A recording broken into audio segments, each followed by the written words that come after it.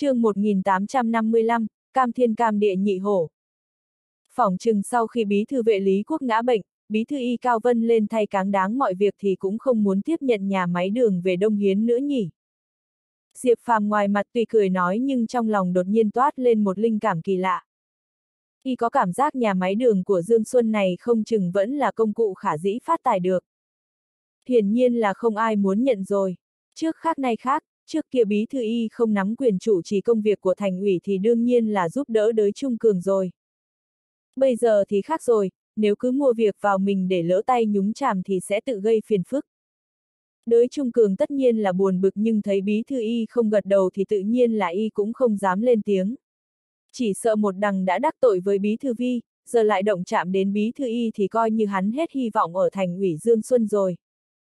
Giang Khải vốn biết gì nói nấy, mà đã nói là nói hết không giấu giếm chuyện gì.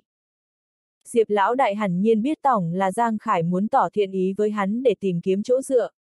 Để tỏ ý muốn dựa dẫm vào họ Diệp, Giang Khải sẵn sàng đắc tội với cả tập đoàn thế lực Y Cao Vân hiện đang nổi như cồn.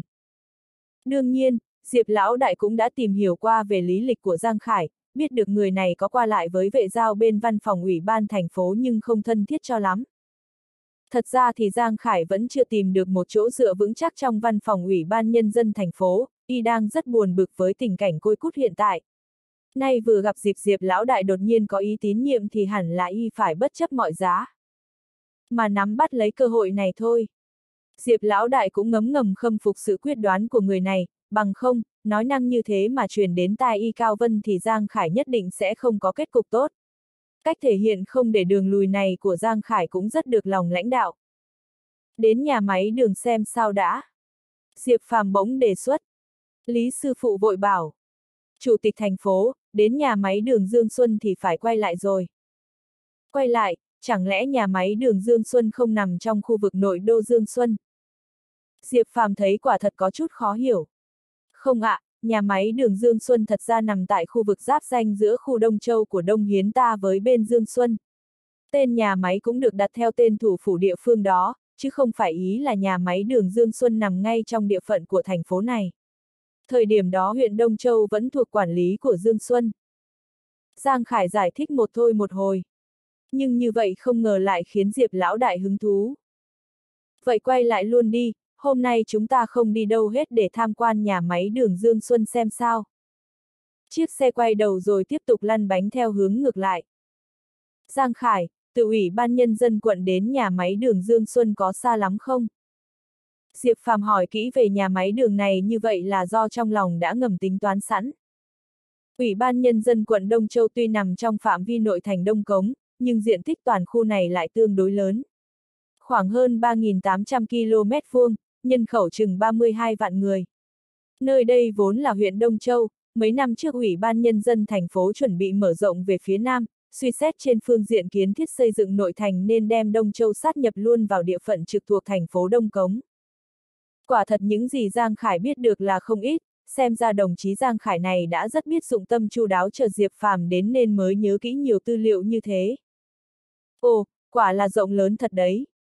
Diệp Phàm gật đầu khen phải thẳng tính đường chim bay theo trục Nam Bắc phải đến 80 km, còn nếu đi theo đường quốc lộ thì đoạn từ Đông Châu thẳng lên hướng Bắc đến tận vùng giáp danh với Dương Xuân ít nhất cũng có đến 160 km.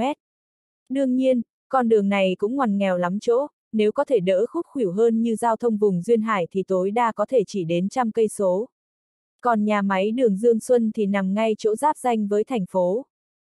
Thưa Chủ tịch, nhà máy đường Dương Xuân tuy hạn chế về lợi ích mang lại nhà xưởng cũng cũ nát, nhưng với ảnh hưởng của nhà máy từ những năm đầu, địa phương đó đã tự hình thành nên một mô hình đô thị lấy trung tâm là nhà máy đường Dương Xuân. Hơn nữa, phong cảnh nơi đó cũng rất chủ phú. Chẳng những có hồng hà bích họa nổi danh của Đông Cống ta, nghe đâu là có từ nền văn minh hồng hà do tổ tiên người Choang chúng ta sáng tạo từ hơn 2.000 năm trước lại còn kết hợp với thiên hầu bích nổi danh nhất phải kể đến chốn cầu tài cầu tử linh nghiệm được truyền tụng từ hơn ngàn năm nay sư vương mộ. Tuy vậy, đáng tiếc là, Lý sư phụ vừa lái xe vừa không ngừng thao thao bất tuyệt. Không ngờ quanh nhà máy đường Dương Xuân còn có nhiều địa danh nước tiếng đến vậy, quả thật rất muốn mở rộng kiến thức một phen. Nhà máy đường Dương Xuân được quy hoạch sớm như vậy, hẳn thôn trấn cũng đã theo đó mọc lên chủ phú lắm. Diệp Phàm cười ha hả, trong lòng hắn thấy thoải mái hơn nhiều nên tiện thể hỏi luôn. Bác Lý, vừa rồi bác có bảo cái gì mà sư vương mộ cầu tài cầu tử đều rất linh nghiệm, sau đó lại thốt lên là đáng tiếc, chẳng lẽ chỉ trước đây mới thiêng còn nay thì không? Vẫn thiêng lắm, thôn trấn thì chưa dựng xong thì việc quản lý ở địa phương liền giao cho nhà máy đường Dương Xuân. Vì đây là nhà máy lớn nên có bộ phận phụ trách an ninh riêng. Người phụ trách phân cục công an bảo vệ nhà máy đường Dương Xuân cũng là cán bộ cấp cục trưởng, so với cục trưởng cục công an thành phố còn hoành tráng hơn nhiều. Hơn nữa, mấy năm lại đây bên thành phố Đông Cống cũng không quản nổi phân cục nhà máy đường Dương Xuân này nữa. Phân cục này lại thành ra trực thuộc công an tỉnh quản lý. Lý sư phụ kể xong, ngẫm nghĩ một lát rồi tiếp. Việc này, sau đó ngôi mộ này. Thấy Lý sư phụ hơi nhăn mặt, Diệp Phàm đã thấy có gì là lạ, rất có khả năng là chuyện sư vương mộ có vấn đề, Diệp lão đại liền quay ra đợi câu trả lời từ phía Giang Khải. Hai. Giang Khải thở dài mà rằng, việc này, vốn trước kia có rất đông người từ nơi khác đến sư vương mộ nơi đây để cầu tử cầu tài. Ba năm trước, mỗi ngày cũng phải có đến mấy trăm người, qua dịp lễ Tết rồi mà vẫn đông nghịt như đi chảy hội. Thời điểm đó lượng người đổ về đây cao điểm lên đến 7-8 ngàn người chỉ trong một ngày. Hồi đó trái núi bên kia khu lăng mộ phủ kín toàn người là người, tất cả thiện nam tín nữ đều quỳ lạy hết sức cung kính. Có mấy chị em hiếm muộn đến sư vương mộ dập đầu cầu xin đến chảy máu.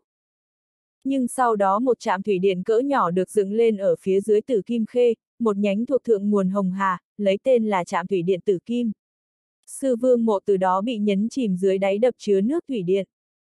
Quy mô lớn là thế, dù không phải là dự án cấp nhà nước nhưng chẳng lẽ không một ai đứng ra phản đối sao? Diệp Phàm nghi hoặc hỏi lại. Đương nhiên là có, quần chúng địa phương vì việc này đã xảy ra xô sát với công nhân xây dựng trạm phát điện vài bận rồi. Hơn nữa, việc này cũng đã ẩm ý đến quận Đông Châu. Nhưng vì nguyên nhân đặc thù nên rốt cuộc trạm phát điện vẫn cứ mọc lên. Đến nay tuy vẫn có vài người đến sư vương mộ cầu tử cầu tài, nhưng vì không thấy được mộ địa nên chỉ đành đốt chút hương khói bên cạnh đập chứa nước. Từ đó, người đến cũng thưa dần, đến nay thì hiếm còn thấy một ai nữa.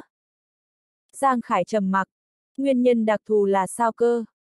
Cái này, Giang Khải vẫn như đang kiêng rè cái gì đó. Hừm, Diệp lão đại đã hơi tức khí, hừ một tiếng tỏ vẻ mất kiên nhẫn.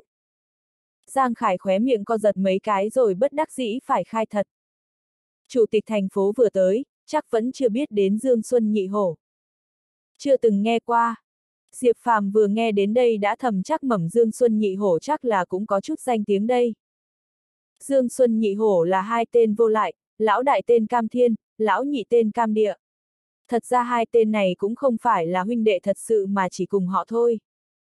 Giang Khải mới nói đến đây, Diệp lão đại đã hầm hực, cả thiên lẫn địa đều đòi nuốt trọn, đặt tên kiểu đó nghe thôi đã thấy châu bò rồi. Cũng không có sai, chẳng những cái tên châu bò mà đến người cũng châu bò nốt. Lý sư phụ không nhịn nổi nói chen vào một câu. Ủa, châu bò thế nào vậy? Diệp phàm hết quay sang nhìn Giang Khải rồi lại nhìn Lý sư phụ. Đương nhiên là châu bò bá đạo rồi, hai tên đó đều có một bang huynh đệ. Tụ tập lại một chỗ thì đông như kiến cỏ. Hơn nữa, người ta cũng có tiền đi, mở được cả công ty. Dân thường mà ho he chọc vào bọn chúng, nhẹ thì đứt tay gãy chân, nặng thì bị đánh cho tàn phế cũng chẳng là gì. Giang Khải giải thích, công an ăn cơm để ngồi bắt giận à. Diệp Phàm nổi giận, không dám quản thì đúng hơn, Cục trưởng tiền nhiệm cục công an thành phố Y Phong cũng chỉ vì cho tạm giam ông hai cam địa này có nửa ngày mà sau đó cam địa ngày nào cũng đến làm ẩm ý, khiến cả cục công an thành phố thiếu chút nữa là đình trệ cả công việc thường ngày. Còn nhà anh cục trưởng y kia cũng thường xuyên bị ném đá, thậm chí thấy cả đao dính máu cắm trên bàn làm việc. Dọa đến mức cả nhà họ y không một ai ăn ngon ngủ yên. Cục trưởng y giận dữ quyết điều tra cho ra kẻ đứng sau, cũng đã bắt ra một số đối tượng. Nhưng sau chả biết xui xẻo thế nào lại bỗng nhiên bị cách chức. Sau khi mất chức thì cục trưởng y đâm ra nhàn rỗi. Trong tay cũng không có quyền hành gì nữa.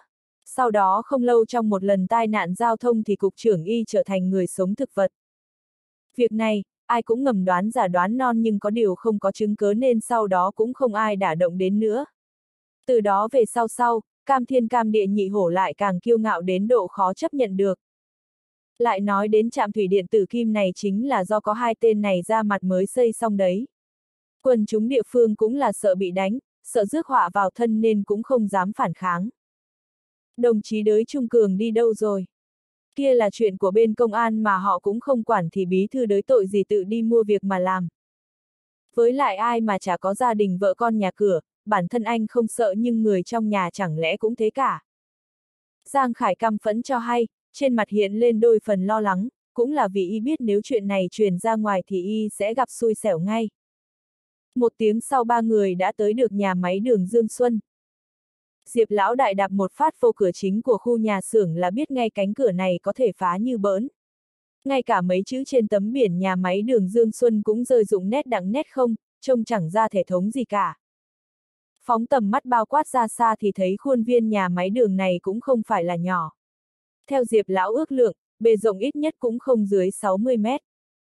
Còn bề dài kéo hun hút vào phía trong thì khó mà ước lượng bằng mắt được. Nhà máy đường Dương Xuân được xây ven bờ Hồng Hà, nước sông trong vắt chậm rãi chảy qua trước cổng nhà máy, lại thêm thảm thực vật mát mắt phủ kín dãy núi bao bọc đôi bên khu nhà xưởng, phong cảnh nơi đây thật khiến cho người ta thoải mái dễ chịu vô cùng. Tỷ lệ cây cối thảm thực vật bao phủ ở Đông Cống đạt sấp xỉ 45% nên đi đến đâu cũng thấy một màu xanh mát mắt.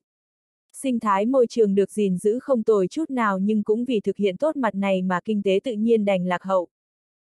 Giang Khải bảo bác bảo vệ ra là chủ tịch thành phố tới thăm, bảo bác ta thông báo cho ban lãnh đạo nhà máy ra cửa đón tiếp. Tranh thủ chút thời gian trong lúc chờ đợi Diệp Phàm tranh thủ thừa ngơ ngoạn phong cảnh hai bên bờ sông. Có đến già nửa tiếng sau, Diệp lão đại không kiên nhẫn nổi nữa bèn bảo Giang Khải trực tiếp tiến vào nhà máy thì mới thấy lác đác vài anh ra dáng cán bộ nhà máy chậm rãi kéo nhau ra tiếp. chương 1856, đánh trước nói sau. Người hói nửa đầu đi phía trước chính là bí thư đương nhiệm nhà máy Lý Khê Mãn, người trung niên vẻ mặt nghiêm túc, tương đối cao giáo đi cạnh bên là giám đốc nhà máy đồng chí Lan Vân Phong. Giang Khải ghé sát tai Diệp Phàm khẽ giới thiệu. Ai là chủ tịch Diệp? Lão hói nửa đầu lướt qua ba người bên Giang Khải một lượt, hất hàm hỏi với thái độ có pha lẫn đôi chút ngạo mạn. Cũng vì trong số ba người thì lão có quen biết Giang Khải, Lý Sư Phụ lại không có dáng dấp lãnh đạo còn Diệp Phàm tuổi đời trông chừng còn rất trẻ nên đồng chí Lý Mãn Khê này trong lòng quả có chút nghi hoặc nên mới dò xét ba người như thế. Còn tưởng rằng đồng chí Diệp Phàm này có khi là được địa phương nào cử đến thăm thú. Bí thư Lý, đây chính là tân chủ tịch thành phố Đông Cống chúng ta, đồng chí Diệp Phàm. Giang Khải vội chỉ Diệp Phàm giới thiệu. Ủa, xin chào chủ tịch Diệp. Lý Khê mãn miệng thản nhiên tuét ra một nụ cười nhạt nhẽo, tuy lão cũng đưa tay ra bắt nhưng vẫn không thèm tiến lên hoan nghênh. Diệp Phàm vừa thấy thế thì trong lòng đã thấy phát ghét, thằng bí thư quèn quản lý cái nhà máy cũ nát này mà dám lên mặt khoe khoang như thế, mày tưởng mày vẫn còn là ông bí thư của nhà máy thuở ăn nên làm ra hay sao? Một thằng hưởng đãi ngộ cấp giám đốc sở mà dám đứng trước mặt bố mày khoe khoang cái dám gì thế chứ? Chủ nhiệm Giang, nhà máy đường Dương Xuân này là đơn vị thế nào vậy? Diệp Phàm cũng không tiến lên, nhìn Lý Khê mãn hừ một tiếng rồi quay sang hỏi Giang Khải. Trước kia trực tiếp thuộc Ủy ban Kinh tế Thương mại tỉnh quản lý nhưng nay lại trực thuộc thành ủy Dương Xuân. Giang Khải vừa nghe đã hiểu là Chủ tịch Diệp đang muốn chỉnh một số kẻ nên trong tích tắc đã hăng hái đáp rất rõ ràng. Đây gọi là tận tụy dốc sức vì lãnh đạo. Dương Xuân không thuộc quyền quản lý của Đông Cống à. Câu này của Diệp Phàm là phát ra từ trong xoang mũi, ý tứ đã rất rõ ràng, nếu nhà máy đường Dương Xuân là do người của quận Dương Xuân quản lý, quận Dương Xuân lại trực thuộc Đông Cống vậy lãnh đạo Đông Cống chẳng phải là cấp trên của nhà máy các người hay sao? Lý Khê mãn thoạt nghe đã thấy sừng sốt. Trên mặt lão hằn lên những tia lửa giận, nhưng chẳng mấy chốc lại đỏ ửng lên vì cả thẹn. Lão đứng được ra đó vài giây rồi trung quy vẫn là không thể không chậm rãi tiến lên mở lời. Chủ tịch Diệp, Lý Khê mãn tôi xin thay mặt nhà máy đường Dương Xuân Hoan nghênh anh đã đến thăm. Diệp Phàm vẫn đưa tay ra cho lão bắt nhưng vội rút ra ngay, sau đó lại bắt tay giám đốc Lan Vân Phong, hắn vẫn không quên đen nẹt một câu. Các người như thế này mà là hoan nghênh lãnh đạo cấp trên đến kiểm tra công tác sao? Rất xin lỗi Chủ tịch Diệp, vừa rồi bọn em không nhận là anh đến thăm. Giám đốc Lan đánh mắt cho lão bí thư lý rồi cuống quýt giải thích. Lạ nhỉ, vừa rồi chủ nhiệm Giang không thông báo cho mấy người sao. Rất xin lỗi thưa chủ tịch, vừa rồi đúng là tôi không báo cho người phụ trách bên họ mà chỉ báo cho nhân viên trực ban bảo y thông báo dùm, cũng có thể là y có sơ sót gì đó. Màn kịch này Giang Khải diễn khéo vô cùng, trực tiếp cho lão Lý ăn bà tai từ chính nhân viên của lão. Bí thư Lý, Giám đốc Lan, vừa rồi chẳng phải tôi đã báo rõ ràng là có chủ tịch thành phố với chủ nhiệm Giang cùng đến đây, đang đợi ở cổng chính. Anh lại còn hỏi tôi tôi chủ tịch thành phố trông thế nào, tôi mới bảo là trông rất trẻ tuổi, chừng chưa đến 30 cơ mà. Ông lão trông cửa từ phía sau nóng nảy ồn ào chen lên. Để thêm phần chứng minh những gì mình nói là đúng, ông lão còn chỉ một người trẻ tuổi đanh đứng cạnh cổng nhà máy nuốt xương nhả khói mà rằng. Anh bạn kia có thể làm chứng, những gì ban nãy tôi nói trong điện thoại y đều nghe thấy hết. Phải vậy không tiểu trương? Lý Khê mãn liếc nhìn người trẻ tuổi gần giọng. Báo cáo bí thư Lý, quả đúng như thế thật, vừa rồi chú Vu nhị trụ đúng là có nói như thế qua điện thoại. Lại còn nhắc đi nhắc lại mấy lần nghe đến nhàm cả cái lỗ nhĩ, có việc gì không ạ? Người thanh niên kia tỏ ra không hề e sợ nhân vật số một của nhà máy đường chút nào, cứ lớn tiếng đáp. Lý Khê mãn lập tức mặt đỏ gay như đít khỉ, miệng thì lắp bắp không ra hơi. Vừa nãy là do tôi nghe lầm, rất xin lỗi chủ tịch. Ha ha ha, không biết không trách tội. Nghe lầm thì thôi, ấy thế nhưng mà lần sau anh nên đi rửa cái lỗ tai cho sạch, tránh lại nghe lầm cái gì quan trọng hơn thì sẽ rất phiền đó. Diệp Phàm nhẹ nhàng đưa tay vỗ nhẹ lên vai bí thư lý, lão ta đành phải đỏ mặt gật đầu khen phải. Thấy đã dạy dỗ lão đâu vào đấy, Diệp Phàm mới ung dung tiến vào khu nhà xưởng. Mở hội nghị tọa đàm. Cùng nghe giám đốc Lan báo cáo. Nếu các anh đã nhận thức được rằng nhà máy mà không thay đổi ắt sẽ không có đường sống thì vì sao lại không đẩy nhanh các bước cải cách? Mau chóng lắp mới một số trang thiết bị, áp dụng thêm các kỹ thuật mới trong sản xuất đường, làm tốt việc gia công chế biến sản phẩm đường theo hướng chủ đạo là chú trọng chất lượng sản phẩm. Chỉ có như vậy mới nâng tầm được giá trị của cây mía sau khi chế biến thành đường, doanh thu của nhà máy mới khá lên được. Diệp Phàm không ngừng chất vấn. Hai, Giám đốc nhà máy Lan Vân Phong thở dài thườn thượt, nhìn bí thư đảng ủy Lý Khê Mãn không nói nên lời. Thưa Chủ tịch Diệp, không phải chúng tôi không muốn thay đổi, không muốn tiến hành đầu tư có chiều sâu cho quá trình gia công chế biến, chỉ có điều, việc này nói xuông thì dễ chứ bắt tay vào làm thật thì khó hơn cả lên trời. Lý Khê Mãn chéo chép miệng mặt cau lại, nửa phần nghiêm túc nửa phần chua xót khổ sở lắm. Khó hơn cả lên trời, chuyện gì cũng phải bắt tay vào làm mới biết khó lên trời khó xuống biển thế nào chứ. Diệp Phàm tức khí gõ cóc cóc lên mặt bàn. Chuyện này tôi cũng hết cách, nói thật, tôi đã đổ hết sức lực tâm huyết cho cái nhà máy đường này rồi. Bảo tôi có cố nữa thì có quá cố cũng có cách gì khác cơ chứ. Lý Khê mãn nào ngờ lại có gan cãi lại với giọng điệu rõ ràng là đang bất mãn. Mới làm chút việc đã kêu là vất vả này nọ, vậy xin hỏi anh có ăn lương nhà nước không? Đồng chí Lý Khê Mãn, đây là thái độ kiểu gì chứ? Là đảng viên lão thành thì tối thiểu phải có chút giác ngộ chứ? Là người ai cũng có tinh thần hy sinh thân mình cả.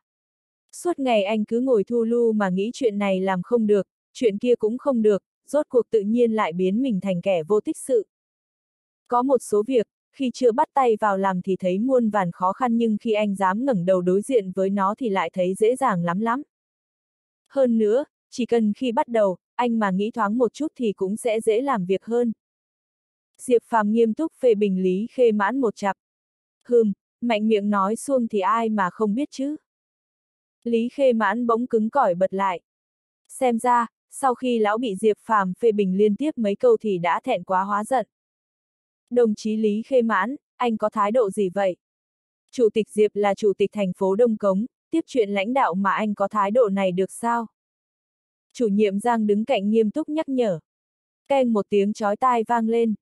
Ai nấy trông qua mới phát hiện bí thư Lý Khê Mãn mặt đã đỏ bừng, hai mắt trừng trừng, âm thanh vừa nãy phát ra là do lão ta dằn mạnh chiếc bật lửa châm thuốc cổ bằng kim khí đang cầm trong tay xuống mặt bàn, lão chỉ thẳng mặt Giang Khải ham dọa. Lý Khê Mãn tôi tốt xấu gì cũng là một cán bộ cấp giám đốc sở. Vẫn chưa tới lượt một anh chủ nhiệm quèn như chú ngồi đó mà chỉ tay năm ngón, cái quái gì vậy chứ? Đồng chí Lý Khê Mãn, với thái độ của anh ngày hôm nay, Diệp Phàm tôi lấy danh nghĩa chủ tịch thành phố Đông Cống, thay mặt Ủy ban Nhân dân thành phố tuyên bố, anh tạm thời bị cách chức. Hãy về viết kiểm điểm, nếu không sâu sắc khiến tôi hài lòng thì anh vẫn tiếp tục bị cách chức tạm thời. Thật vô lý quá thể, người như anh mà cũng là một đảng viên lão thành được sao? Thấy công việc thì sợ vất vả không muốn làm, mấy ngàn lao động nhà máy đường Dương Xuân lại giao cho anh một tay quản lý, với thái độ của anh như thể thì tôi thật lấy làm lo lắng. Diệp Phàm tỏ ra thật nghiêm khắc, to tiếng phê bình, phỏng chừng ở tận dưới lầu cũng nghe rõ mồn một. Cái ngư anh, mà đòi cách chức Lý Khê Mãn này. Lý Khê Mãn cũng đã giận dữ đến cực điểm, khóe miệng run run, lão chỉ vào Diệp Phàm mà rít lên the thế. Tôi rất muốn xem xem chủ tịch thành phố nhà anh có tư cách gì mà cách chức Lý Khê Mãn này. Lão Lý, bình tĩnh chút đi.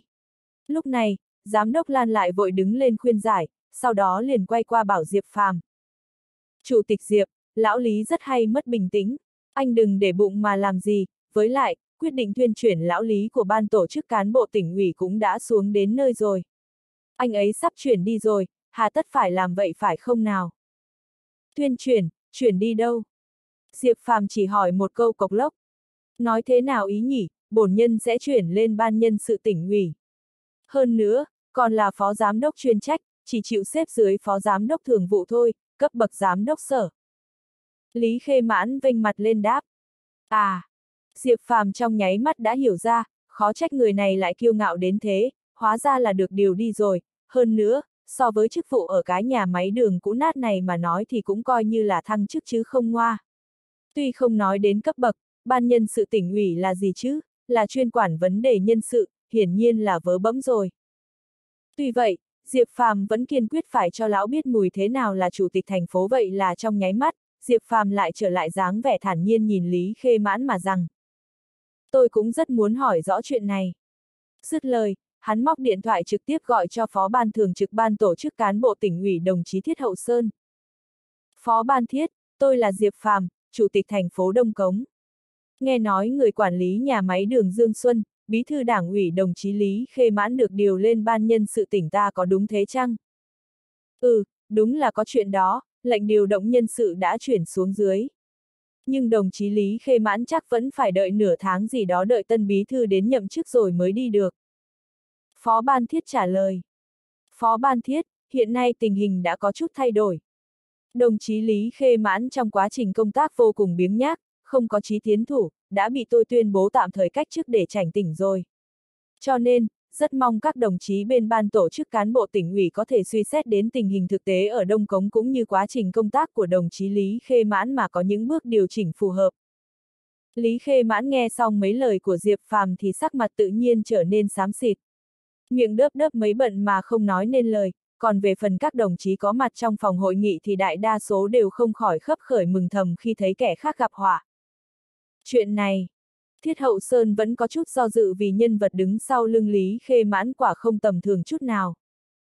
Sao cơ, ban tổ chức cán bộ tỉnh ủy không thể xét lại vấn đề này sao? Diệp Phàm hơi trùng giọng xuống.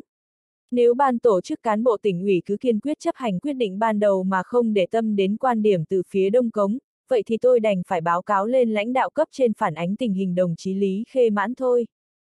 Hai, Chủ tịch Diệp, tôi cũng xin nói thật với anh.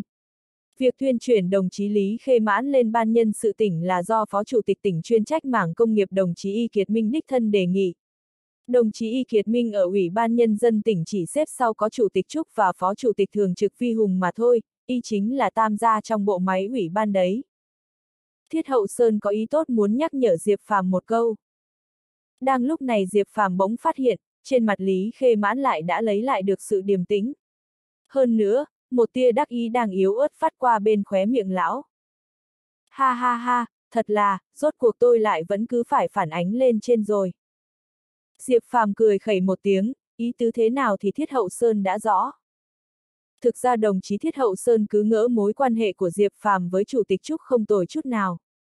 Vậy là đâm lao thì phải theo lao, Diệp Phàm bèn đem đồng chí Trúc ra để gây sức ép với Thiết Hậu Sơn, nghĩ bụng có khi lại hữu dụng cũng không chừng chương 1857, nắm quyền sinh sát khâu nhân sự.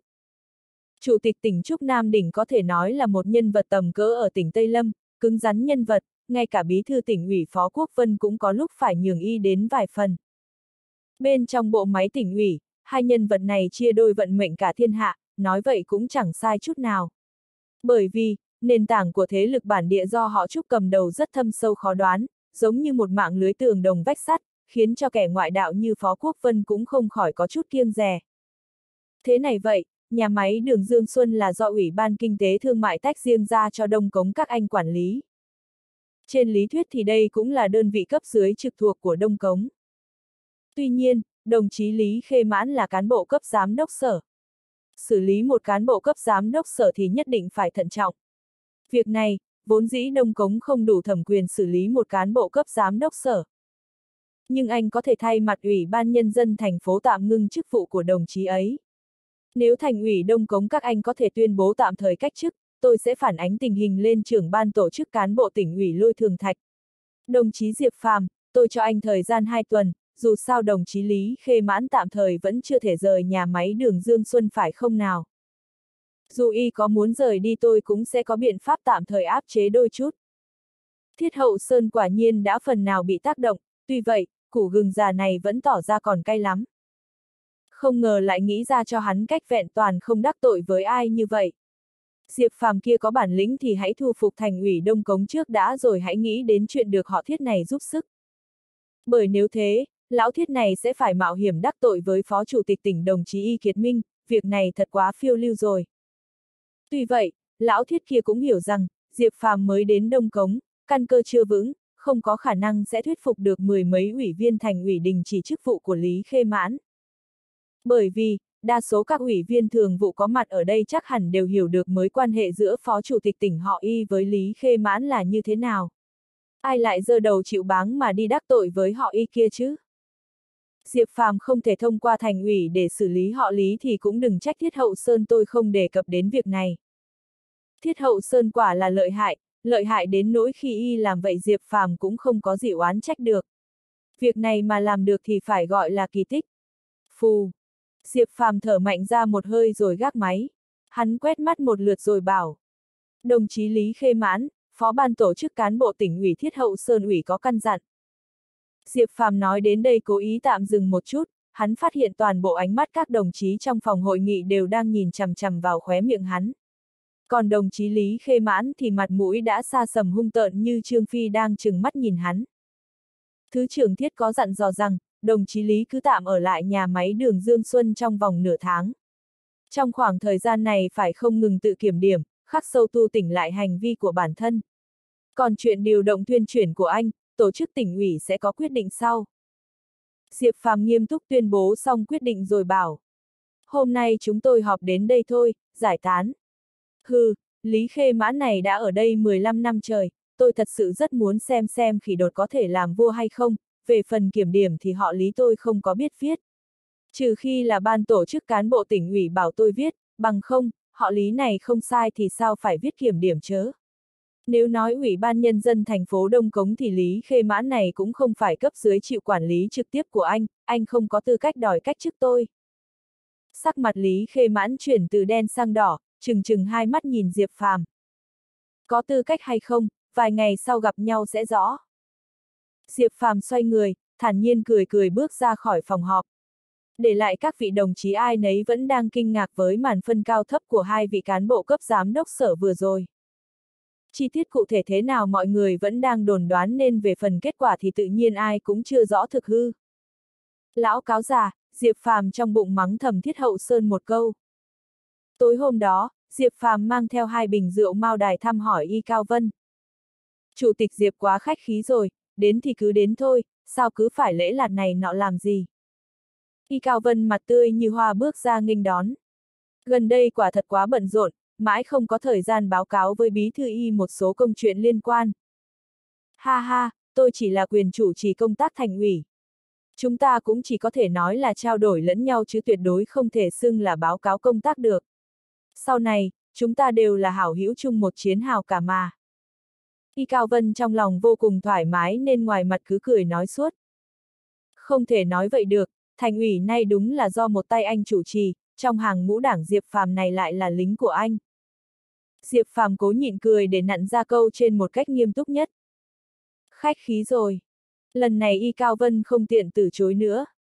Bí thư Y, đồng chí Lý Khê Mãn của bên nhà máy đường Dương Xuân rất chi là kỳ cục.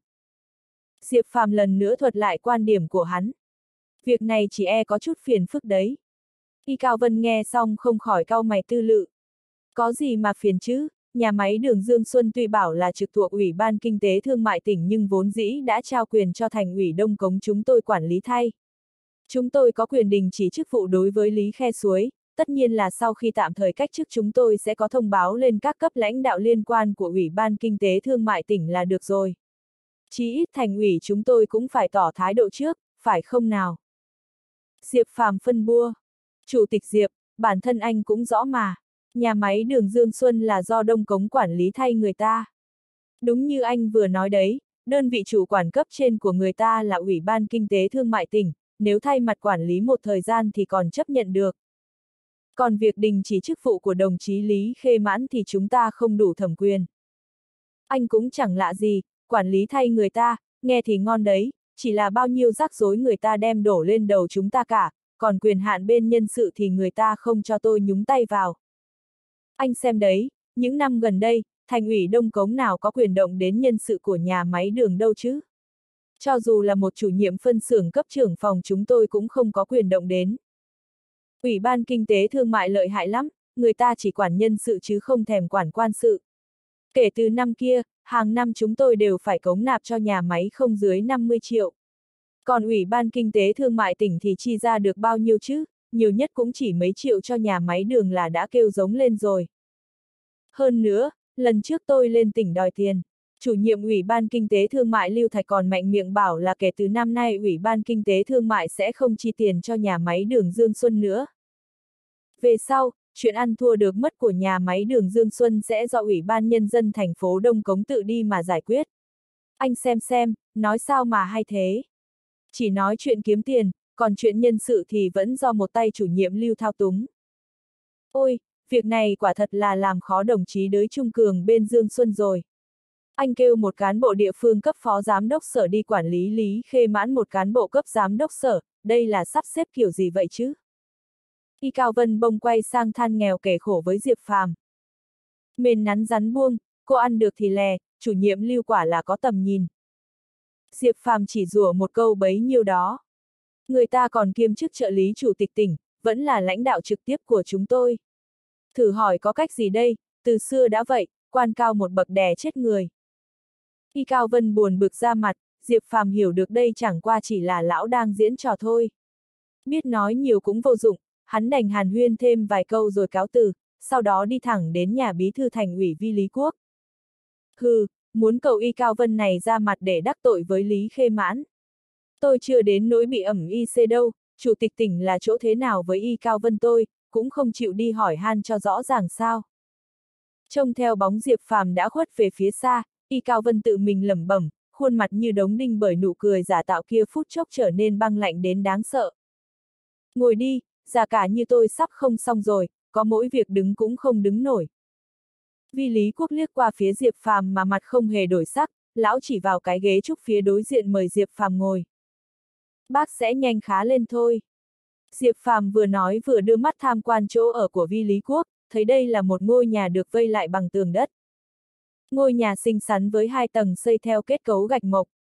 Phía ngoài tường nhà vẫn chưa chát vữa quét vôi, còn để nguyên màu gạch thô. Đây rõ ràng giống nhà của một thường dân, nếu nói là cơ ngơi của một bí thư thành ủy thì có vẻ hơi tồi tàn. Bí thư vi, sao anh lại ở chỗ thế này? Diệp Phàm thuận miệng hỏi luôn. Ở quen rồi, bên kia thành ủy cũng có căn nhà nhỏ. Nhưng thiết nghĩ tình hình kinh tế của Đông Cống chúng ta không được tốt cho lắm.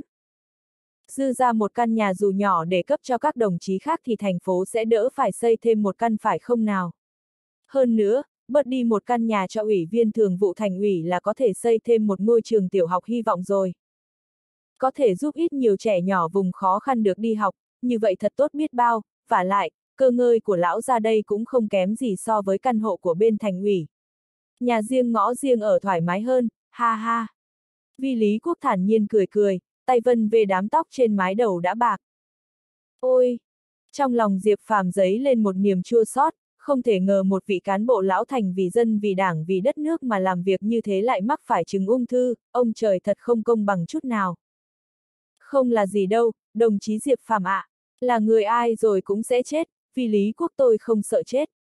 Chỉ có điều, e là không kịp nhìn cảnh phồn hoa phát triển của Đông Cống rồi. Thành phố Đông Cống ta hiện có trên dưới 30.000 nhân khẩu khu vực nội thành.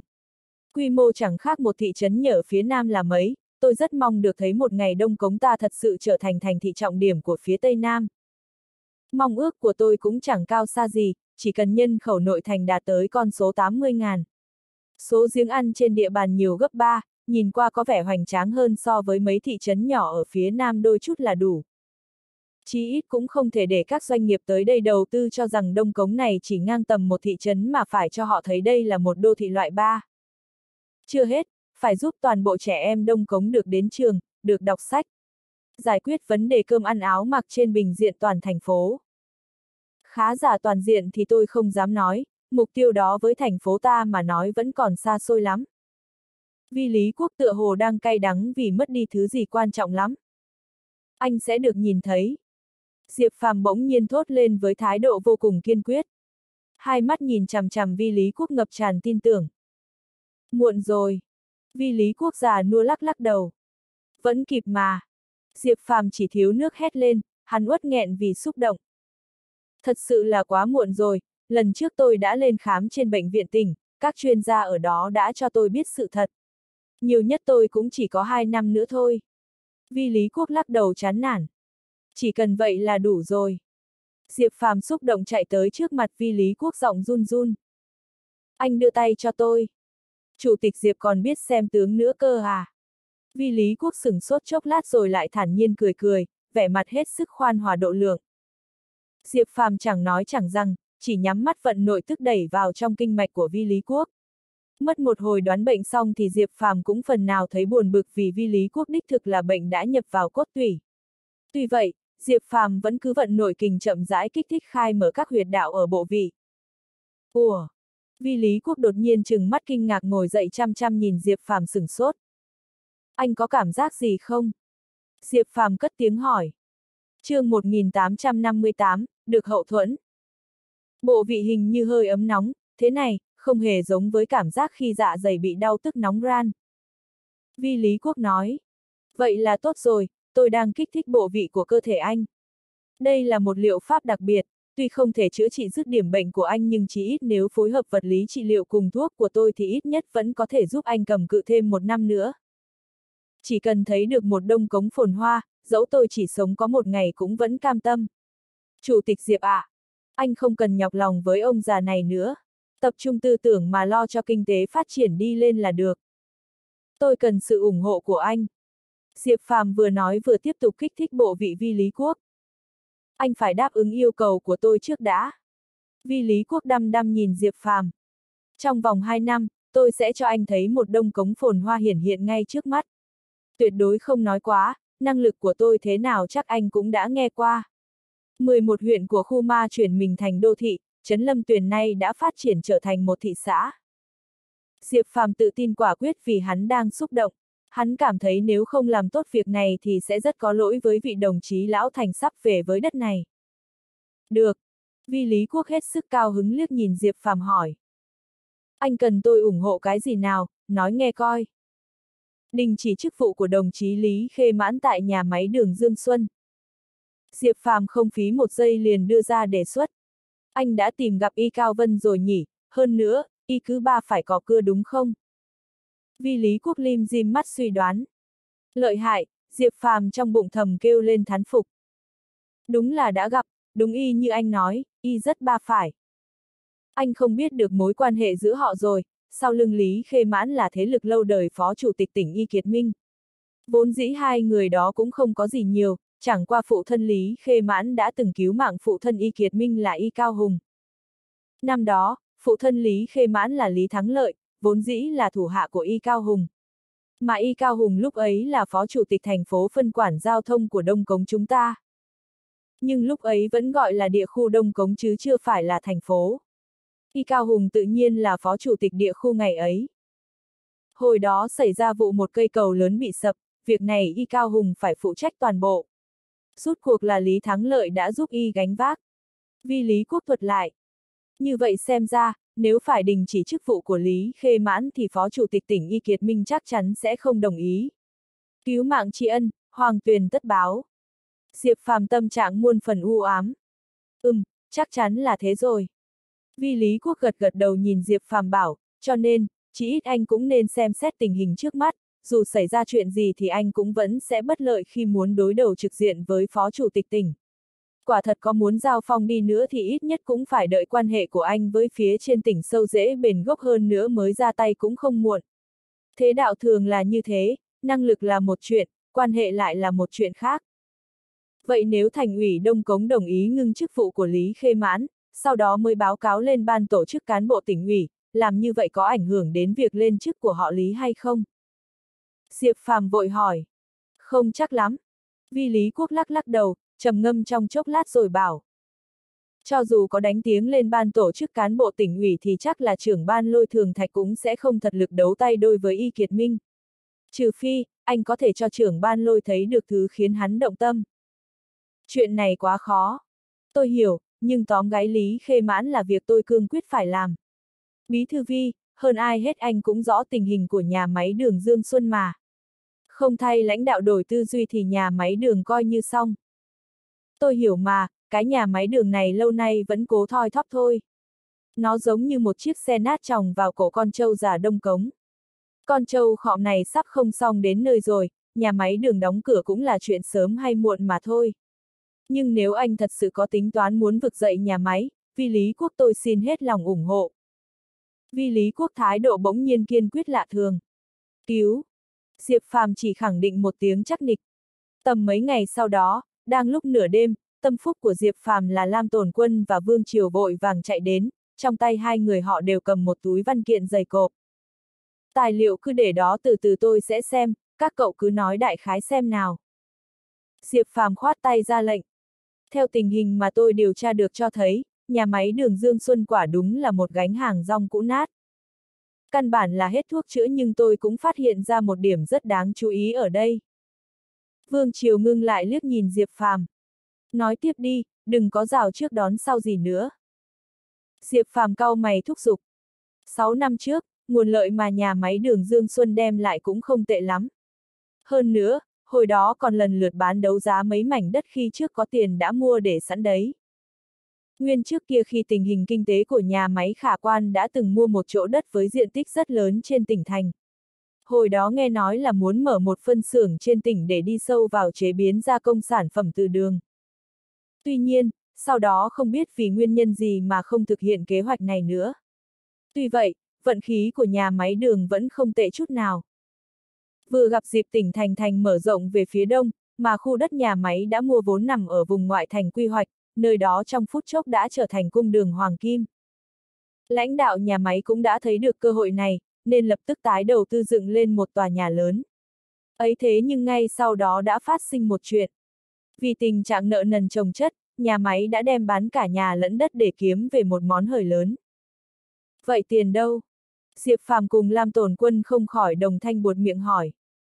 Thu được hàng trăm triệu, phần lớn đều ăn uống tiêu pha phát thưởng cấp phúc lợi hết.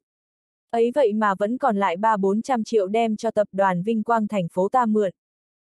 Tập đoàn Vinh Quang, có phải đứng đầu tập đoàn Vinh Quang là bà cô già Cam Vũ Thuần, ngoại hiệu Cam Nương Tử hay không, nghe đâu hiệu quả kinh doanh cực tốt, tài sản tập đoàn hiện nay đã lên đến con số hàng tỷ.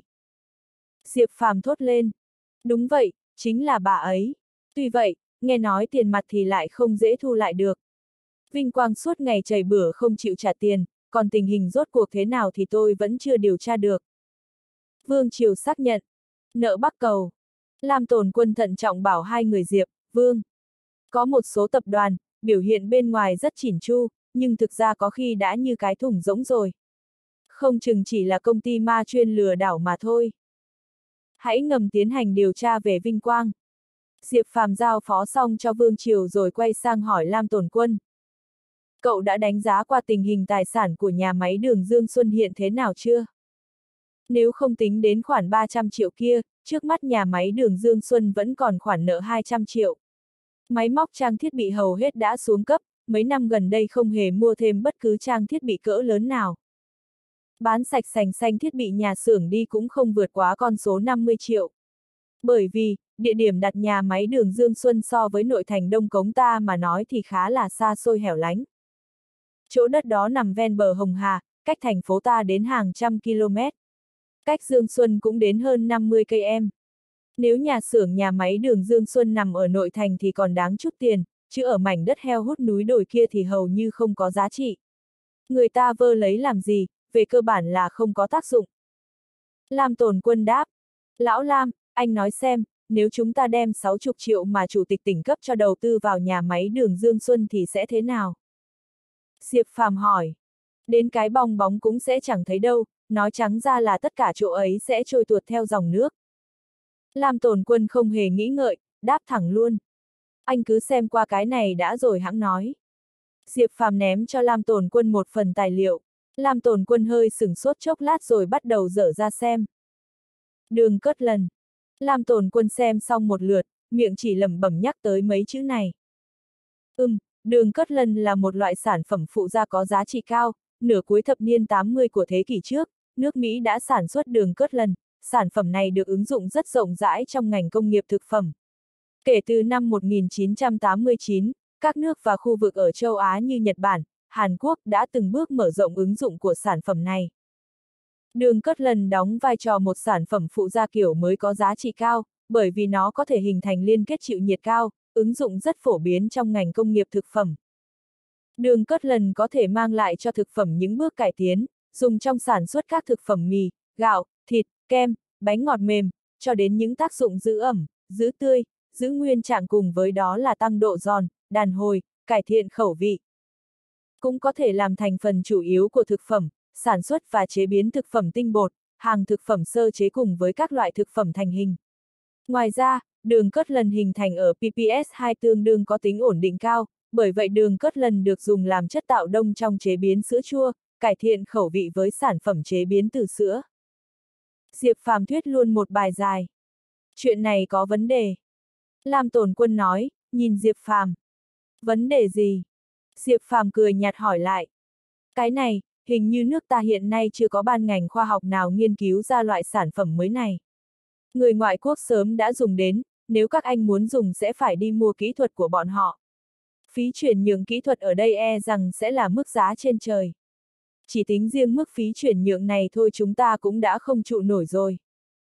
Lam tổn quân lo ngại. Ha ha, không cần đến tiền. Diệp Phàm nở một nụ cười bí hiểm. Làm sao có thể? Lam tổn Quân và Vương Triều đều hồ nghi ra mặt. Việc này các cậu không cần hỏi, cứ xem như Diệp Phàm tôi tặng đại lễ cho Đông Cống đi. Diệp Phàm không muốn dây dưa mãi vấn đề này nên dù Lam Tồn Quân và Vương Triều đều rất hiếu kỳ nhưng cũng hiểu được có một số việc Diệp Phàm đã không nói là nhất định có lý do, thế nên hai người họ cũng không tiện hỏi thêm gì nữa. Thật ra kỹ thuật này là Diệp Phàm lấy từ chỗ Lý Khiếu Thiên mà ra. Nay vừa nghe đến chuyện nhà máy đường là Diệp Phàm đã nghĩ ngay đến mấy năm trước ở tổ đặc nhiệm A khi đó hình như có một hạng mục kỹ thuật có đề cập đến gia công đường.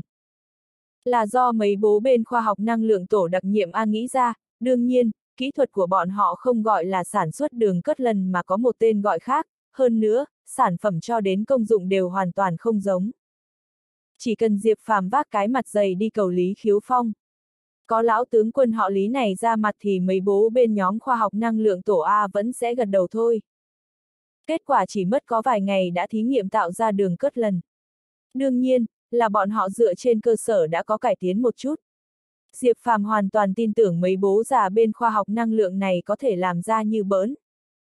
Nhưng Diệp Phàm cũng phải đem một viên lôi âm cửu long hoàn ra đổi. Lý Khiếu Phong cười lớn cho là đáng giá, còn Diệp Lão cũng ra bộ tiếc rẻ lắm. 8 giờ sáng hôm sau, Diệp Phàm tới văn phòng của Y Cao Vân. Bí thư Y, gánh nặng nhà máy đường Dương Xuân này quá lớn, đông cống chúng tôi gánh không nổi. Diệp Phàm trực tiếp nói thẳng luôn. chương 1859, không muốn cũng phải quản. Có cách gì đâu chứ, có gánh không nổi cũng vẫn phải gánh thôi. Y Cao Vân hơi cau mày. Chúng ta có thể lấy danh nghĩa hội nghị thường vụ thành ủy Đông Cống đề xuất quan điểm này lên lãnh đạo Ủy ban Nhân dân tỉnh, yêu cầu Ủy ban Kinh tế Thương mại tỉnh nhận lại nhà máy đường Dương Xuân hay không? Theo tình hình điều tra sơ bộ, nhà máy đường Dương Xuân về cơ bản là không cầm cự được bao lâu nữa. thực sự đến lúc nhà máy phá sản thì đông cống ta phải ăn nói thế nào với mấy ngàn hộ công nhân viên chức. Chưa tính những chuyện khác, nghe nói nhà máy đường Dương Xuân còn thiếu nợ mấy trăm triệu, lại thêm trợ cấp cho công nhân viên chức thất nghiệp, sắp xếp công việc cho hàng ngàn người, vô vàn chuyện phiền toái đó sẽ đổ hết lên đầu chúng ta. Đông cống ta ắt không gánh nổi. Diệp Phàm thở dài. Lấy danh nghĩa thành ủy Đông Cống. Y Cao Vân nhắc lại một câu, càng cao mày suy nghĩ, trầm ngâm một lát rồi bảo. Việc này chỉ e là không ổn. Trước đây chuyện nhà máy đường Dương Xuân Đông Cống cũng từng đem ra bàn thảo với Ủy ban Kinh tế Thương mại tỉnh, kết quả thế nào, rốt cuộc gánh hàng rong cũ nát này vẫn cứ nằm trên vai chúng ta. Chúng ta hơi đâu mà lấy trứng trọi đá, mấy ông trên tỉnh đều là quan lớn cả. Chẳng lẽ cứ ngồi chờ vận rủi ập xuống đầu. Diệp Phàm liếc nhìn Y Cao Vân hỏi vặn lại. Bằng không, thử hỏi còn có cách gì? Y Cao Vân xua xua hai tay ra vẻ bất lực. Tất nhiên nhà máy đường Dương Xuân vẫn thuộc quyền quản lý trực tiếp của Ủy ban Nhân dân thành phố Đông Cống nên các anh có quyền lên tiếng. Nếu các anh muốn đề xuất quan điểm thì cứ lên tỉnh. Còn nếu bảo thành ủy trực tiếp đề xuất thì sẽ không được danh chính ngôn thuận cho lắm. Ý của Bí Thư Y là lấy danh nghĩa Ủy ban Nhân dân thành phố để đặt ý kiến lên Ủy ban Kinh tế Thương mại. Diệp Phàm trong bụng thầm mắng thằng cha này vừa gặp chuyện đã nghĩ cách né tránh. Hơn nữa, lại còn muốn đổ vấy cho mình đứng mũi chịu sao. Tôi không có nói thế, bản thân anh hãy tự xem xét mà xử lý lấy. Y Cao Vân thản nhiên. Được, vậy cứ lấy danh nghĩa Ủy ban Nhân dân thành phố đề xuất kiến nghị lên Ủy ban Nhân dân tỉnh vậy. Diệp Phàm ra bộ cắn răng chấp nhận. Chuyện này thì tôi không có ý kiến. Y Cao Vân gật gù thỏa ý. Lão có ý kiến thì đi gặp quỷ mà trình bày. Diệp Phàm trong bụng rủa thầm khinh bỉ. Chẳng lâu sau thì thấy bí thư thành ủy Dương Xuân mang Trung Cường và phó chủ tịch thị xã chuyên trách quản lý công nghiệp Trần Tân Lễ, cùng phó chủ tịch thường trực Lam Tổn Quân ba người cùng đến. Chúng ta qua gian ngoài uống trà và thảo luận một chút vấn đề này nhé. Y Cao Vân nói xong đứng lên dẫn mấy người ra ngồi tại một phòng khách nhỏ ở gian ngoài. Viên thư ký rót trà xong xuôi thì cầm lấy một cuốn sổ, châu trực sắn trong tư thế chuẩn bị ghi biên bản. Bởi vì đây cũng là một cuộc hội ý chuyên môn nhỏ về ban lãnh đạo nhà máy đường Dương Xuân. Cả phó bí thư kiêm chủ nhiệm ủy ban kỷ luật lôi trí đỉnh cũng đã y hẹn mà tới. Mấy người người họ ổn định chỗ ngồi xong thì dùng qua một tuần trà. Chúng ta bắt đầu, Triệu Thanh, cậu hãy ghi chép tường tận vào. Lần này chúng ta mở một cuộc hội ý chuyên môn thảo luận về chuyện nhà máy đường Dương Xuân. Chủ tịch Diệp, anh hãy sơ qua trước đôi chút về chuyện này. Y Cao Vân quay qua bảo khẽ thư ký Triệu Thanh. Nghiêm túc kiểu này thì xem ra là họp chính thức thật đấy. Diệp Phàm nhẹ nhàng buông chén trà xuống, liếc nhìn mang Trung Cường mà rằng. Đồng chí Trung Cường, chắc anh rất tường tận về nhà máy đường Dương Xuân. Đương nhiên, tôi cũng đang đau đầu đây. Gần đây càng lúc càng rộ lên tin đồn nhà máy đường Dương Xuân sắp phá sản. Vừa khéo Chủ tịch Diệp mấy ngày trước có ghé qua nhà máy đường Dương Xuân. Một số quần chúng liền cho rằng nhà máy đường sẽ chẳng mấy chốc là sập, vì ngay cả Chủ tịch thành phố cũng xuống tìm hiểu tình hình, xử lý công việc nội bộ nhà máy. Bằng không, tân Chủ tịch thành phố Đông Cống chưa ai thấy mặt, hôm nay sao lại đường đột đến đây? Dù gì thì ai nấy cũng sẽ thấy lo ngại, mấy ngày qua có rất nhiều người tới tìm cán bộ nhà máy, sắp chen chúc đến hỏng cả cửa văn phòng tôi rồi. Mang Trung Cường xót xa thuật lại tình hình. Bọn họ sao lại đi tìm anh? Diệp Phàm thấy hơi ngạc nhiên. Ai nấy đều yêu cầu chuyển công tác hết sức vô lý. Mang Trung Cường đáp. Chuyển công tác, là sao ta, chẳng lẽ muốn chuyển công tác từ nhà máy đường về địa phương? Lam Tồn Quân cũng ngạc nhiên hỏi. Đúng vậy, ý nguyện của họ đúng là thế. Họ bảo thành phố điều họ đi thay mặt quản lý nhà máy đường Dương Xuân. Họ chính là người dơ đầu chịu báng, một khi nhà máy đóng cửa thì họ còn biết đi đấu. Cho nên, họ đều mong được chuyển công tác đến Dương Xuân. Cho dù chức vụ có bị đánh tụt một bậc họ cũng cam tâm. Một đám từ chủ nhiệm phân xưởng, chủ nhiệm các phòng, ngay cả phó quản đốc xưởng. Đều chen chúc bên ngoài văn phòng của tôi, thư ký đến rót trà cũng không kịp. Mang Trung Cường than thở. Anh cứ giải thích rõ ràng cho họ là được, nhà máy đường Dương Xuân tuy là do người bên Đông Cống ta quản lý, nhưng về quyền điều động tuyên truyền nhân sự thì đều do Ủy ban Kinh tế Thương mại tỉnh quyết định. Muốn tuyên truyền thì bảo họ đến Ủy ban Kinh tế Thương mại tỉnh mà cầu chứ sao lại đến tìm anh. Làm ăn vớ vẩn thật. Y Cao Vân tức khí chửi om sòm. Tôi nói rồi nhưng bọn họ vẫn không chịu đi. Hơn nữa, vẫn cứ chây ỉ ra bắt tôi phải giải quyết chuyện này. Bí thư Y, anh bảo xem, một cán bộ cấp phó giám đốc sở như tôi có thể giải quyết vấn đề này cho họ hay sao? Đừng coi khinh mấy bố chủ nhiệm phòng này, cả đám đều là cán bộ cấp cục trưởng. Hơn nữa lại có rất nhiều thế lực đỡ đầu. Nhà máy đường Dương Xuân tuy quân số chỉ 6-7 ngàn người đổ lại nhưng chỉ tính riêng cán bộ cấp phó phòng trở lên đã không dưới 200 rồi. Mà trong đó cán bộ cấp cục trưởng cũng chiếm đến mấy chục, như chủ nhiệm phân xưởng, người phụ trách các tiểu phân xưởng, cùng với đó là chủ nhiệm các phòng ban, chủ nhiệm đầu ra đầu vào, số lượng rất rất nhiều, cũng không dưới mấy chục, đều là cán bộ cấp phó cục trưởng cả. Còn cán bộ cấp phó giám đốc sở cũng không phải là ít, cũng có đến 20 người đổ lại, đông đến mức dọa được người ta. Cho nên làm sao mà chuyển công tác cho họ hết được. Hơn nữa, tôi nào có quyền hành gì mà đi làm mấy chuyện này. Mà dù là cấp trên cho tôi quyền hạn này đi nữa, một Dương Xuân nho nhỏ sao có thể nuốt trôi được nhiều cán bộ cấp phó giám đốc sở như vậy. Mang Trung Cường chun mặt lại kêu khổ. Tầm hai chục người, theo lý mà nói phó quản đốc xưởng mới là cán bộ cấp phó giám đốc sở. Hơn nữa, trong một doanh nghiệp nhà nước thì cái cấp bậc phó giám đốc sở cũng vốn chỉ là đặt ra cho có. Sao tự nhiên số lượng lại gia tăng đột biến như vậy? Diệp Phàm vờ ra vẻ ngạc nhiên vội hỏi lại. Thực ra, bộ mặt thật của nhà máy đường Dương Xuân Diệp Phàm sớm đã hiểu thấu. Nhưng gì đang diễn ra trong giờ phút này chỉ là một bộ phận nằm trong kế hoạch lớn của hắn mà thôi. Chủ tịch Diệp, anh mới đến đây nên chắc chưa được rõ. Các cán bộ chống đối hay không biết dùng vào việc gì đều được Ủy ban Kinh tế Thương mại tỉnh nhồi nhét vào nhà máy đường Dương Xuân. Chỉ tính phó quản đốc xưởng thôi cũng có đến 7-8 người, số phó bí thư đảng ủy cũng không ít hơn con số đó, lại còn trợ lý bí thư, trợ lý quản đốc xưởng gì đó nữa. Ngay cả chủ nhiệm phân xưởng lớn một chút cũng hưởng đãi ngộ như một phó giám đốc sở, còn như chủ tịch công đoàn, phó chủ nhiệm thì còn nhiều vô số kể. Vốn dĩ một nhà máy đường thì không thể nào có chức vụ chủ tịch mặt trận tổ quốc được, đây là chức vụ mà chỉ cơ cấu chính thức của chính quyền nhà nước Trung Quốc mới có, ấy vậy mà nhà máy đường Dương Xuân còn có nữa là, hơn nữa là do một cán bộ cấp phó giám đốc sở đảm nhiệm.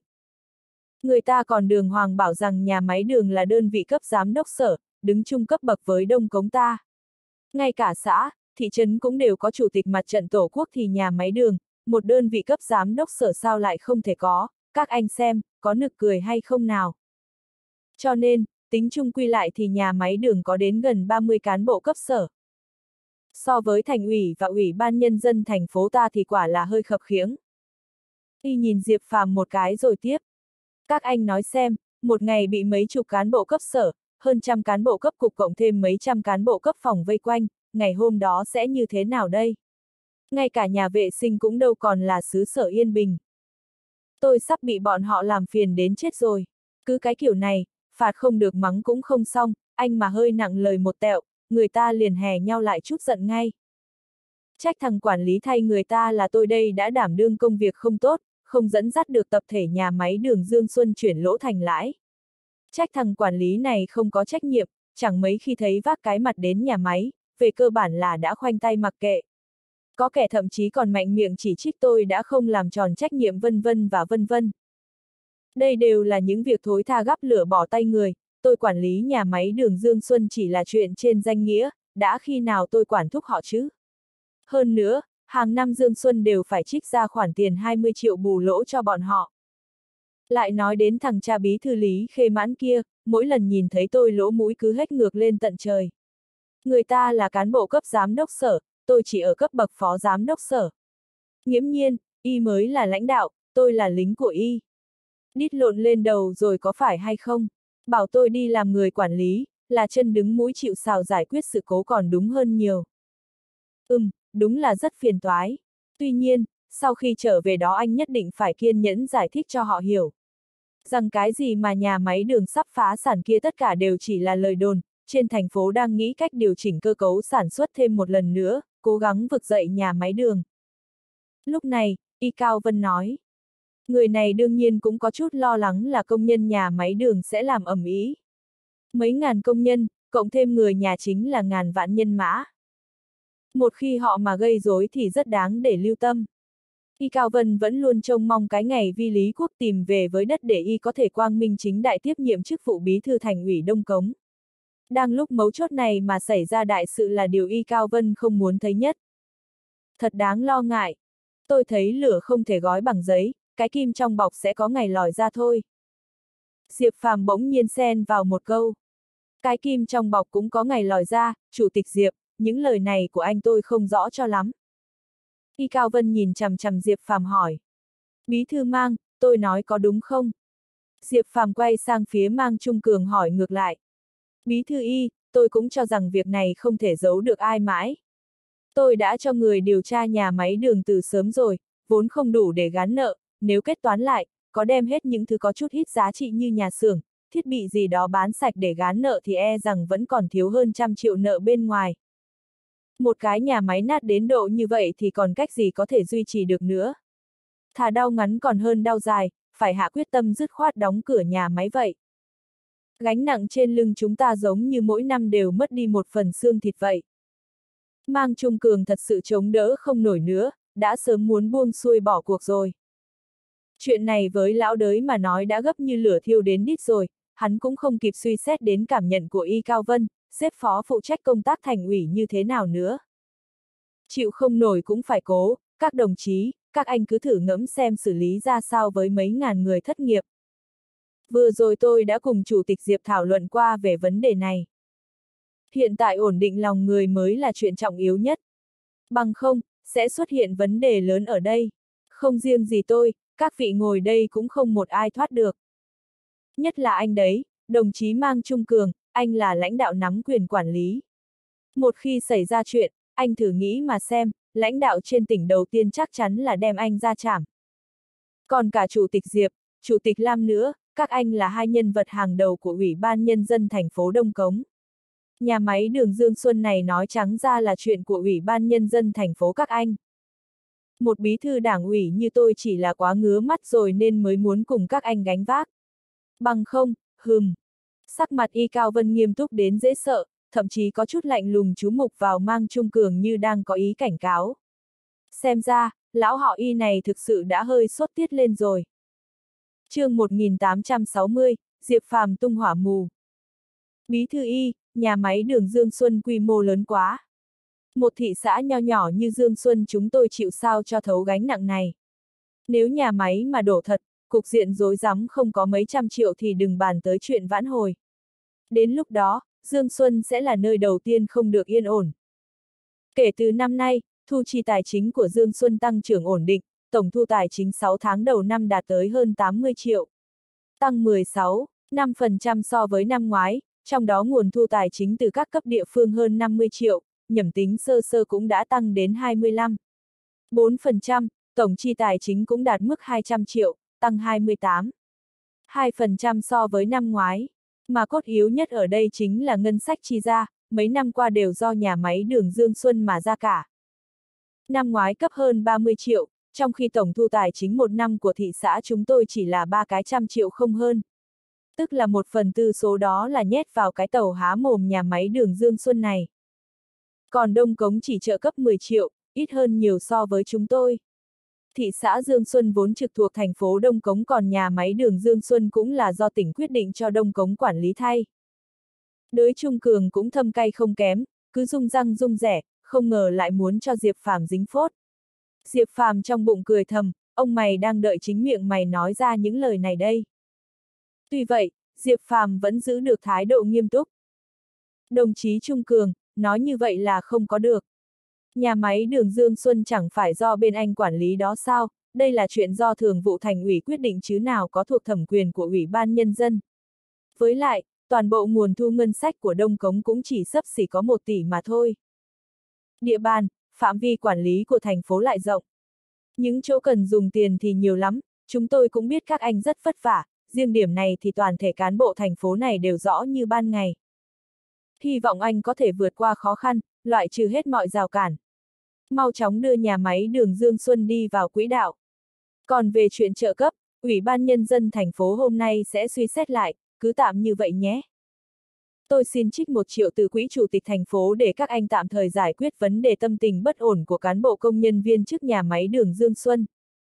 Phải loại trừ các nhân tố gây bất lợi, giống như Bí Thư Y đã nói vậy, tất cả vì sự ổn định đã. Đương nhiên, cũng phải dựa trên cơ sở đẩy nhanh hơn nữa các bước cải cách nhà máy đường, mau chóng vực dậy nhà máy. Đây mới là biện pháp giải quyết hữu hiệu triệt đề. Nhà máy đường là vấn đề khó khăn, làm thế nào để vượt khó mới là xuất phát điểm tốt nhất hiện nay. Đồng chí Trung Cường, hy vọng sau khi anh trở về hãy cân nhắc kỹ vấn đề này, sau đó gắng nỗ lực hơn để giúp nhà máy đường vượt khó. Một triệu, khoản tiền lớn quá nhỉ. Đới Trung Cường thiếu chút nữa đã quay đít mà đi rồi, trong bụng y thầm nghĩ tổ cha mà chúng mày đổ với cái nhà máy nát này cho ông, giờ lại còn phê bình ông mày chưa chịu ra sức. Đồng chí Trung Cường, ở đâu ra thái độ kiểu này vậy? Một triệu là một triệu chứ sao, nếu anh chê ít thì thôi đừng có lấy nữa. Diệp Phàm nghiêm mặt lại răn lại đới Trung Cường. Một triệu đâu có ít chứ, Dương Xuân các anh một năm tài khóa thu về có suýt soát 500 triệu chứ mấy. Một triệu tức là tương đương với khoảng một phần trăm. Đây là ưu tiên cho Dương Xuân các anh rồi, đổi lại nếu là huyện Thanh Châu, khoản tiền một triệu này tương đương với một phần 30 tổng thu tài chính cả năm của họ đấy. Lam tồn quân cũng ở một bên chõ mõm vào hát bè. Không phải xẻo thịt các anh đương nhiên không thấy sót rồi, hơn nữa, chuyện vực dậy nhà máy đường Dương Xuân, đới Trung Cường tôi quả thật đã hết cách. Tôi xin tự nhận là đã hoàn toàn bó tay. Cái nhà máy sơ mướp này rốt cuộc là tôi quản lý không nổi nữa.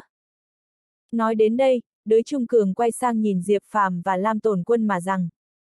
Ấy thế nhưng vừa rồi nghe Chủ tịch Diệp nói đến chuyện vực dậy nhà máy đường, tôi thoạt nghĩ, cái nhà máy đường này có thể cải tử hoàn sinh trong tay Chủ tịch Diệp không chừng. Tôi tin tưởng vào năng lực của Chủ tịch Diệp và Phó Chủ tịch Lam, nếu thật sự được vậy, sao các anh lại không tiếp nhận lại quyền quản lý nhà máy chứ? Đới Trung Cường tôi tự nguyện thay mặt thị xã chi luôn một lần cho các anh 30 triệu coi như chi phí trợ cấp quyết toán một lần để vực dậy nhà máy. 30 triệu, đồng chí Trung Cường, anh đào đâu ra vậy, nhiều quá đấy. Lúc này, Y Cao Vân nhìn đới Trung Cường thắc mắc. Ưng nhãn của Diệp Phàm đã sớm phát hiện, hai người này đang diễn trò nghi kỵ lẫn nhau. Khả năng lớn là họ đã sớm sắp đặt đâu vào đó, muốn đem quyền quản lý nhà máy đường Dương Xuân, một củ khoai lang nóng phỏng tay trực tiếp giao lại cho hắn. Còn Diệp Phàm trong bụng cũng cười thầm, chính hắn và Lam Tồn Quân cũng đã thương lượng kỹ lắm. Chính là kế tung hỏa mù, trước hết là khiến đới Trung Cường chịu nhả ra một khoản tiền. Sau đó giành quyền quản lý nhà máy đường Dương Xuân về tay thành phố. Tiếp nữa là đập vào đó khoản tiền 60 triệu từ quỹ chủ tịch thành phố.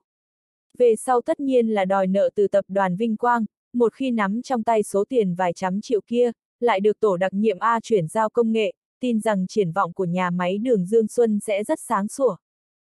Và lại, Diệp Phàm còn có một kế hoạch lớn hơn nữa.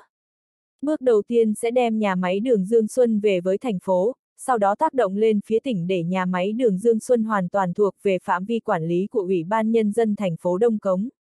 Hoàn toàn thoát ly khỏi mối quan hệ với Ủy ban Kinh tế Thương mại tỉnh, tin rằng đới Trung Cường sẽ tuyệt đối không ý kiến gì. Còn Ủy ban Kinh tế Thương mại phỏng trừng cũng đã sớm muốn buông, chỉ có điều lúc ấy thành ủy Đông Cống không chịu tiếp nhận nên mới thành quản lý thay. Nếu bản thân Đông Cống muốn nhận cái cục diện rối rắm này về, chắc rằng các lãnh đạo Ủy ban Kinh tế Thương mại tỉnh sẽ không keo kiệt đến nỗi vắt cổ chảy ra nước. Nếu lại kiếm thêm được vài chục triệu tiền trợ cấp thì còn gì hay hơn. Để thực hiện kế hoạch này, mấy ngày nay Diệp Phàm đã âm thầm tiến hành công tác chuẩn bị. Giờ phút này rốt cuộc cũng thấy được sự hiệu quả, đới Trung Cường đã sốt ruột đến mức khó chịu nổi nên mới tự nôn ra 30 triệu tiền trợ cấp. Hết cách rồi bí thư y à, chúng ta không đủ sức mà vẫn phải chịu gánh nặng này. Chỉ cần Chủ tịch Diệp gật đầu đồng ý, số tiền 30 triệu này tôi có thể chuyển vào tài khoản của Ủy ban Nhân dân thành phố ngay lập tức, hay chuyển thẳng vào quỹ Chủ tịch thành phố cũng chẳng sao. Đới Trung Cường liếc nhìn Diệp Phàm rồi tiếp. Tuy nhiên, cũng cần phải nói rõ, 30 triệu này sẽ gửi vào tài khoản do ai đứng tên, cũng như nhà máy đường Dương Xuân này là do ai phụ trách. Sau khi số tiền 30 triệu này rót xuống, từ nay về sau, nhà máy đường Dương Xuân này không liên quan gì đến chúng tôi nữa. Hơn nữa, thành ủy và ủy ban nhân dân thành phố phải hạ phát văn kiện chính thức thừa nhận việc này. Tôi sợ về sau sẽ phát sinh chuyện gì không rõ ràng, anh em ruột cũng phải tiền bạc phân minh phải không nào. Đới Trung Cường thấy Diệp Phàm và Lam Tổn Quân không lên tiếng liền ra chiều khích lệ. Đồng chí Diệp Phàm, anh xem xem thế nào. Nhà máy đường Dương Xuân này vốn là do bên Dương Xuân quản lý, đông cống chúng ta đích xác là không được tường tận cho lắm. Một thị xã làm thế nào mà chịu đựng nổi, bọn họ nai lưng ra gồng gánh vài năm nay rồi, Y Cao Vân tôi cũng thấy có chút không nỡ. Y Cao Vân bên cạnh cũng xen vào góp vui. Còn Phó Bí Thư Thành ủy đồng chí Lôi Trí Đỉnh thì không nói một lời nào, cứ thế trơ ra như tượng. Lại còn mắt lim dim như bắt đầu thiền đến nơi.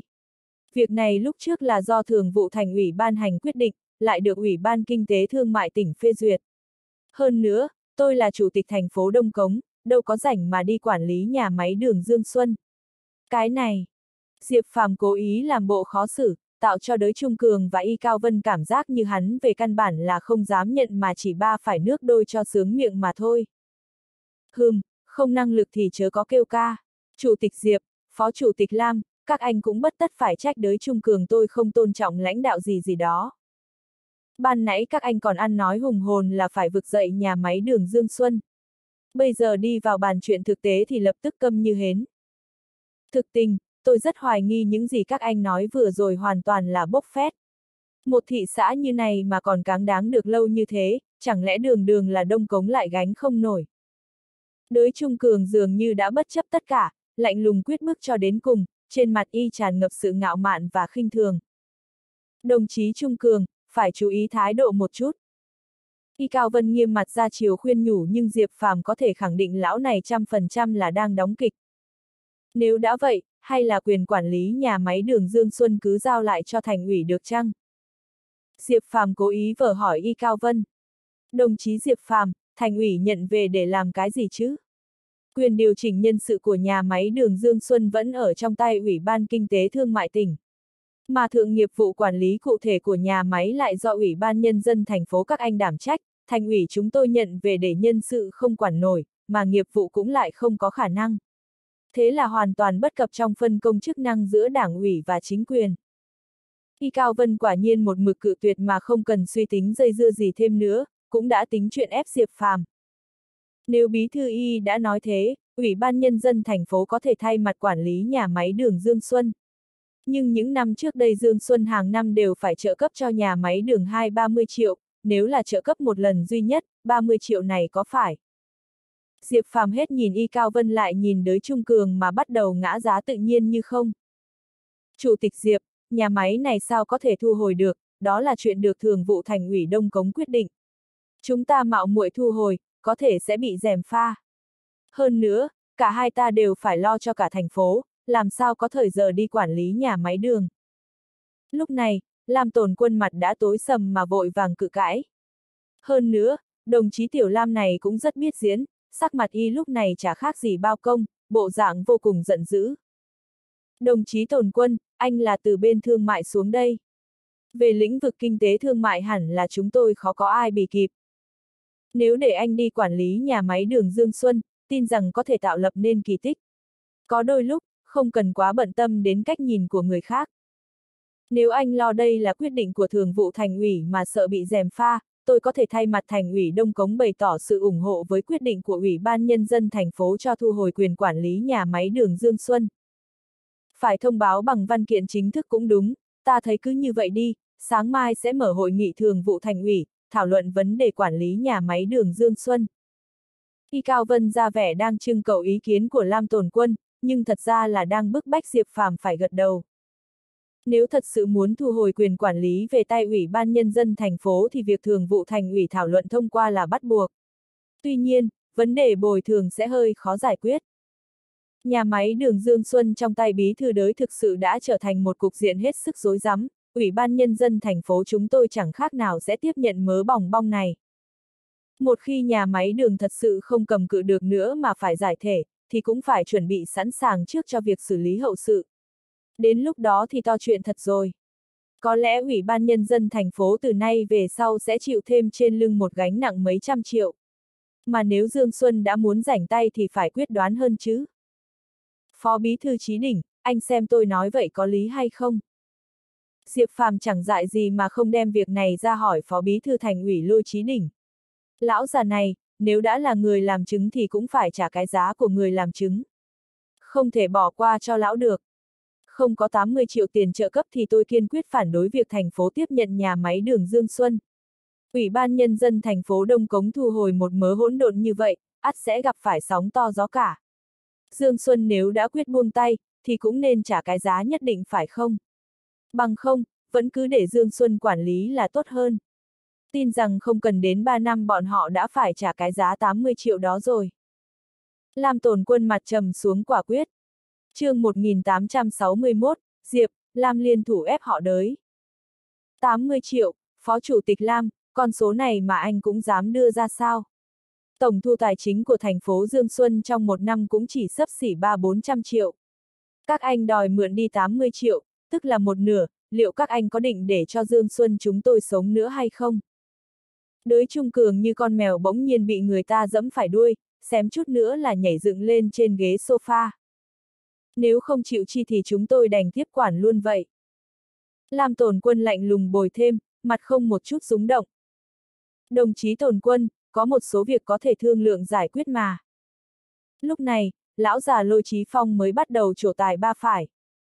Bí thư lôi, kia rõ ràng là bắt ủy ban nhân dân thành phố bù lỗ thất thoát đến vài trăm triệu, việc này thử hỏi còn thương lượng cái gì nữa. Người ta đem gánh nặng to đùng như vậy gán lên lưng chúng ta, không đáp lễ chút thù lao nho nhỏ thì đâu có được. Lam tồn quân vẻ mặt đã dịu đi đôi chút. Chúng tôi không có tiền, bảo chịu nợ thay thì cũng được thôi nhưng nhiều nhất cũng chỉ 50 triệu là cùng, tuyệt đối không thể vượt quá. Hơn nữa, nhà máy đường Dương Xuân vốn dĩ là chuyện của Ủy ban Nhân dân thành phố. Cho dù sau này nhà máy có đổ bể đi nữa, chẳng lẽ Ủy ban Nhân dân thành phố có thể trơ mắt làm ngơ? Nếu các anh mặc kệ thật, tôi cũng không quản nữa. Đới Trung Cường thấy Diệp Phàm không hé răng, nhất thời cũng sốt ruột đến nóng nảy, phút chốc y bỗng dưng dở thói bảng quan. Ha ha, đây nghiễm nhiên là chuyện trên tỉnh tán thành quyết định của thành ủy bổ nhiệm các anh lên tiếp nhiệm quản lý. Lúc ấy thấy anh cũng không đề xuất ý kiến gì khác, nay bỗng dưng lại muốn khoanh tay mặc kệ, làm tổn quân tôi rất muốn xem xem anh mặc kệ kiểu gì được. Lam tổn quân tỏ ra không e ngại gì thái độ cù nhầy của họ đới. Như vậy đi, quyết định là 50 triệu. Đồng chí tổn quân cũng không phải nhiều lời thêm nữa. Y Cao Vân bắt đầu điều đình giữa hai bên. Cái này. Trên mặt Lam tổn quân lộ rõ vẻ khó xử. Thôi vậy, Phó Chủ tịch Lam, cứ quyết là 50 triệu đi. Nhà máy đường Dương Xuân có nói gì thì cũng là do Ủy ban Nhân dân thành phố đảm trách, bát canh này dù có nóng đến phỏng tay cũng không thể vứt đi. Đã thế tuy nói nhà máy đường Dương Xuân là do Ủy ban Kinh tế Thương mại quản lý, nhưng đa số công nhân, viên chức cho đến cán bộ nhà máy đường lại là công đan đông cống chúng ta.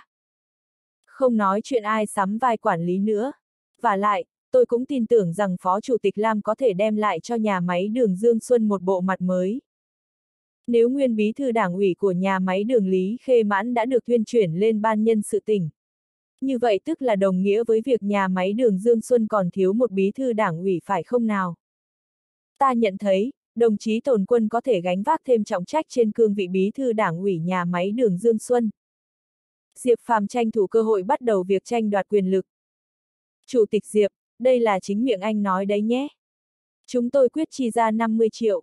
Dương Xuân có cháy ngân khố cũng phải gom đủ con số đó cho các anh. Nhưng tạm thời chúng tôi quả thật không có đủ tiền mặt, như vậy đi, chúng ta thương lượng một chút. Bên tôi đưa trước 10 triệu, chỗ 40 triệu còn lại sẽ chia ra trong vòng 2 năm. Cứ cuối mỗi năm sẽ cấp đủ 20 triệu, anh thấy thế nào? Đới Trung Cường tiếc rẻ đến nước ruột, khóe miệng co giật liền mấy cái nhưng ngoài mặt vẫn làm bộ thoải mái lắm. Rũ bỏ được gánh nặng này, trong lòng đới Trung Cường vui không kể xiết. Tuy phải chi tiền, nhưng cứ coi như là của đi thay người. Hơn nữa, cũng chỉ vì nhà máy đường Dương Xuân lâu nay luôn là vấn đề làm họ đới nhức đầu nhất. Hắn vẫn một lòng muốn tạo nên chút thành tích nổi trội ở cái đất Dương Xuân này. Nhưng cũng vì gánh nợ trầm trọng của nhà máy đường Dương Xuân, tổng thu tài chính trong năm của Dương Xuân có đến một phần tư là để bù cho chỗ thất thoát này. Hơn nữa, mấy ngàn công nhân cán bộ thường xuyên sẽ gây sức ép bằng vô số vụ việc đến là phiền toái. Quảng được gánh nặng này, y thấy nhẹ cả người. Đới Trung Cường tin rằng chỉ cần cho y quãng thời gian ngắn ngủi 2 năm thôi, y có thể giúp Dương Xuân phát triển ngày một vượt xa đông cống. Hơn nữa, sẽ ngẩng cao đầu mà tiến vào TP 10 thị xã trong toàn tỉnh. Có được những cơ sở này, sau này có muốn được cất nhắc, đề bạt cũng sẽ thêm phần chắc chắn. Hiện tại tuy việc đề bạt là hệ trọng nhất, nhưng anh không có lấy một chút nổi trội thì bảo người ta căn cứ vào cái gì mà nói giúp cho. Các anh không có tiền, ha ha ha. Diệp Phàm đột nhiên cười cười quỷ dị khiến đới Trung Cường hơi trột dạ. Nghe nói tháng trước Ủy ban Nhân dân thành phố Dương Xuân đã đem bán một khối bất động sản thuộc quyền sở hữu, cũng chính mảnh đất tựa lưng vào triền núi kia. Mảnh đất đó vốn là chuẩn bị để xây nhà tập thể, sau đó chính sách có chút thay đổi, hiện tại ngoại trừ các cán bộ có đủ chỉ tiêu về cấp bậc, vấn đề nhà ở đa số đều phải tự thân lo liệu. Chủ tịch Diệp, nghe đâu bán với cái giá 200 triệu. Dương Xuân vừa khéo lại là thị xã trực thuộc của Đông Cống, phải chăng cũng nên nộp lên trên một ít coi như bổ sung ngân sách thành phố. Lam tổn quân phối hợp Diệp Phàm xong ca hợp sướng khiến đới Trung Cường xém chút nữa là tức đến vẹo cả lỗ mũi. Đó là tiền của Ủy ban Nhân dân thành phố chúng tôi sao? Tuy chúng tôi trực thuộc Ủy ban Nhân dân thành phố quản hạt nhưng cũng không thể trong túi đơn vị cấp dưới có chút đồ gì là các anh đều dòm dỏ được. Đới Trung Cường tức đến đỏ mặt tía tai. Thôi vậy, không cần nộp lên trên nữa. Nhưng ngân sách năm nay ngân sách tự ủy ban nhân dân thành phố cấp xuống cho Dương Xuân tất sẽ ít đi đôi chút. Dương Xuân vì cấp trên đông cống mà gánh vác một phần cũng là chuyện phải chăng hợp lẽ. Diệp Phàm càng mạnh tay, hắn tuy biến chiêu nhưng mục đích vẫn cứ là đòi tiền người ta cho kỳ được. Như vậy sao được? Đới Trung Cường không kịp nghĩ ngợi gì, vội vàng phản đối. Không đúng sao, bí thư đới, nội quy thể chế như vậy mà chẳng lẽ anh cũng không hiểu hay sao? Diệp Phàm chỉ hỏi lại một câu khiến đới Trung Cường chỉ biết câm lặng, y quay sang nhìn y Cao Vân như con thú bị thương đang cầu cứu. Còn về phần lôi trí đỉnh, đới Trung Cường biết không thể trông cậy gì hơn nên căn bản là không thèm nhìn đến lão già này. Đồng chí tiểu đới này cũng là bị Diệp Lam, hai tránh phó chủ tịch thành phố ép cho đến độ muốn nhảy lầu. Đồng chí Diệp Phàm, tôi thấy Dương Xuân họ cũng không dễ dàng gì. Mấy năm nay bọn họ đã giúp Ủy ban Nhân dân thành phố giải quyết nhà máy đường Dương Xuân, một khối vấn đề lớn như vậy cũng thực đã khó cho người ta lắm lắm, tôi thấy chi bằng cứ như vậy đi, bọn họ sẽ thanh toán trước cho Ủy ban Nhân dân thành phố khoản trợ cấp 50 triệu của nhà máy đường Dương Xuân bằng khoản tiền bán đất. Y Cao Vân lại bắt đầu dụng chiêu giật gấu vá vai. Vậy cũng được thôi. Thấy Y Cao Vân lên tiếng, đới Trung Cường bất đắc dĩ cũng phải gật đầu, Y liếc nhìn Diệp Phàm mà rằng khoản tiền này tôi sẽ lập tức chuyển qua sau khi chính thức quyết định tại hội nghị thường vụ thành phố. Nhưng không rõ là khoản tiền này là chuyển tới quỹ chủ tịch thành phố hay sở tài chính thành phố. Đương nhiên, thoạt tiên tôi cũng đã nói rõ, khoản tiền này chỉ dùng để cải tổ tái thiết nhà máy đường Dương Xuân. Nếu được dùng vào việc nào khác, đới trung cường này sẽ không ngán việc làm ẩm ý lên tận tỉnh ủy đâu. Đới trung cường bỗng dưng kiên quyết hẳn lên. Hắn là y đang ép Diệp Phàm tiếp nhận nhà máy đường Dương Xuân. Bởi vì, tối qua y đã cùng y Cao Vân sớm thương lượng kỹ càng lắm. Nhà máy đường Dương Xuân rõ ràng là không xong đến nơi, mà trên tỉnh lại cứ mặc kệ. Ai tiếp nhận cái cục diện rối rắm này thì kẻ đó khẳng định là gặp xui xẻo. Một khi nhà xưởng đóng cửa, mấy ngàn công nhân mất việc thì sẽ rắc rối to. Đến lúc đó, ai làm phụ trách thì khẳng định xui xẻo là cái chắc. Mất mũ ô sa mới chỉ là chuyện nhỏ. Đới y hai người đơn giản chỉ là muốn đẩy Diệp Phàm vào cái bẫy do bọn họ đã thiết kế sẵn mà thôi. Diệp Phàm thoáng suy luận qua là đã biết tổng. Lần này tiếp quản nhà máy đường Dương Xuân, tôi nghĩ nhất định sẽ kéo theo vô khối chuyện lớn nhỏ. Tôi muốn để bạt đồng chí làm tổn quân kiêm nhiệm vị trí bí thư đảng ủy nhà máy đường Dương Xuân. Mà sau khi tiếp quản, nhà máy đường Dương Xuân sẽ do Ủy ban Nhân dân thành phố trực tiếp quản hạt. Để đổi mới một cách toàn diện, khoản tiền 50 triệu này trước mắt sẽ chuyển đến quỹ chủ tịch thành phố, hai đồng chí bí thư y lôi các anh xem xem như thế có được hay không. Diệp Phàm cất tiếng hỏi. Xem ra, chủ tịch Diệp của chúng ta rất tích cực lo liệu. Tốt lắm, Y Cao Vân tôi rất kết những cán bộ quyết đoán như thế. Đồng ý. Y Cao Vân mặt mày giãn hẳn ra, nhìn Diệp Phàm cười cười mà rằng. Còn về vị trí bí thư đảng ủy nhà máy đường Dương Xuân, thiết nghĩ, đó là một chức vụ cấp giám đốc sở, không phải Đông Cống ta có thể quyết định được. Giả như thành ủy Đông Cống có quyền hạn này, thành ủy cũng phải suy xét thật kỹ càng. Bố chỉ cần mày nói ra những lời này Diệp Phàm thầm cười khẩy trong bụng, hắn nói. Vậy được, nếu Bí Thư Y đã ủng hộ công tác của Ủy ban Nhân dân thành phố, ủng hộ tôi cũng như Phó Chủ tịch Tồn Quân như vậy, chúng tôi cứ một mực từ chối thì quả thật là không phải. Việc này cứ thế mà quyết, bí thư lôi, phó chủ tịch Lam thấy thế nào? Vậy được thôi. Lam tổn quân vờ như bị người ta ép buộc mà gật đầu. Y liếc qua Diệp Phàm một cái rồi bỗng nhiên nói thêm. Ấy thế nhưng tôi nắm giữ ấn soái thật không bằng để chủ tịch Diệp đích thân xuất trận. Như vậy đi, nếu thật sự muốn vực dậy nhà máy đường Dương Xuân, chức bí thư đảng ủy nhà máy tốt hơn hết vẫn là để chủ tịch Diệp đảm nhiệm. Còn tôi sẽ sắm vai trợ thủ. Những lời này của Lam Tồn Quân càng tạo cho đám Y Cao Vân cảm giác có người đang thoái thác trách nhiệm. Y Cao Vân và đới Trung Cường tự nhiên là thầm đánh trống mở cờ trong bụng. Ha ha ha! Diệp Phàm bỗng cười to sảng khoái mà rằng. Thật sự một ngày nào đó, nhà máy đường Dương Xuân tiến hành cải cách cổ phần hóa, tôi sẽ lên làm chủ tịch hội đồng quản trị, anh thì đảm nhiệm bí thư đảng ủy. Đến lúc đó, mong là sẽ được hội nghị thường vụ thành ủy thông qua. Tôi sẽ xem xét. Y Cao Vân thận trọng gật đầu. Nếu Chủ tịch Diệp và Phó Chủ tịch Lam đều tin tưởng sắt đá như vậy, tôi cũng xin ủng hộ các anh hết mình. Phó Bí Thư Lôi cũng giống như bị cuốn hút mà lần đầu tiên nói ra một câu kiên quyết đến thế. Đới Trung Cường bỗng dưng có chút nghi hoặc nhìn quét qua Diệp Phàm và Lam Tổn Quân mà rằng. Tôi cũng hy vọng nhà máy đường Dương Xuân có thể thay đổi diện mạo, tôi ủng hộ quyết định của các anh. Cũng cần phải nói thêm, Y Cao Vân giáp tâm nhanh chóng đẩy mục tiêu vào vũng bùn răng sẵn.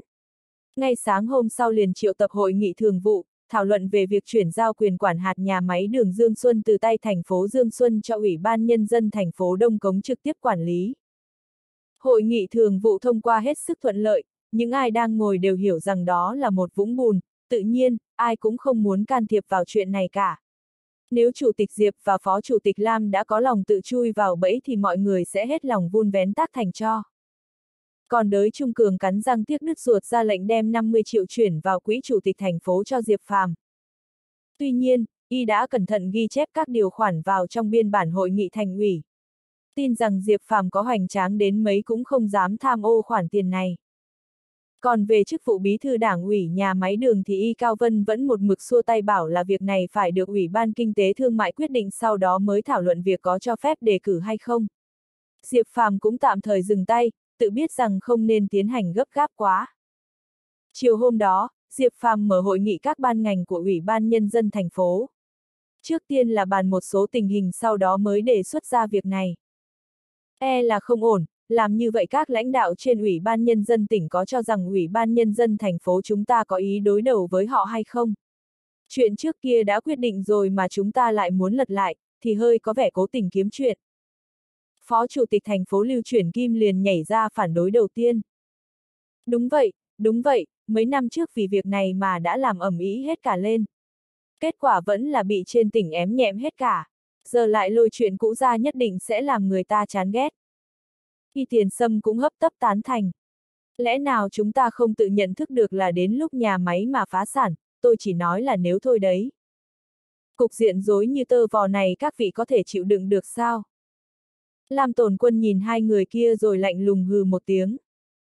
Chúng ta chỉ có thể tự đối mặt với chuyện xui xẻo, bằng không, thử hỏi có cách gì cơ chứ? Chẳng lẽ thật sự là vén tay áo lên tính sổ với Ủy ban Nhân dân tỉnh? Trong lòng các vị lãnh đạo ngồi đây chắc cũng hiểu, chắc là không có chuyện bị ẩm IC đúng không? Lưu chuyển kim nhìn hết mọi người một lượt, bụng muốn lấy sức mạnh của thể chế ra ép Diệp Phàm. chương 1862, đấu khẩu bên ngoài phòng họp tỉnh ủy.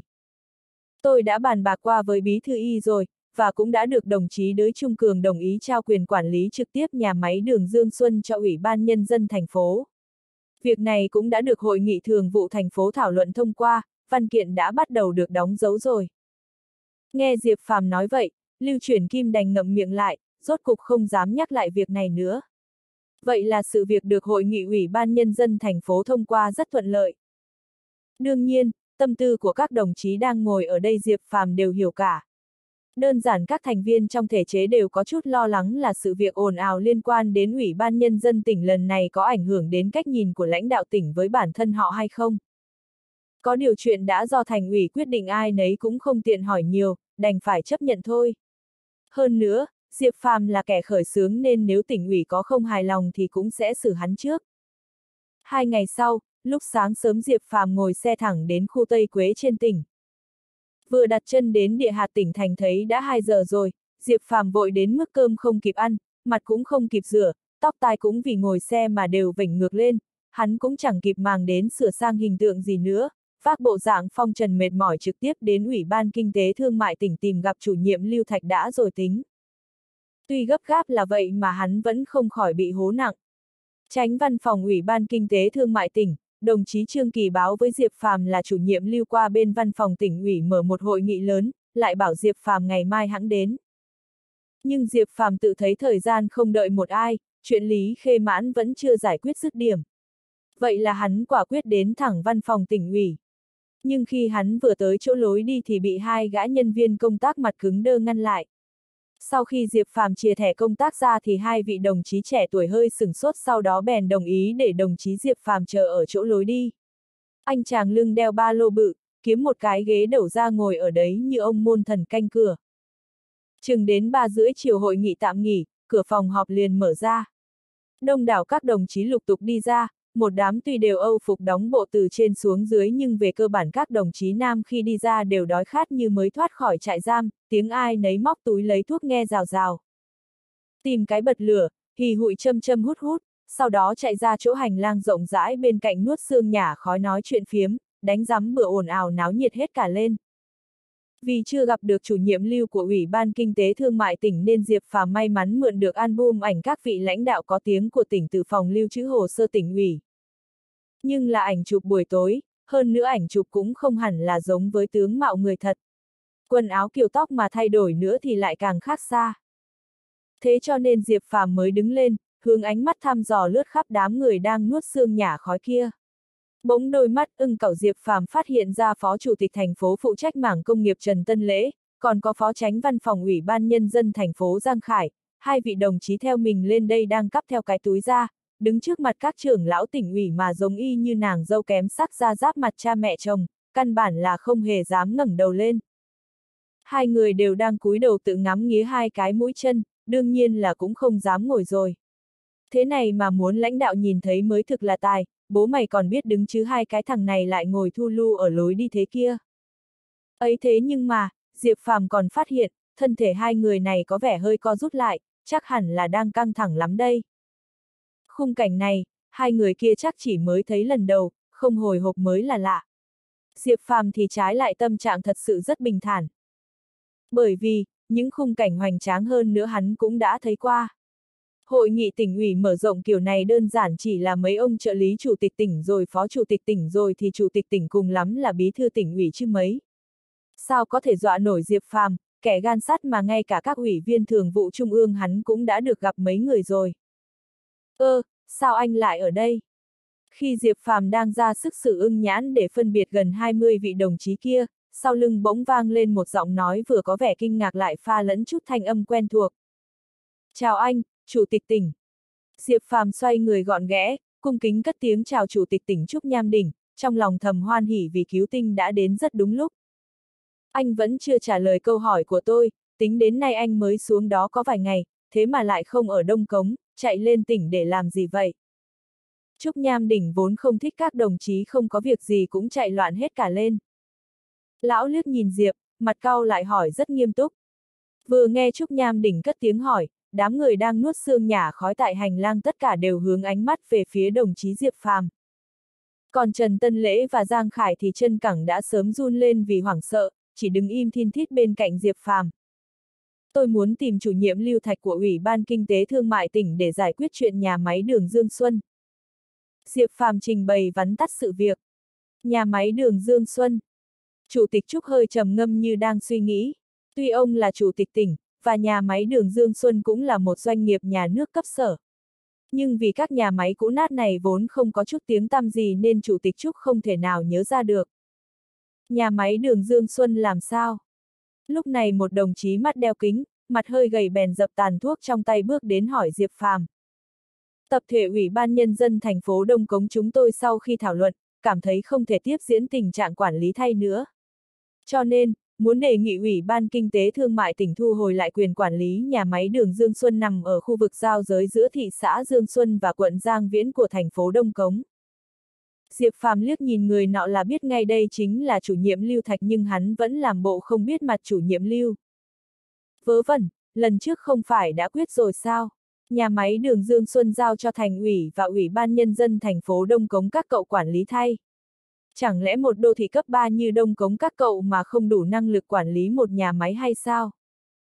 Hơn nữa, quyết định này lúc ấy là do ủy ban nhân dân tỉnh ban hành.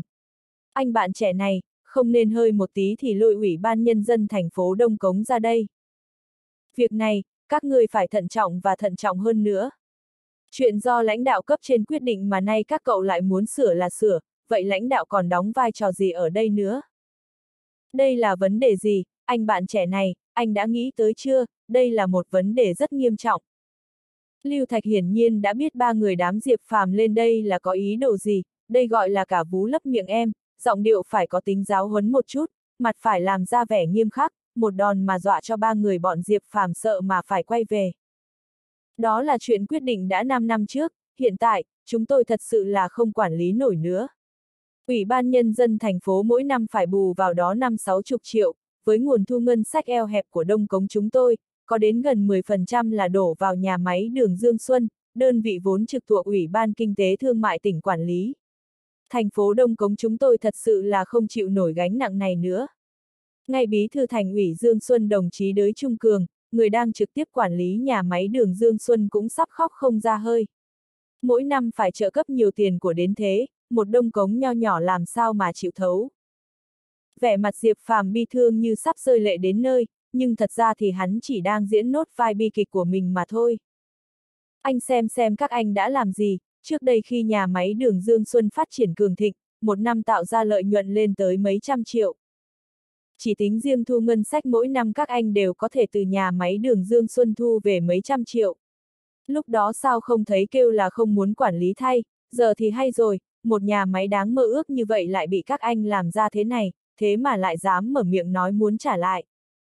Nếu Ủy ban Nhân dân thành phố Đông Cống luôn mềm nắn rắn buông, không đảm đương nổi trách nhiệm tối thiểu như vậy thì tôi thấy việc các anh có năng lực quản lý Đông Cống cho ra trò hay không, Lưu Thạch tôi cảm thấy rất đáng nghi ngại đó.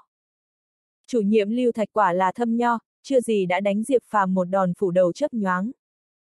Đám đông phó chủ tịch tỉnh phó bí thư ham náo nhiệt bên cạnh cũng đều lim dim con mắt, cảm giác sướng tai thú vị phải biết. Cũng có người ngầm khâm phục anh chàng trẻ tuổi, không ngờ lại có gan ở đây mà nói chuyện hợp tình hợp lý. Bình thường cấp dưới mà gặp tình huống kiểu này thì đa phần đều đã bối rối câu nọ sọ câu kia rồi. Đúng vậy, chuyện này lúc đó tôi cũng có chứng kiến quyết định quyền quản lý nhà máy đường Dương Xuân về tay Đông Cống, khi đó trên tỉnh còn trích ra 30 triệu xem như trợ cấp chi phí quản lý cho Đông Cống. Mà lúc ấy bên Đông Cống cũng không phát biểu ý kiến gì. Ôi, không thể ngờ được mới có 5 năm thôi mà nhà máy lại phát triển thành nông nỗi này. Các đồng chí ở Đông Cống, rốt cuộc đã làm gì vậy? Lúc này, một lão già mập mạp ngôn từ sắc bén đứng bên trái Lưu Thạch liền lên tiếng phê bình thành phố Đông Cống. Diệp Phàm biết người này chính là phó chủ tịch tỉnh quản lý công nghiệp đã tại vị lâu năm, lão đồng chí Y Kiệt Minh. Lão này giỏi đâm bị thóc chọc bị gạo, đem suy tàn mà nói thuốc thành phát triển tự nhiên là đang châm chọc Diệp Phàm cũng như toàn thể các đồng chí của Đông Cống. Theo bí thư thành ủy Đông Cống Vi Lý Quốc thì Y Kiệt Minh và Lý Khê Mãn của nhà máy đường Dương Xuân quan hệ rất thân thiết. Người này không hề nhắc tới sai lầm của Lý Khê Mãn tự nhiên là muốn nói giúp cho họ Lý. Đem hết trách nhiệm đổ vấy cho Ủy ban Nhân dân thành phố Đông Cống, đơn vị vốn dĩ chẳng liên quan mấy. Ồ, còn có chuyện này sao? Một nhà máy với quy mô lớn như vậy, lợi nhuận thời điểm cao nhất lên tới vài trăm triệu, nay không ngờ lại làm ăn thua lỗ, mỗi năm còn phải trợ cấp mấy chục triệu. Đây là chuyện cần nghiêm túc xem xét. Lúc này, Chủ tịch Trúc liếc nhìn Diệp Phàm một cái, ông cảm thấy người này trong tình thế như vậy mà vẫn điềm tĩnh đến thế, nhất định là đã sớm có tính toán. Đồng chí Trúc cũng không khỏi hiếu kỳ, chỉ khẽ đằng hắng một tiếng. Chủ nhiệm Lưu, anh nói thời kỳ hoàng kim của nhà máy đường Dương Xuân là sự việc xảy ra từ trước khi Đông Cống chúng tôi tiếp nhận quyền quản lý. Sau đó tình hình đã thay đổi, mỗi năm đều phải bù lỗ mấy chục triệu. Ấy thế là lập tức chuyển sang cho Đông Cống quản lý thay. Chủ tịch Trúc, tôi chỉ là có sao nói vậy. Những lời này của Diệp Phàm rất sâu cay, vạch trần nốt tấm bình phong cuối cùng của Ủy ban Kinh tế Thương mại tỉnh, khiến bản chất của tổ chức này lộ rõ ngay giữa thanh thiên bạch nhật. Cậu nói bậy, lại có chuyện này sao?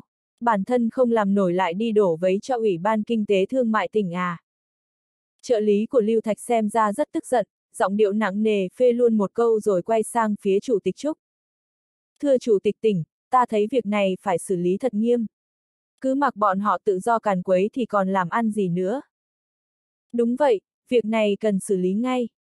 Phó chủ tịch y một bên cũng ủng hộ ra mặt, thấy cả hai lão này cùng nhau liên thủ hướng mũi dùi công kích về phía Diệp Phàm, các cán bộ tỉnh đứng đó đều nhìn hắn với ánh mắt đôi phần thương hại. Một anh lãnh đạo địa phương, sao mà chống nổi hai vị quan tỉnh? Xem ra, có lạc quan đến mấy thì kết cục vẫn là xử phạt kỷ luật đảng.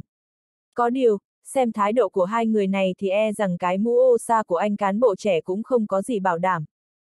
Còn Trần Tân Lễ và Giang Khải thì đều đang thầm kêu khổ, hối hận đến mức muốn đâm đâu vào tường. Họ tự trách mình hà cớ gì lại cùng Diệp Phàm lên đây để đắc tội với lãnh đạo tỉnh. Thế này có khác gì đi tự tự chứ? Hai người thật sự không nghĩ tới chuyện đồng chí chủ tịch Diệp Phàm lại to gan lớn mật đến thế này. chương 1863, Chủ tịch tỉnh nổi giận. Ai ngờ lại dám đi đối đầu với hai vị lãnh đạo cấp tỉnh. Giờ người ta sượng mặt lên đài rồi thì còn sơ mú được cái gì ngon lành nữa chứ. Làm hai vị đồng chí đi theo cũng gặp vạ lây. Mà Trần Tân Lễ bạo gan bảo khẽ Diệp Phàm. Chủ tịch Diệp, hay là chúng ta về luôn cho xong. Chuyện nhà máy đường Dương Xuân chúng ta sẽ tự giải quyết thôi vậy. Còn chủ nhiệm Giang Khải cũng làm mặt chờ đợi đến đáng thương mà nhìn Diệp Phàm. Vô tích sự, Diệp Phàm thầm cười lạnh một tiếng. Hắn bỗng phát hiện cả phó chủ tịch y lẫn chủ nhiệm Lưu Thạch khóe miệng khi không đều bỗng nhếch lên một nụ cười nhợt nhạt. Xử lý thì cũng được thôi nhưng trước hết cũng cần điều tra rõ ràng rồi mới tiến hành được. Bằng không, Diệp Phàm tôi không phục đâu. Diệp Phàm không thèm để ý tới Trần Tân Lễ, lời lẽ đầy khí khái, hai mắt ánh lên hào khí của chính nghĩa hướng về phía Chủ tịch Trúc. Còn dám mạnh miệng, Chủ tịch Trúc, tôi thấy một số đồng chí đầu óc có phải là có vấn đề hay không? Đầu óc có vấn cũng là biểu hiện của vấn đề nảy sinh về mặt tư tưởng.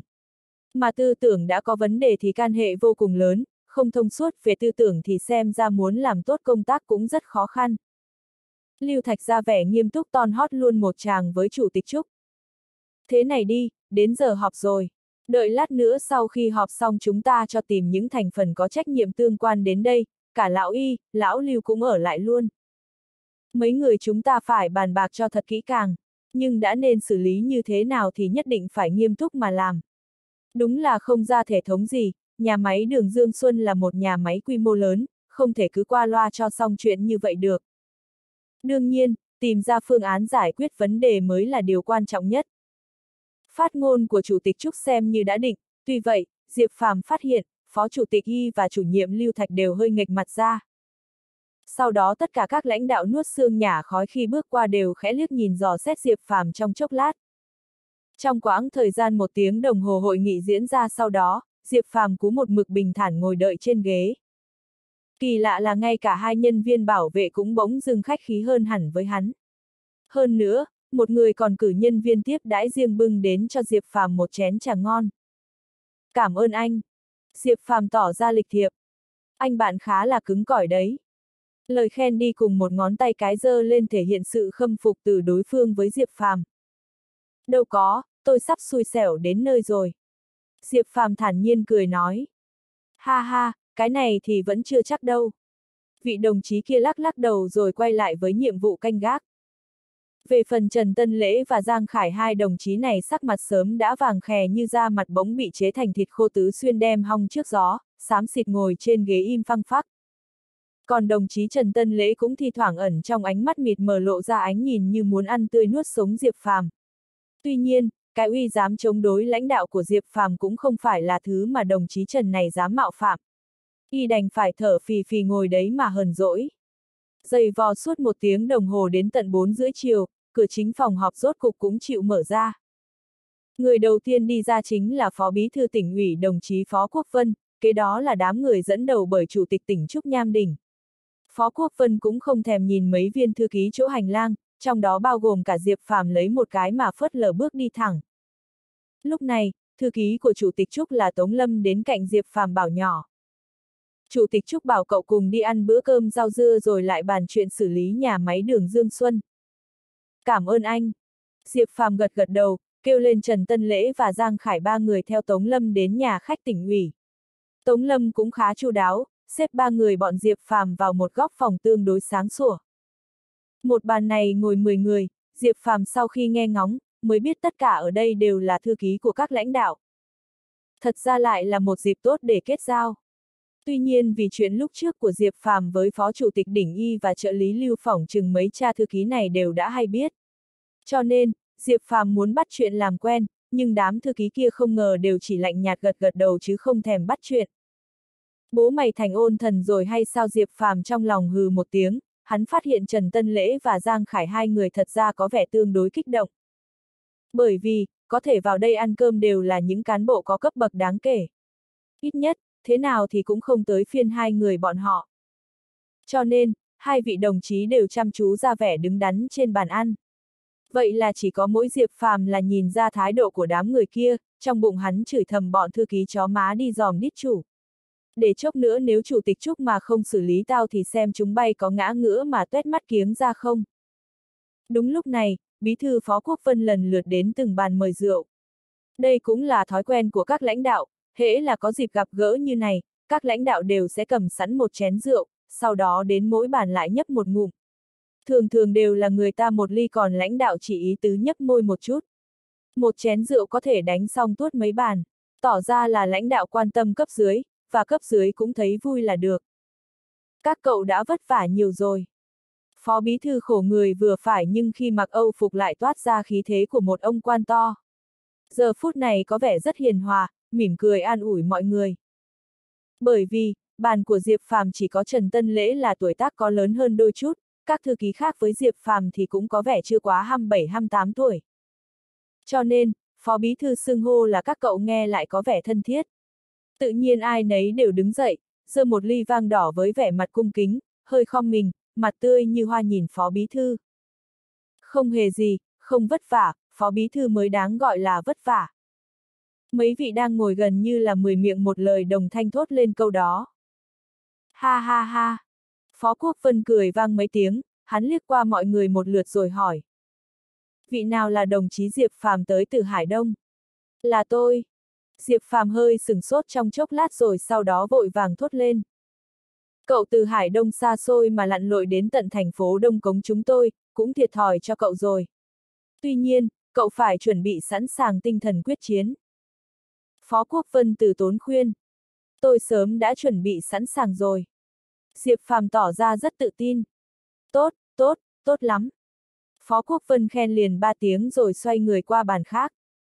Khiến cho ai nấy trên bàn đều không hiểu ra sao cả.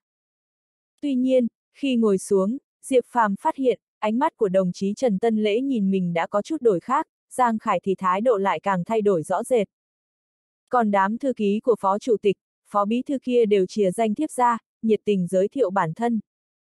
Chỉ trong chốc lát, chỉ vì ba tiếng khen tốt của đồng chí Phó Quốc Vân mà ai ngờ Diệp Phàm lại trở thành hàng hot trong bàn tiệc này, sự thay đổi quá nhanh chóng này khiến Diệp Phàm không biết nên khóc hay nên cười. Người ta nói bể dâu chốc lát nhưng thế này thì hơi nhanh quá. Dùng sự thay đổi trong nháy mắt để hình dung tâm tính con người trong chốn quan trường biến đổi ra sao thì e là vẫn chưa thấm tháp vào đâu. Một câu nói của lãnh đạo có thể tâng bốc người ta lên mây, nhưng có khi cũng chỉ là một câu thôi cũng có thể đi anh xuống 18 tầng địa ngục. Sau bữa cơm chiều, ba người vào một phòng khách nhở im lặng ngồi chờ, không lâu sau, Chủ tịch Trúc, Phó Chủ tịch Y, trợ lý Lưu, còn có vài vị đồng chí Diệp Phàm không biết mặt, đều theo sau Chủ tịch Trúc tiến vào. Được rồi, chúng ta dùng chút thời gian dôi ra sau giờ làm việc để giải quyết chuyện nhà máy đường Dương Xuân. Vì vậy, sẽ không có chỗ cho những chuyện rông dài tốn hơi, trực tiếp vào đề luôn. Họp hành đến nửa ngày trời, chúng ta ai cũng đã mệt mỏi rồi. Chủ tịch Trúc vừa đặt mông xuống ghế đã trực tiếp lên tiếng luôn. Ông liếc nhìn Diệp Phàm bảo. Đồng chí nào từ địa phương lên sẽ được ưu tiên nói chuyện trước, bọn họ đến đây một lần cũng chẳng dễ dàng gì. Vị này chính là Phó Chủ tịch thành phố phân quản mảng công nghiệp của Đông Cống chúng tôi, đồng chí Trần Tân Lễ, trước hết xin để anh ấy đem chuyện nhà máy đường Dương Xuân kể lại tỉ mỉ cho các vị lãnh đạo nghe. Bên tôi còn mang theo ít tài liệu, mời các vị lãnh đạo xem qua trước. Diệp Phàm nói xong, ra hiệu cho Giang Khải phát tài liệu. Đồng chí Giang Khải chân sợ run lập cập, luống ca luống cuống nhưng cuối cùng cũng đem tài liệu phân phát tới tay từng vị lãnh đạo. Nhất thời, phòng tiếp khách trở nên im ắng, chỉ vang lên tiếng lật dở tài liệu nghe loạt soạt. Nửa tiếng sau tài liệu đã được xem xong, các vị lãnh đạo vẻ mặt chẳng ai giống ai, nhưng đại đa số vẫn là trên mặt không có chút thay đổi. Chỉ có chủ tịch Trúc là có hơi nhíu mày. Ông liếc nhìn Lưu Thạch, hỏi. Tình hình thực tế có giống như trong bản tài liệu này. Cái này, tôi cũng không được rõ cho lắm. Mấy năm gần đây đều là quán triệt tình hình từ ban quản lý nhà máy đường Dương Xuân. Tuy nhiên, tôi cũng nghe bọn họ báo cáo qua đôi lần. Hình như, tình hình đại khái đúng là như thế thật. Đồng chí Lưu Thạch bị cái nhìn sắc lẹm của chủ tịch Trúc lướt qua, không dám nói dối nữa, đành phải thành thật gật đầu thừa nhận. Làm ăn vớ vẩn. Chủ tịch Trúc nổi giận, vung tay nặng nề ném bản tài liệu xuống bàn trà. Nhìn xem, làm ăn cái kiểu gì vậy hả? Một doanh nghiệp nhà nước với tận 5-6 ngàn lao động. Một nhà máy ở thời điểm lợi nhuận tốt nhất hàng năm lên đến 200 triệu, sao lại đến nước phải đóng cửa giải thể hả? Nguồn vốn không đủ để gán nợ, còn gánh số nợ hàng trăm triệu ở bên ngoài, một cục diện rối rắm như canh hẹ là vậy, thành phố Đông Cống làm sao mà gồng gánh cho nổi. Lúc trước, khi xây dựng nhà máy là do nhà nước xuất tiền, nay thì nực cười thay, có khác gì phận mẹ ghẻ con chồng. Thưa các đồng chí, các anh đã thử nghĩ tới chưa, mấy ngàn người không có cơm ăn, bọn họ bây giờ sẽ phải làm sao? Dù cho bọn họ không gây rối, Trúc Nham đỉnh tôi cũng không trơ mắt mà nhìn thấy được. Việc này, không giải quyết không được, hôm nay ngay tại đây, việc này mà giải quyết không xong thì ai còn muốn ngủ ngáy gì nữa chứ? Chủ tịch Trúc tức khí, thiếu chút nữa là thét giống cả lên. Thanh âm đó, tuyệt sẽ chẳng kém cạnh tề mãn thiên của tỉnh Nam Phúc là bao. Ngay cả Diệp Phàm cũng cảm giác màng nhĩ bị chấn động vang lên nghe ong ong. Việc này, Chủ tịch Trúc, anh cũng hiểu được mà. Trước kia chế độ không giống với hiện nay. Ngay lúc đó theo thể chế thì nhà máy này đích xác là do Ủy ban Kinh tế Thương mại tỉnh bắt tay xây dựng nên. Mà lúc đó địa khu Đông Cống cũng tài trợ 20% tài chính. Xem như là tỉnh và địa phương chung tay xây dựng, thật sự lúc đó Ủy ban Kinh tế Thương mại tỉnh cũng không có đủ tiền của để tiến hành. Còn số tiền xây nên nhà máy này tuyệt đại bộ phận đều là do Trung ương cấp. Lúc ấy gặp được cơ hội, cho nên, để hưởng ứng lời kêu gọi Trung ương, phát triển kinh tế địa phương, kêu gọi đồng bào các vùng dân tộc thiểu số xa xôi, vùng giải phóng cách mạng trước đây đi lên làm giàu. Nên tỉnh mới quyết định xây dựng nhà máy đường Dương Xuân. Căn cứ vào tình hình thực tế của địa khu Đông Cống, khi nhà máy mới xây dựng quả thật là cũng làm ăn phát đạt một thời gian. Có điều, ai nấy ngồi đây đều rõ. Trước kia là thời kinh tế bao cấp, đường sản xuất ra đều có người dùng, thậm chí lúc đó, thị trường đường còn cung không đủ cầu. Còn phải thương lượng lót tay mới có đường mà nhập chui. Ngoại đường. Nay đã khác xưa, nền kinh tế bao cấp chuyển hướng sang kinh tế thị trường, nhược điểm của doanh nghiệp nhà nước hiển hiện. Tư tưởng ỉ lại của bọn họ đã hại chúng ta, mới khiến cho nhà máy lâm vào tình cảnh này. Có điều, gần 5 năm lại đây quyền quản lý nằm trong tay Đông Cống. Nguyên nhân cụ thể dẫn đến nông nỗi này cũng là do lãnh đạo nắm quyền quản lý phía Đông Cống. Lưu Thạch sau khi nói hiện trạng, vẫn không quên đem trách nhiệm đùn đẩy sang phía Đông Cống. Hiện tại nói vậy cũng ích gì chứ? Đề xuất biện pháp giải quyết vấn đề xem nào, đồng chí Diệp Phàm, cậu có ý kiến gì không? Chủ tịch Trúc trực tiếp hỏi với giọng điệu như đang thẩm án. chương 1864, lạt mềm buộc chặt. Tôi thay mặt Ủy ban Nhân dân thành phố Đông Cống khẩn thiết yêu cầu Ủy ban Kinh tế Thương mại tỉnh thu hồi toàn bộ quyền quản hạt nhà máy đường Dương Xuân, và sau đó, thành phố Đông Cống sẽ không cấp ra một xu tiền trợ cấp cho nhà máy nữa. Và lại, Đông Cống cũng đã chi ra quá nhiều rồi. 5 năm cơ đấy, trước sau tổng cộng lại đã trợ cấp vào đó đến 260 triệu. Tương đương một phần tư tổng thu tài chính năm của Đông Cống chúng tôi. Một con số quá lớn, nhân dân Đông Cống đã không chịu nổi gánh nặng này nữa rồi, còn quản lý thêm một thời gian nữa, tôi e rằng Đông Cống cũng xong luôn. Diệp Phàm bình tĩnh đưa ra đề xuất. Không thể nào, lúc trước cũng là do tỉnh và phía địa phương các cậu chung tay xây dựng.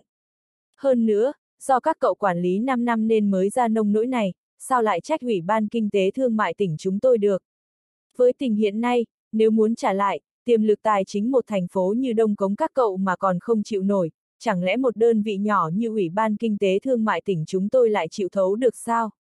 Nói đến thu ngân sách, Ủy ban Kinh tế Thương mại tỉnh chúng tôi trong thời kỳ quá độ của thể chế thì dưới chướng thử hỏi còn có bao nhiêu xí nghiệp có thể làm ăn sinh lãi. Các xí nghiệp lớn có lợi nhuận khá một chút thì đều tách ra. Chỉ còn lại một cục diện rối rắm không thể hoạt động độc lập nổi, chúng tôi hàng năm còn phải bù lỗ nữa là. Lưu Thạch Kiên quyết tỏ thái độ không chịu nhận lại nhà máy. Để rảnh tay, y sẵn sàng đem một ủy ban kinh tế thương mại tỉnh bề thế tự xưng là đơn vị nhỏ. Lại nói đến chuyện quản lý thay, tạo thành tình trạng hiện nay của nhà máy đường có rất nhiều nguyên nhân. Nhưng, Đông Cống nắm giữ quyền quản lý, tôi nghĩ, phải chăng Đông Cống đã để xuất hiện lỗ hổng lớn trong việc dùng người. Với một nhà máy thì bộ máy ban lãnh đạo là quan trọng nhất. Đông Cống là lãnh đạo nắm quyền quản lý, phải chăng cũng nên gánh chịu trách nhiệm của người lãnh đạo. Các đồng chí, một nhà máy vốn có lợi nhuận mỗi năm vài trăm triệu mà nay lại thành ra một mớ bỏng bong thua lỗ đến mấy chục triệu. Không truy cứu trách nhiệm lãnh đạo để rút kinh nghiệm đi lên thì tỉnh ta có phát triển nổi nữa hay không, nhà nước còn có thể phồn vinh giàu me nhìn nữa hay không. Phó Chủ tịch y quả là lợi hại, y muốn dùng chiêu bài quản lý bất cập để chụp mũ cho đông cống. Tuy nhiên, những lời đó của Phó Chủ tịch y vừa thốt ra miệng, Diệp Phàm trong bụng đã vui thầm, chỉ sợ lão không nói ra thôi. Có vẻ Phó Chủ tịch Y tuy nói là được phân công quản lý công nghiệp, nhưng rõ ràng là không thế nào tỏ tường về tình hình cụ thể của nhà máy đường Dương Xuân. Diệp Phàm cũng phát hiện đồng chí Lưu Thạch sửng sốt đến há hốc mồm có vẻ đang muốn lấp liếm đi những lời vừa rồi thật nhanh, Diệp Lão Đại quyết định mau lẹ, lên tiếng trước khi Lưu Thạch kịp mở miệng. Đúng vậy, tôi hoàn toàn đồng ý với Phó Chủ tịch Y. Một doanh nghiệp nhà nước quy mô lớn đang hưng thịnh như thế, lợi nhuận lên đến hàng trăm triệu một năm vậy mà hôm nay lại lâm vào cảnh sắp phá sản, đó là do rất nhiều nguyên nhân dẫn tới. Thế nhưng, lãnh đạo nhà máy mới là nhân vật chủ chốt trực tiếp dẫn dắt nhà máy phát triển. Một lãnh đạo tốt hoàn toàn có thể vực dậy cả một nhà máy. Tất tật từ quan niệm, ý tưởng, đến cách làm, kinh nghiệm của người lãnh đạo đều đóng vai trò quyết định với sự hưng suy thành bại của nhà máy đó.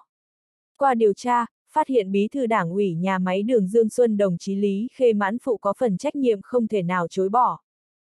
Anh ta đương nhiệm ở nhà máy đường Dương Xuân suốt gần 10 năm, có thể nói là đã chứng kiến quá trình nhà máy đường Dương Xuân hưng thịnh suy bại thế nào.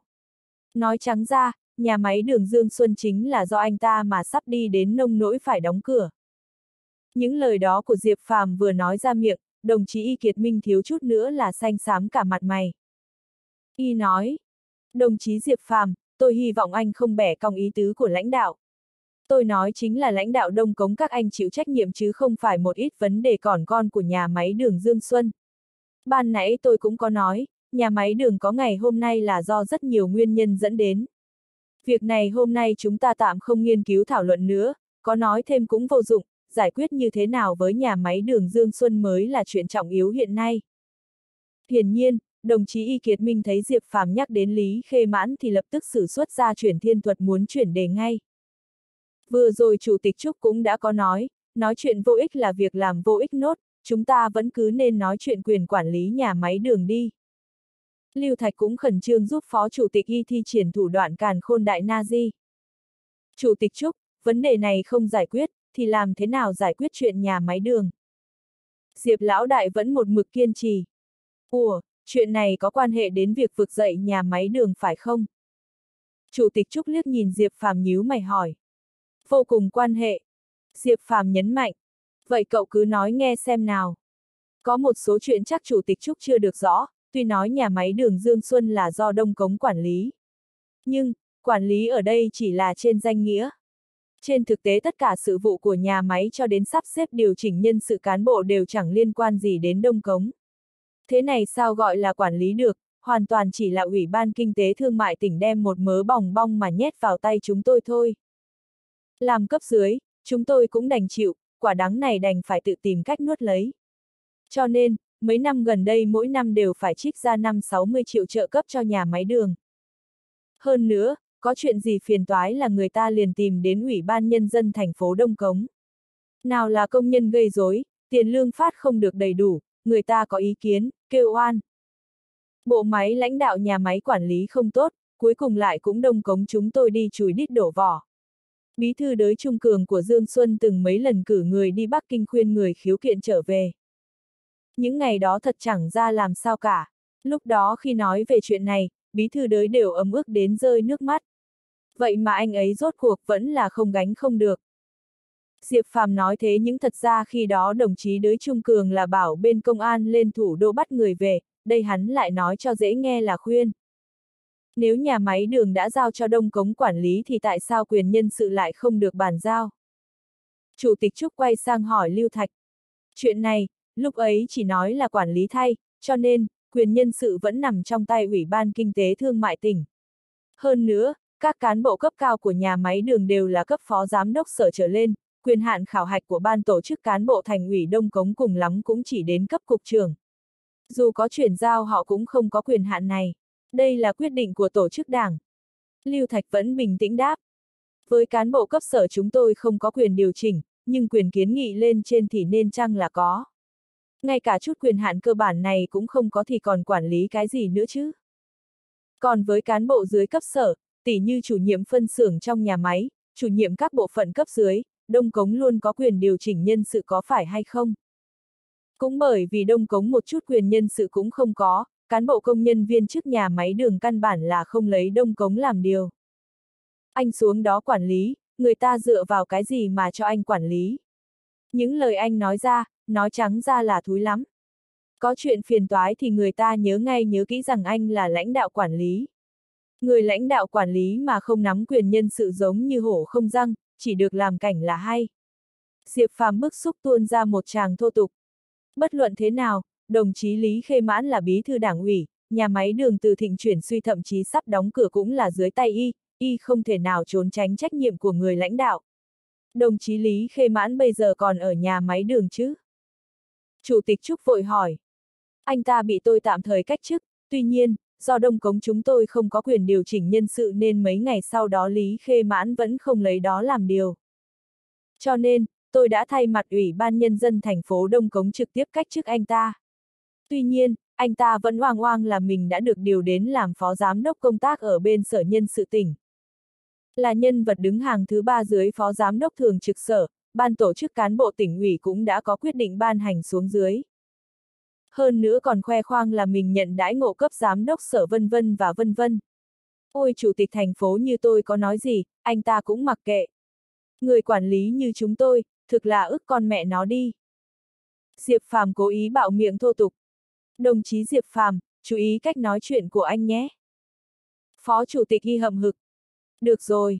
Chủ tịch tỉnh Trúc Nham đỉnh khoát tay, ngẫm nghĩ một lát rồi bảo. Một cán bộ như vậy mà còn điều đến sở nhân sự tỉnh đảm nhiệm thủ trưởng số 3 được sao, rốt cuộc là sao lại thế này? Là ai đề cử y? Nghe Chủ tịch Trúc nói thế, y kiệt minh đỏ mặt tía tai. Đương nhiên, giờ phút này hắn sẽ không dại gì mà ho he. Việc này, nhất định phải xử lý.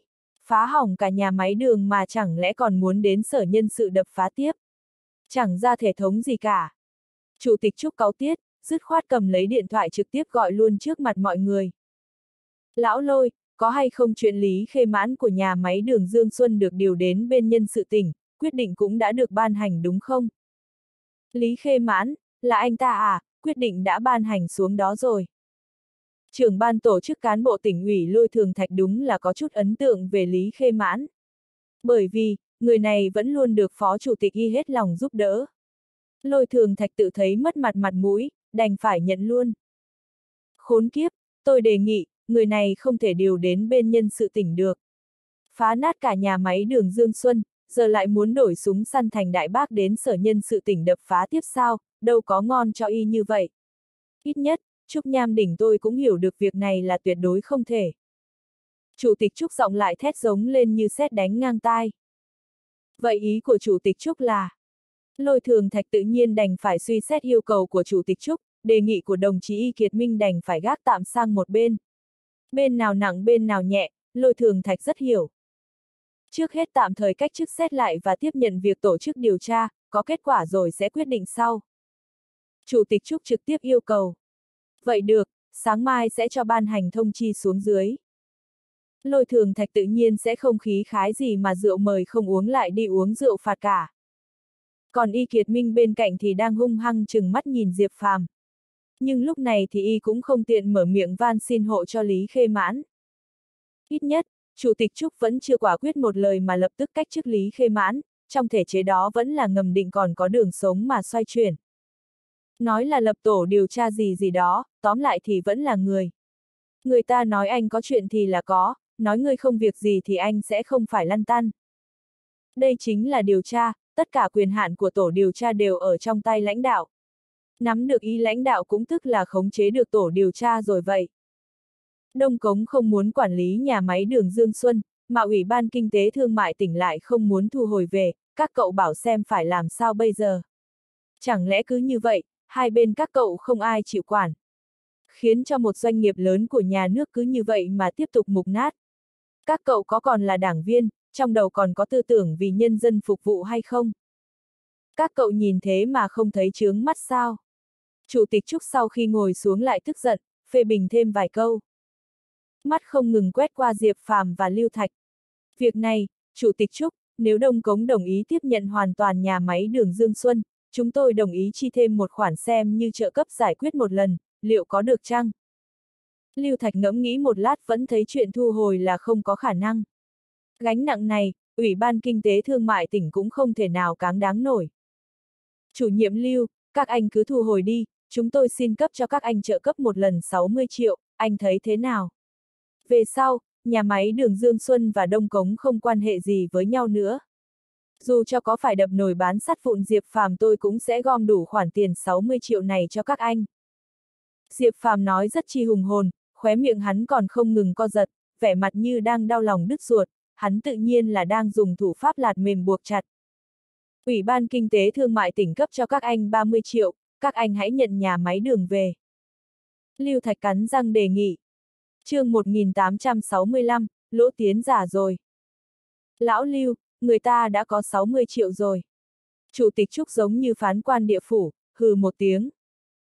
Cho các cậu 60 triệu, các cậu cứ nhận đầy đủ đi. Ủy ban Kinh tế Thương mại tỉnh cùng nhà máy đường Dương Xuân một chút quan hệ cũng không có.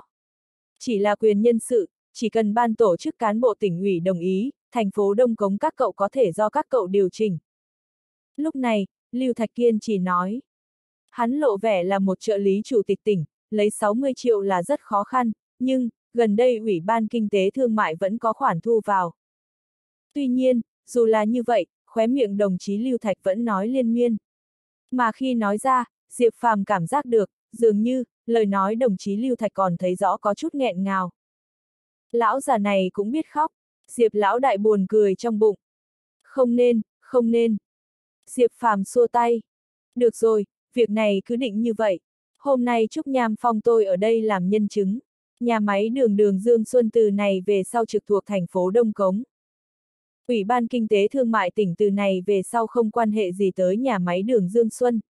Mà Ủy ban Kinh tế Thương mại tỉnh trợ cấp cho Ủy ban Nhân dân thành phố Đông Cống 60 triệu để trợ cấp giải quyết nhà máy đường Dương Xuân. Về quyền điều chỉnh nhân sự nhà máy đường Dương Xuân, tôi thấy cũng phải cho các đồng chí phía dưới quyền nhân sự nhất định mới được, bằng không, làm sao có thể quản lý nhà máy. Việc này, tôi cùng trưởng ban lôi thương lượng một chút. Quyền nhân sự với nhà máy đường Dương Xuân từ cấp cục trưởng trở xuống sẽ do thành phố Đông Cống bổ nhiệm. Mà cán bộ cấp sở thành phố Đông Cống đề nghị thay mặt điều chỉnh được không, sau đó báo lên tổ chức tỉnh ủy tán thành là được. Chủ tịch Trúc quyết định một lèo xuống dưới, rất có khí phách. Chủ tịch tỉnh, nhà máy đường Dương Xuân một lần nữa tổ chức lại muốn cải cách theo hình thức đầu tư cổ phần. Theo kết quả điều tra của chúng tôi là vốn không đủ để gắn nợ, vẫn còn nợ bên ngoài vài trăm triệu. Cục diện dối rắm vậy ai cũng không muốn nhận, ngay cả Ủy ban Kinh tế Thương mại trợ cấp 60 triệu, nhưng còn 100 triệu thua lỗ. Tình trạng kinh tế của thành phố Đông Cống chúng tôi chủ tịch tỉnh cũng hiểu được, 100 triệu thật là không đủ. Diệp Phàm lại kêu khổ, đương nhiên là muốn moi thêm tiền trong hầu bao của Trúc Tiên Tử rồi. Ha ha, đồng chí Tiểu Diệp, cậu thực sự nghĩ rằng Trúc Nham Phong tôi phải mở ngân quỹ có phải hay không? Vừa mới cho cậu 60 triệu, khoản tiền đó hoàn toàn có thể đầu tư vào thôi. Như vậy hợp lại, cũng không kém lắm.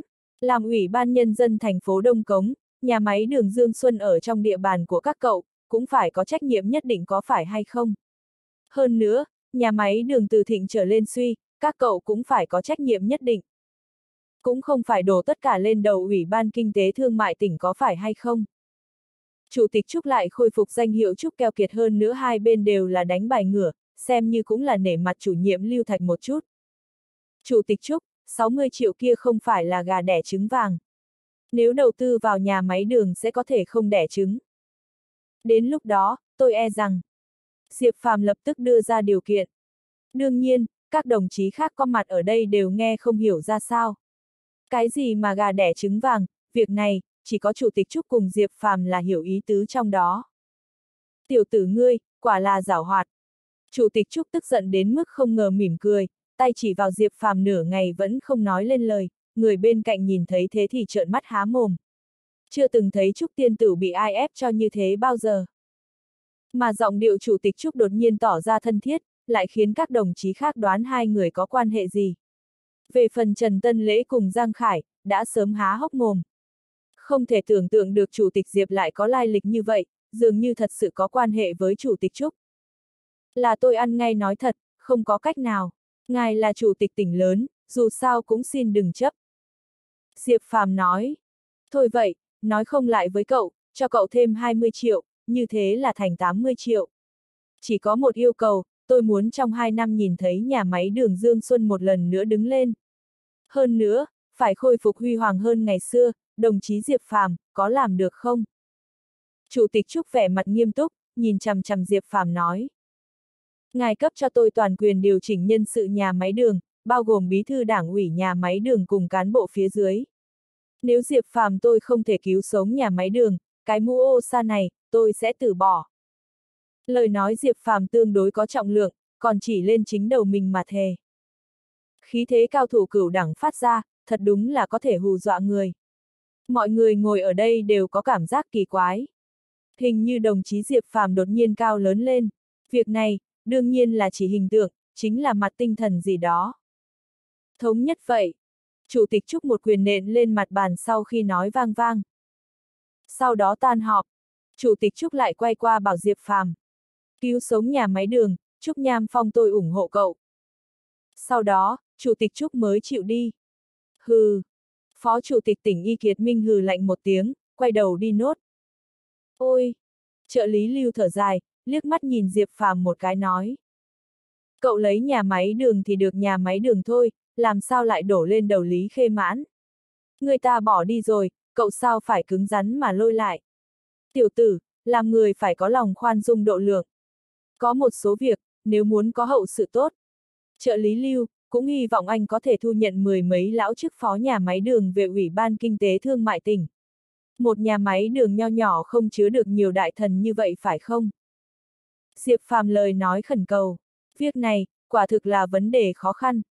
Gần 30 cán bộ cấp sở, một nhà máy đường, nghiễm nhiên trở thành một thành phố cấp 3.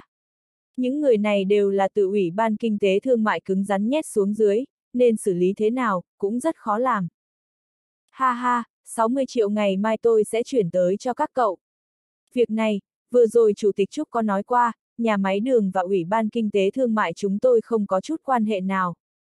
Đồng chí Diệp Phàm, có lẽ ngày mai, Chủ tịch Trúc cùng Phó Bí Thư, Bí Thư lôi bàn bạc xong, thực sẽ đem quyền nhân sự cấp dưới giao cho đồng chí Diệp Phàm cậu điều chỉnh.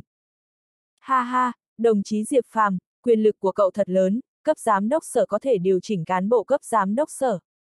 Cứ sử dụng đi, tự giải quyết cho tốt. Đồng chí Lưu Thạch cười gượng một tiếng, rồi thình lình đi thẳng.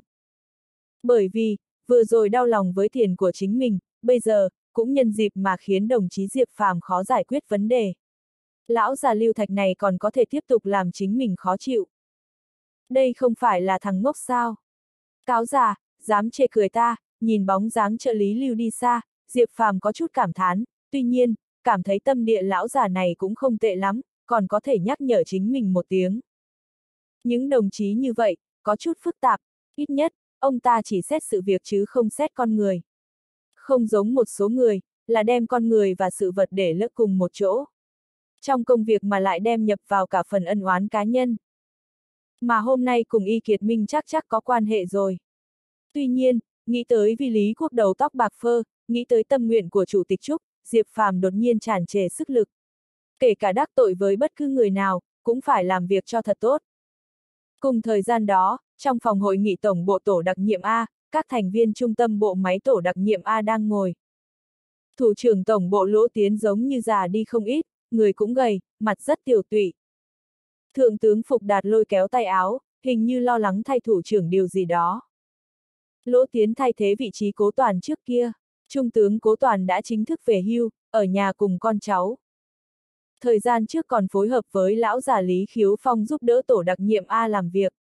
Tuy nhiên, gần đây bệnh cũ cố toàn lại tái phát, không thể tiếp tục làm việc. Cũng tốt, cấp trên định ra người nối nghiệp trung tướng kế vĩnh viễn, vừa lúc hôm nay kế vĩnh viễn không vắng mặt, vẻ mặt ngay ngắn, mặc y phục trung tướng, rất có tinh thần. Việc này, có thể vào tổ đặc nhiệm A đảm nhiệm chức tổ trưởng phó tổng bộ kiêm tổ trưởng, đồng chí kế vĩnh viễn vẫn tương đối linh động. Nơi này, đối với anh ta mà nói, hết thảy đều mới mẻ và thần bí. Đồng chí kế vĩnh viễn là Thứ trưởng Thường trực Bộ An ninh Quốc gia được điều chỉnh tới tổ đặc nhiệm A đảm nhiệm chức phó tổ trưởng. Đối với vị trí phó tổ trưởng đội đặc nhiệm A, kế vĩnh viễn cũng có chút coi trọng. Bởi vì, kế vĩnh viễn biết được, tổ đặc nhiệm A là tổ chức bí mật của quốc gia, bao gồm Cục Tình báo Quân ủy, Cục Bảo mật Quốc gia và lãnh đạo lớn nhất. Như Bộ An ninh Quốc gia mà nói, tuy tên tuổi hơn các đồng chí cùng cấp của tổ đặc nhiệm A, nhưng, ở tình huống đặc biệt, Bộ An ninh Quốc gia chỉ có thể làm tiểu đệ của tổ đặc nhiệm A, chỉ có thể trợ thủ là được. Mà mỗi lần hành động đặc biệt cần Bộ An ninh Quốc gia phối hợp, người phụ trách hành động luôn luôn là đội viên chính thức tổ đặc nhiệm A. Một đội viên chính thức tổ đặc nhiệm A không có quan chức, ở giai đoạn đặc biệt, thậm chí có thể lãnh đạo cấp cục trưởng hay giám đốc sở của Bộ An ninh Quốc gia. Đôi khi một số đồng chí trong Bộ An ninh Quốc gia cũng có ý kiến, bố đường đường là cán bộ cấp giám đốc sở, ngang hàng với quân đội, ít nhất cũng phải là đại tá. Mà thành viên chính thức tổ đặc nhiệm A nhiều nhất cũng chỉ là trung tá mà thôi. Trung tá chỉ huy đại tá, việc này, đương nhiên khiến một số đồng chí có ý kiến. Tuy nhiên, ý kiến cũng chỉ là ý kiến, cũng không có đồng chí nào dám đề xuất ra. Tin rằng chỉ cần đồng chí ấy dám đề xuất, phỏng chừng lập tức bị đá ra khỏi Bộ An ninh Quốc gia đến Ban Chỉ huy quân sự làm chút việc vặt đi. Quyền uy của tổ đặc nhiệm A là thần thánh không thể xâm phạm. Giống như Lỗ Tiến muốn thu thập đồng chí Diệp Phàm cũng thế, nói mấy câu về quân chức Diệp Phàm, cái gì phó trưởng ban bộ tổng tham mưu, phó tư lệnh viên Vịnh Lam Nguyệt, bao gồm quân hàm thiếu tướng đều được kê chống chân hết. May là Lỗ Tiến còn không biết Diệp Phàm còn kiêm một chức phó giám sát trưởng, bằng không, việc này, tuyệt đối khó lọt khỏi lòng bàn tay ông ta. Điều này cho thấy lãnh đạo đất nước cảm thấy tổ đặc nhiệm A có trọng lượng thế nào. Trần Hằng Phong, đại công tử họ Trần Bắc Kinh, tiền nhiệm tránh văn phòng phó thủ tướng. Phụ trách cảnh vệ, cơ yếu và phương diện nghiệp vụ. Kỳ thật, anh ta còn có một thân phận khác, anh ta cũng là thành viên chính thức tổ đặc nhiệm A. Khi Diệp Phàm ở Việt Đông anh ta từng giúp đỡ Diệp Phàm phá đại án ngư đồng. Thủ tướng thay đổi người, Trần Hằng Phong cũng không làm người hầu ở văn phòng thủ tướng nữa. Hiện tại, anh ta đã thay đổi chỗ. Tuy nhiên, giờ phú này, ngồi ở hội nghị tay cầm ít tài liệu anh ta có chút bất an. Tuy nói anh ta là đội viên chính thức tổ đặc nhiệm A, nhưng bên trong tổ đặc nhiệm A, anh ta gần như là ở vị trí thấp nhất. Không quan không chức, chỉ có thể xem là đội viên chính thức, quân hàm đại tá. Ngay cả chức tổ phó tổ trưởng đều không có, đương nhiên, cũng là do Trần Hằng Phong vẫn còn trẻ. chương 1866, lần này bên quân đội hành động rất nhanh. Đồng chí Hằng Phong, anh nói đi. Lúc này, nghe được Lỗ Tiến gọi tên, Trần Hằng Phong đứng nghiêm lên, đầu tiên, chào các lãnh đạo chính theo nghi thức quân đội, sau đó dở tài liệu của mình, nói. Tình hình có thay đổi, sáu tổ trưởng tổ 8 của chúng ta ở Vịnh Lam Nguyệt là tướng quân Trịnh Phương sắp quân nhằm vào mê cung Sahara Sahara liền phái phân đội nhỏ tinh nhuệ nhất của báo săn tới mê cung, Sahara. Gần đây tiến hành do thám, chuẩn bị sẵn sàng cho các thành viên tổ đặc nhiệm A chính thức tiến vào. Thứ hai cũng là vì theo dõi đội viên hai nước Hoa Kỳ và Ả Rập Xê Út. Bởi vì chúng ta không có phương hướng, không có mục tiêu địa điểm cụ thể, chỉ có thể chơi theo kiểu theo dõi. Lúc trước tướng quân trịnh cắn răng báo săn tập hợp cao thủ tầng cuối tam đẳng với công lực tinh sâu nhất cùng đi chấp hành nhiệm vụ bí mật này. Khi ra quyết định này tướng quân trịnh đã hạ quyết tâm lớn. Các cao thủ tam đẳng này đều là tương lai tổ đặc nhiệm A. Có thể nói, trong đó có 5 người đều là đội viên dự bị tổ đặc nhiệm A. chỉ cần một cơ hội là có thể đạt đến tứ đẳng trở thành thành viên chính thức tổ đặc nhiệm A. Tuy nhiên, vì quốc gia, trịnh tướng quân không kịp đau lòng. Phân đội nhỏ 10 người của đồng chí Đường Đinh Nhiên thuận lợi tới Sahara. Tuy nhiên vừa tiến vào sa mạc lớn nhất thế giới, dù là huynh đệ tinh nhuệ nhất báo săn mọi người cũng mịt mờ không biết gì. Nơi đó, quả là lớn, giống như tiến vào biển cát. Con người bên trong giống như bị lạc giữa biển khơi. Sa mạc lớn, hoàn cảnh rất ác liệt, thiếu nước, đồ ăn, hạt độc, trùng độc, còn có mặt trời, cùng với hoàn cảnh địa lý phức tạp của sa mạc bất cứ lúc nào cũng có thể cướp đi sinh mạng con người. Chủ yếu là sợ hải quân nước Mỹ phía trước phát hiện, không thể phái xe theo tiếp sức. Cho nên, toàn bộ nhóm đội viên đều phải tự thân vận động. Không thể mang nhiều lương khô trên người, lại bí mật giao chiến với đội tiền trạm của các quốc gia khác. 10 đội viên tinh nhuệ nay chỉ còn lại 3 người còn kiên trì được. Trong đó 3 người hy sinh, 3 người trọng thương về nước. Một người mất tích, chỉ còn lại 3 người có thông tin để liên lạc. Trần Hằng Phong nói tới đây, khóe miệng có chút co giật, âm thanh có vẻ bi thương. Trương Cường, Trương Hùng, Tề Thiên mấy người bọn họ không phải cũng đi ngay sau đó. Tình hình bọn họ thế nào, có liên hệ được với ba đồng chí còn lại kia của báo săn. Lúc này, kế vĩnh viễn vẻ mặt nghiêm trọng hỏi. Rất ít liên lạc. Trần Hằng Phong vẻ mặt u buồn đáp lại. Vì sao, làm bừa bãi thế à, chẳng lẽ mong chờ nhìn ba đồng chí kia một mình chiến đấu hăng hái, cuối cùng bị tiêu diệt. Tổ phó thường trực tổ đặc nhiệm A đồng chí nghiêm thế kiệt giọng nặng nề chất vấn. Bởi vì, anh ta cùng đồng chí Trịnh Phương tổ tám quan hệ cũng không tệ lắm, đương nhiên, không hy vọng lãnh đạo tổ tám Trịnh Phương cùng bộ đội báo báo săn tinh nhuệ đều chết trong tay đội viên biệt chiến của ngoại quốc. Việc này là tôi hạ mệnh lệnh. Lúc này, Lỗ Tiến mở miệng, nghiêm thế kiệt sửng sốt nhìn chằm chằm Lỗ Tiến, chờ ông ta giải thích. Để giữ bí mật, tất cả mọi người đều hiểu được, vũ khí tin tức của đội viên biệt chiến Mỹ rất hiện đại. Nếu chúng ta mạo muội liên hệ, rất có khả năng sẽ rơi vào tầm ngắm của bọn họ. Vì sự an toàn của nhóm người đội viên chính thức tổ đặc nhiệm A, chúng ta phải đảm bảo chắc chắn. Mấy người Trương Cường cùng mấy người đường đinh nhiên cũng muốn đến địa điểm cụ thể của mê cung, nhiệm vụ lần này coi như thành công một nửa. Bằng không, biển cát mờ mịt, mười mấy người kia của chúng ta có thể làm nên chuyện gì? Vẻ mặt lỗ tiến không chút thay đổi, nói. Nghe ông ta nói như vậy, nghiêm thế kiệt sau khi căm phẫn đã lấy lại bình tĩnh. Bởi vì, việc này rõ ràng là biến 10 đội viên tinh nhuệ, đội viên chính thức tổ đặc nhiệm A thành vật hy sinh mà thôi.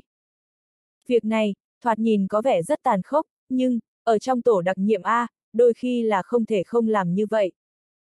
Đội viên chính thức tổ đặc nhiệm A, mới là cái quý giá nhất của tổ đặc nhiệm A.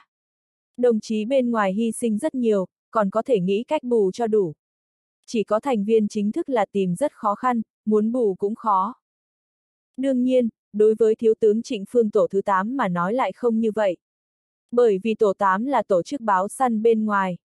Đều là tâm huyết của Trịnh Phương xây dựng lên, giờ nghe nói còn lại ba người, đồng chí Trịnh Phương thiếu chút nữa té xỉu ở văn phòng. Miệng vẫn kêu to. Lỗ Tiến, ông là cái đồ vô tình. Chính xác, thủ trưởng Lỗ Tiến này chính là người vô tình. Chỉ có làm người vô tình mới có khả năng làm tổng thủ trưởng tổ đặc nhiệm A. Trước kia Trấn Đông Hải tuy vẻ mặt rất thân thiện, nhưng, lần đó Diệp Phàm cùng nhà họ Đỗ ở phổ hải quyết chiến không phải cũng điều động đến đạn đạo cỡ nhỏ đó sao? Thật sự không diệt được cao thủ Đỗ ra trương A cô thì phải diệt toàn bộ. Đây là tổ đặc nhiệm A, tôn chỉ bọn họ chính là tất cả vì quốc gia, bất luận chuyện gì đều phải nhường đường. Lúc ấy, có tính đến cả diệt luôn đồng chí Diệp Phàm. Thì năm đội viên có thể làm gì, sao Trịnh Phương lại không tăng thêm người? Lý Khiếu Phong hừ giọng nói. Vừa tăng thêm 5 người bậc tam đẳng khai nguyên đi hỗ trợ đám người đi trước. Trần Hằng Phong nói tới đây thở dài, tiếp theo lại nói. Đây là toàn thể bộ đội báo săn tinh anh của báo săn. Tướng quân Trịnh có chút đau buồn nói, nếu 6 đội viên này đều hy sinh, báo săn sẽ không tìm ra cao thủ tam đẳng. Báo săn còn có thể tồn tại sao? Trong phòng hội nghị lập tức im lặng thật sự, một quả bom châm ngòi đã rơi xuống đất và mọi người đều nghe thấy. Tuy nói vì quốc gia phải đổ máu, nhưng người dù sao cũng có tình cảm, ai có thể thực sự vô tình. Lúc trước nếu Trấn Đông Hải thực sự hạ lệnh phóng tên lửa đạn đạo ra diệt Diệp Phàm phỏng chừng đã tàn cả đời. Bởi vì, Trấn Đông Hải thực sự kỳ vọng rất cao ở Diệp Phàm. Báo săn không có khả năng bị diệt, tin rằng bọn họ sẽ gặp may. Giọng nghiêm thế kiệt có chút khàn khàn, nói. Toàn thể đứng lên, mặc niệm 3 phút. Lỗ tiến đột nhiên hô một tiếng lạnh tanh. Một tiếng hô nữa, các tướng quân này động tác vô cùng nhanh nhẹn, tất cả thân thể thẳng tắp như một cây gậy. Vẻ mặt nghiêm trang. Ngồi xuống, tiếp tục nói. Giọng lỗ tiến lại truyền đến. Đội viên chính thức tổ đặc nhiệm A chúng ta lần thứ hai tiến vào Sahara. Đội viên lần này bao gồm tổ phá thiên hành động, tổ trưởng thiếu tướng đới thành thất đẳng. Phó tổ trưởng đại tá Đỗ Phong thất đẳng, phó tổ trưởng đại tá Trương Cường lục đẳng, đại tá Trương Hùng lục đẳng, đại tá Tề Thiên ngũ đẳng, thượng tá Đằng cách lý ngũ đẳng, trung tá khâu đỉnh tứ đẳng. Còn hai đội viên tạm thời không rõ danh tính, tổng cộng 9 đội viên chính trong lần hành động phá thiên này, là đội viên chủ lực. Mà xung quanh hành động phá thiên lần này, quân ủy cục tình báo cùng với tổ tình báo Bộ An ninh Quốc gia cũng phái hơn 10 đồng chí ở xung quanh Sahara chờ lệnh bất cứ lúc nào. Nhiệm vụ chính của bọn họ chủ yếu là siêu tập các tin tình báo để mở một mạng lưới tin tức cho tổ đặc nhiệm A. Để tiếp sức đội viên tổ đặc nhiệm A, canh phòng nghiêm ngặt đề phòng bất cứ tình huống bất lợi nào phát sinh. Quân ủy đã phái ra một tàu khu trục thế hệ đạn đạo mới nhất mang số hiệu Hoành Giang và Phổ Hải. Hai thuyền quân hạm dẫn đầu, được tiếp tế bởi tàu tiếp viện và thêm bốn thuyền quân hạm nhằm hướng Đại Tây Dương theo hành trình huấn luyện giã ngoại. Trần Hằng Phong vừa nói đến đây, tổ trưởng tổ tình báo Triệu Thanh Ngọc không nhịn được phát ra một tiếng A. Tổ trưởng Triệu muốn nói điều gì à? Trần Hằng Phong khách khí nói.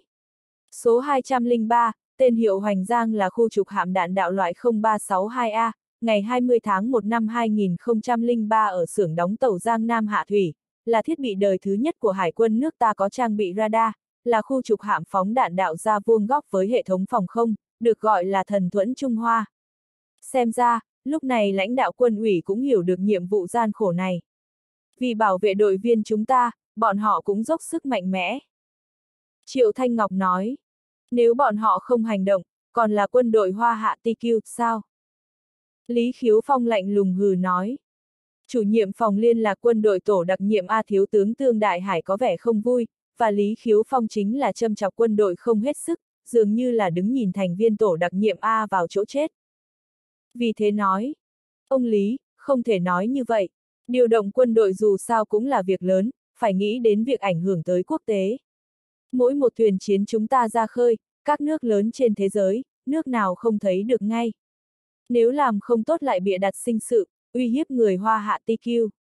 Không có cách gì đâu, phía quân đội, nhiều vấn đề lắm. Mà tổ đặc nhiệm A so với mấy trăm vạn quân đội hoa hạ TQ chỉ có thể xem như bọt nước nơi biển. Đồng chí Tương Đại Hải vừa nói tới đây, phát hiện vẻ mặt lỗ tiến có chút thay đổi, khẩn trương nói. Đương nhiên, việc này, chỉ có thể theo quy mô số người mà nói. Tổ đặc nhiệm A hiệu quả, năng lực là không thể thay thế. Mỗi người tổ đặc nhiệm A đều là tinh anh, một đội viên chính thức có thể bằng một tiểu đoàn quân đội. Tương Đại Hải vừa mới nói tới đây, Lý Khiếu Phong lạnh lùng hừ nói. Vậy chúng ta thử xem, chúng ta phái ra một cao thủ bát đẳng, các ông phái ra một tiểu đoàn tác chiến trong rừng, xem cuối cùng còn sống là ai. Việc này, lão Lý, tôi chỉ là so sánh thôi. Ở phương diện tác chiến trong rừng cây đương nhiên không thể so sánh.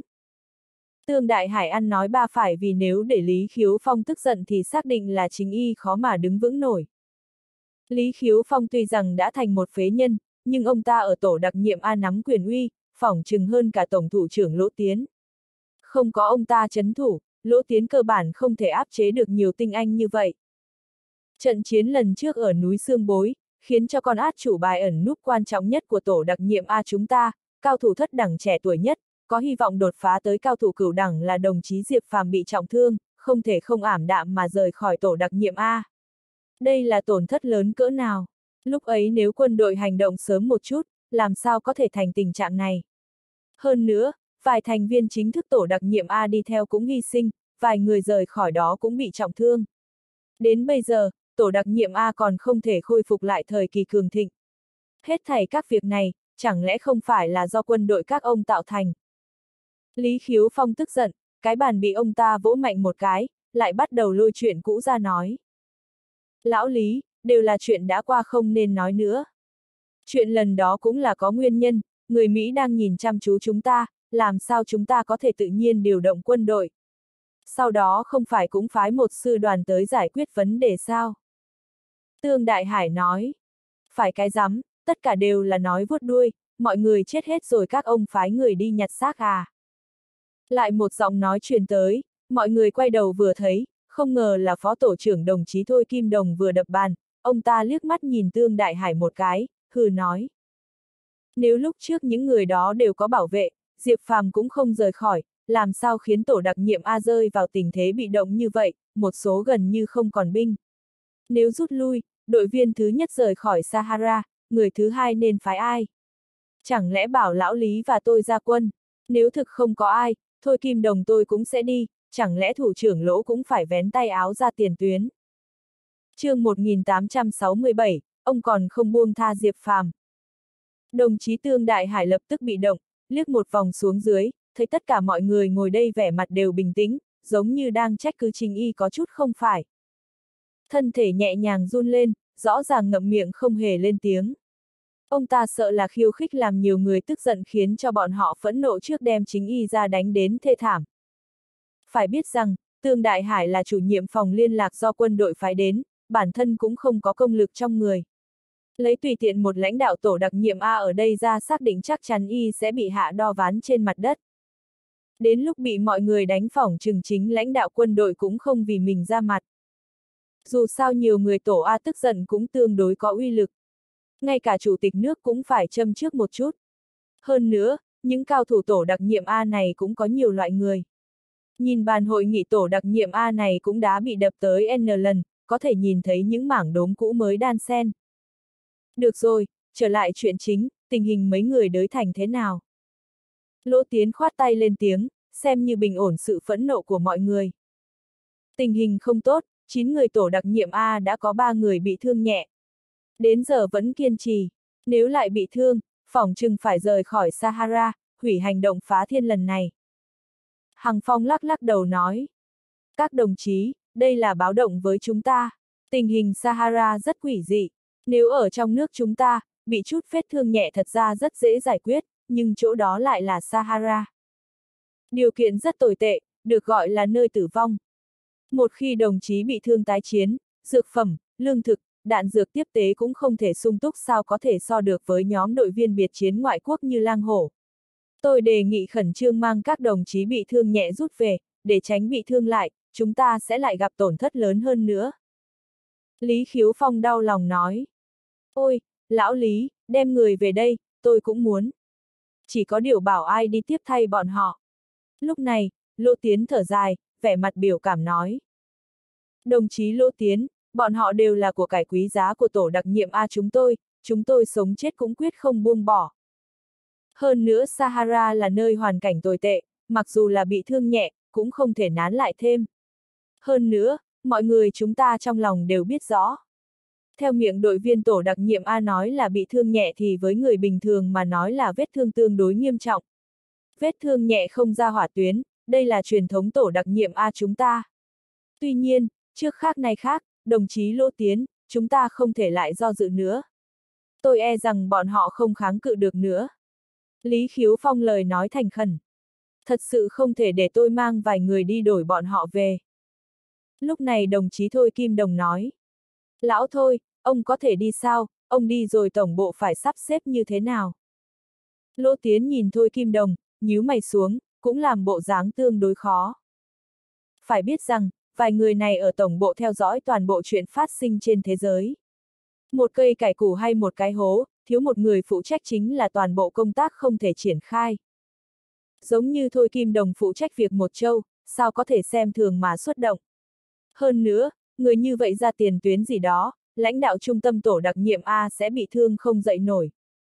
Bởi vì những cao thủ này chẳng những thân thủ cao, hơn nữa, nhãn quang độc đáo, đã quen thuộc thật sự với chuyện của tổ đặc nhiệm A. Một người nếu chết đi chính là tổn thất lớn của tổ đặc nhiệm A, không thể đong đếm nổi. Những người chúng ta ngồi ở đây khẳng định không thể rời khỏi, đi đâu tìm ra người đây.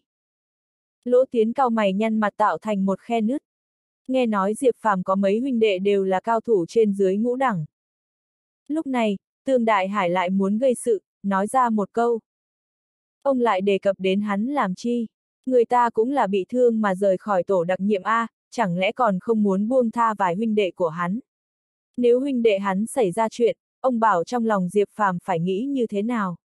Đối với một cao thủ, không có bản lĩnh chết đã là bi ai lớn, không thể lại sát muối vào vết thương của hắn. Thật là, miệng ông là cái gì thối lắm sao? Lý Khiếu Phong tức giận chừng mắt liếc Tương Đại Hải một cái hử nói. Tôi cũng là vì quốc gia, chẳng lẽ huynh đệ Diệp Phàm không phải là người của quốc gia? Làm công dân hoa hạ TQ, mỗi người đều có nghĩa vụ vì nước nhà. Đồng chí Lý Khiếu Phong, tôi không nói sai chứ. Xét thấy tình trạng trước mắt của tổ đặc nhiệm A, chỉ là Sahara phải mất gần hai nhóm đội viên chính thức. Mà nhân sự cục cảnh vệ trung ương lại không thể rút ra. Các lục địa, các nước lớn dù sao cũng phải lưu lại một người để theo dõi. Cũng như tổ tình báo chúng tôi toàn bộ lại không phải quân chính quy, một đội viên chính thức còn không có. Ngay cả tổ trưởng Triệu Thanh Ngọc cũng đã đi ra ngoài. Mà lưu nhân sự là phải, bằng không, có chuyện gì xảy ra thì xử lý như thế nào? Không có biện pháp à? Tương Đại Hải cũng có chút tức giận, vẻ mặt nghiêm túc phản bác Lý Khiếu Phong. Ừ, có thể thương lượng cùng Diệp Phàm hay không, mượn huynh đệ hắn một chút. Lúc này, tổ phó thường trực nghiêm thế kiệt nói chuyện có vẻ khách sáo. Mượn cái gì, điều động là được, làm công dân hoa hạ TQ, nên vì nước mà phục vụ. Lúc này, Lỗ Tiến vẻ mặt nghiêm túc, hừ nói. Không thể, đồng chí Lỗ Tiến, ông phải suy nghĩ kỹ việc này sẽ mang tới một loạt hậu quả. Lúc này, Lý Khiếu Phong nhìn chằm chằm Lỗ Tiến nói. Tôi không nhìn thấy hậu quả gì, nếu Diệp Phàm có phát cáu, bảo hắn tới gặp tôi. Lỗ Tiến cũng có chút tức giận, Lý Khiếu Phong này, giống như thần hộ mệnh của Diệp Phàm. Cũng quá yêu ái Diệp Phàm. Đồng chí Lỗ Tiến, ông thấy còn chưa đủ sao? Đừng cho là tôi không hiểu sau lưng ông muốn làm một ít động tác lột ra. Không có lý do dám gì mà lấy của người ta quân chức, ngay cả quân hàm thiếu tướng cũng không buông tha. Đó là người ta vất vả phục vụ quên mình đổi lấy quân hàm quân chức, ông dựa vào cái gì mà lấy của người ta. Ông ỉ vào chủ tịch trấn sủng ái ông. Ông làm như vậy, làm cho người ta thất vọng đau khổ. Hiện tại thật chớ trêu, bàn tay đủ dài. Không ngờ duỗi tới thân huynh đệ rồi. Chẳng lẽ huynh đệ người ta nên bán mạng? Ông như thế nào không gọi vài đứa con trong nhà ông ra trận? Bọn họ công lực hình như cũng đạt tới tứ đẳng. Lý Khiếu Phong tức giận, châm chọc đúng lỗ tiến một câu. Ông nói chính là lỗ dũng cùng lỗ tiêu hả. Lỗ tiến mặt tức giận, không ngờ bình tĩnh nói, nhìn Lý Khiếu Phong. Bọn họ chẳng lẽ không đạt tới tứ đẳng? Lý Khiếu Phong không bỏ qua, hỏi lại. Được, tôi sẽ để bọn nó tới Sahara. Con cháu lỗ tiến tôi không phải là ẻo lả. Lỗ tiến bất đắc dĩ hừ nói. Lỗ Dũng là con lớn nhất của lỗ tiến, lỗ tiêu là cháu trai của lỗ tiến. Ông thật có thể làm được, vậy đi tìm huynh đệ Diệp Phàm đi. Tuy nhiên, tôi hy vọng ông gọi người liên hệ điều động công tác có thể khiêm nhường, lễ độ một chút. Lý Khiếu Phong lạnh lùng hừ nói, nếu Lỗ Tiến cũng đã nói như thế thì, cũng không thể nào ngăn cản nổi. Khách sáo gì đó là quốc gia điều động, là họ phải hoàn thành nghĩa vụ này. Trên thực tế chính là nghĩa vụ quân sự. Tương Đại Hải nói, con người này vốn chỉ sợ thiên hạ không loạn. Không khách sáo thì ông đi mà thử xem. Lý Khiếu Phong lạnh lùng hừ nói. Lão Lý, chẳng lẽ sau lưng Diệp Phàm còn có người nào chống đỡ? Lúc này, nghiêm thế kiệt liền nghĩ theo phương diện này. Cậu đã nghe nói qua tọa địa lão hổ phí thanh sơn chưa? Lý Khiếu Phong nói, thoáng nhìn qua lỗ tiến. Thái Sơn bắt đầu của võ thuật hoa hạ TQ, ai có thể không biết. Tuy nhiên, nghe nói người này hình như không ló mặt, mất tích đã lâu. Nghiêm Thế Kiệt nói, hừ, người ta đã từng xuất hiện ở nhà họ đỗ tại Phổ Hải. Lúc ấy xuất hiện chính là vì giúp Diệp Phàm. Nghe nói bản lĩnh phí Thanh Sơn đã gần tới vô hạn, tới đẳng cấp 10 trong truyền thuyết. Lý Khiếu Phong nói, vậy ông ta quan hệ thế nào với Diệp Phàm? Lỗ Tiến thận trọng đứng lên hỏi, dù sao, uy danh phí Thanh Sơn rất lớn, ngay cả Lỗ Tiến cũng cân nhắc một chút. Không rõ lắm, nhưng ông ta chịu ra tay cứu Diệp Phàm, không có gì ông ta như thế nào lại mạo hiểm đắc tội với nhà họ đỗ tại phổ hải mà ra tay. Lý Khiếu Phong đương nhiên không muốn nói ra. Vâng, chắc chắn là có chút quan hệ gì. Chẳng lẽ là sư phụ Diệp Phàm? Thôi Kim Đồng đoán mò. Sư phụ, khóe miệng lỗ tiến không khỏi co giật một chút, chính mình đối đãi với Diệp Phàm như thế, nếu phí Thanh Sơn thực sự là sư phụ Diệp Phàm, thì tính đối đầu ở đây có vẻ hơi lớn. Phí Thanh Sơn chẳng những đại diện cho võ thuật quốc gia Thái Sơn Bắc Đầu đã vang danh ở giới cao thủ võ thuật hoa hạ TQ, nói như sấm bên tai cũng chưa đủ để hình dung. Mà mấu chốt là em của ông ta Phí Nhất Hoàn là chủ nhiệm ủy ban kỷ luật Trung ương, một trong cửu thường của quốc gia. Người lãnh đạo chính tông quốc gia, Lỗ Tiến lo lắng chính là điều này. Nếu Diệp Phàm thật sự là đệ tử Phí Thanh Sơn, người nhà Phí Nhất Hoàn chẳng lẽ không hiểu được thủ đoạn của mình ép Diệp Phàm. Người ta là lão đại tạm thời không nói, chỉ trợn to mắt trên đầu xem ngươi chơi thôi. Nếu ngươi chơi đùa chọc giận, người ta đương nhiên sẽ ra tay. Tuy nhiên, Lỗ Tiến cảm thấy có chút khả nghi. Nếu Diệp Phàm thực sự có quan hệ đó, người này bị chính mình lấy hết quân chức, nhà họ phí như thế nào lại khoanh tay đứng nhìn. Việc này, đem người ức hiếp tới nông nỗi thiếu tự tin. Cho nên, Lỗ Tiến cho rằng Diệp Phàm và Phí Thanh Sơn không có quan hệ thân mật như vậy. Chúng ta vì quốc gia mà chọn người là hợp lý hợp tình, chỉ phải chú ý thái độ là được. Lỗ Tiến trong nháy mắt trở lại bình tĩnh, nói. Trở lại thành phố Đông Cống, sau khi Diệp Phàm cùng Ủy ban Nhân dân thành phố Đông Cống tiếp nhận toàn bộ chuyện nhà máy đường Dương Xuân, giá cả nói với Y Cao Vân xong. Người này liền nhăn mặt nói rằng, đồng chí Diệp Phàm là người như thế nào lại hồ đồ như vậy? Hồ đồ, bí thư Y, việc này, tôi không rõ anh nói có ý gì. Diệp Phàm liếc mắt nhìn Y Cao Vân một cái, cố ý giả ngu. Đồng chí Diệp Phàm, ôi! Y Cao Vân giống như rất thống khổ, dừng một chút, mặt nhăn lại vò đầu nói. Cậu không nên đòi ủy ban kinh tế thương mại cấp mấy chục triệu, còn cả chủ tịch tỉnh trúc cấp 20 triệu. Tuy nói nhìn qua thành phố Đông Cống chúng ta giống như lập tức phát tài, sách được 7-80 triệu. Nhưng cậu suy xét lâu dài xem. 7-80 triệu này hoàn toàn đập vào nhà máy đường Dương Xuân, nhiều nhất có thể duy trì thêm một năm rưỡi. Một năm rưỡi qua đi làm sao bây giờ, hàng năm phải mất 5-6 ngàn à. Cậu ngồi một chỗ như vậy, sau khi đem thành phố Đông Cống cõng trên lưng cả đời làm cho người ta hít thở không thông gánh nặng này. Đây còn không phải phá hư mọi thứ sao. Nếu nhà máy đường Dương Xuân không chống đỡ được, vấn đề trở thành một lỗ thủng lớn chọc trời.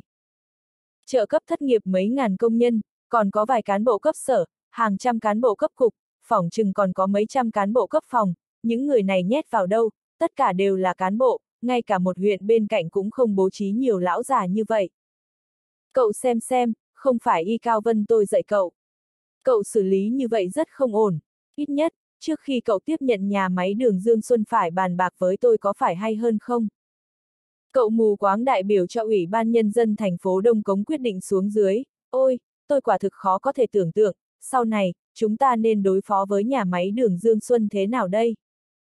chương 1868, Diệp Phàm giả ngu.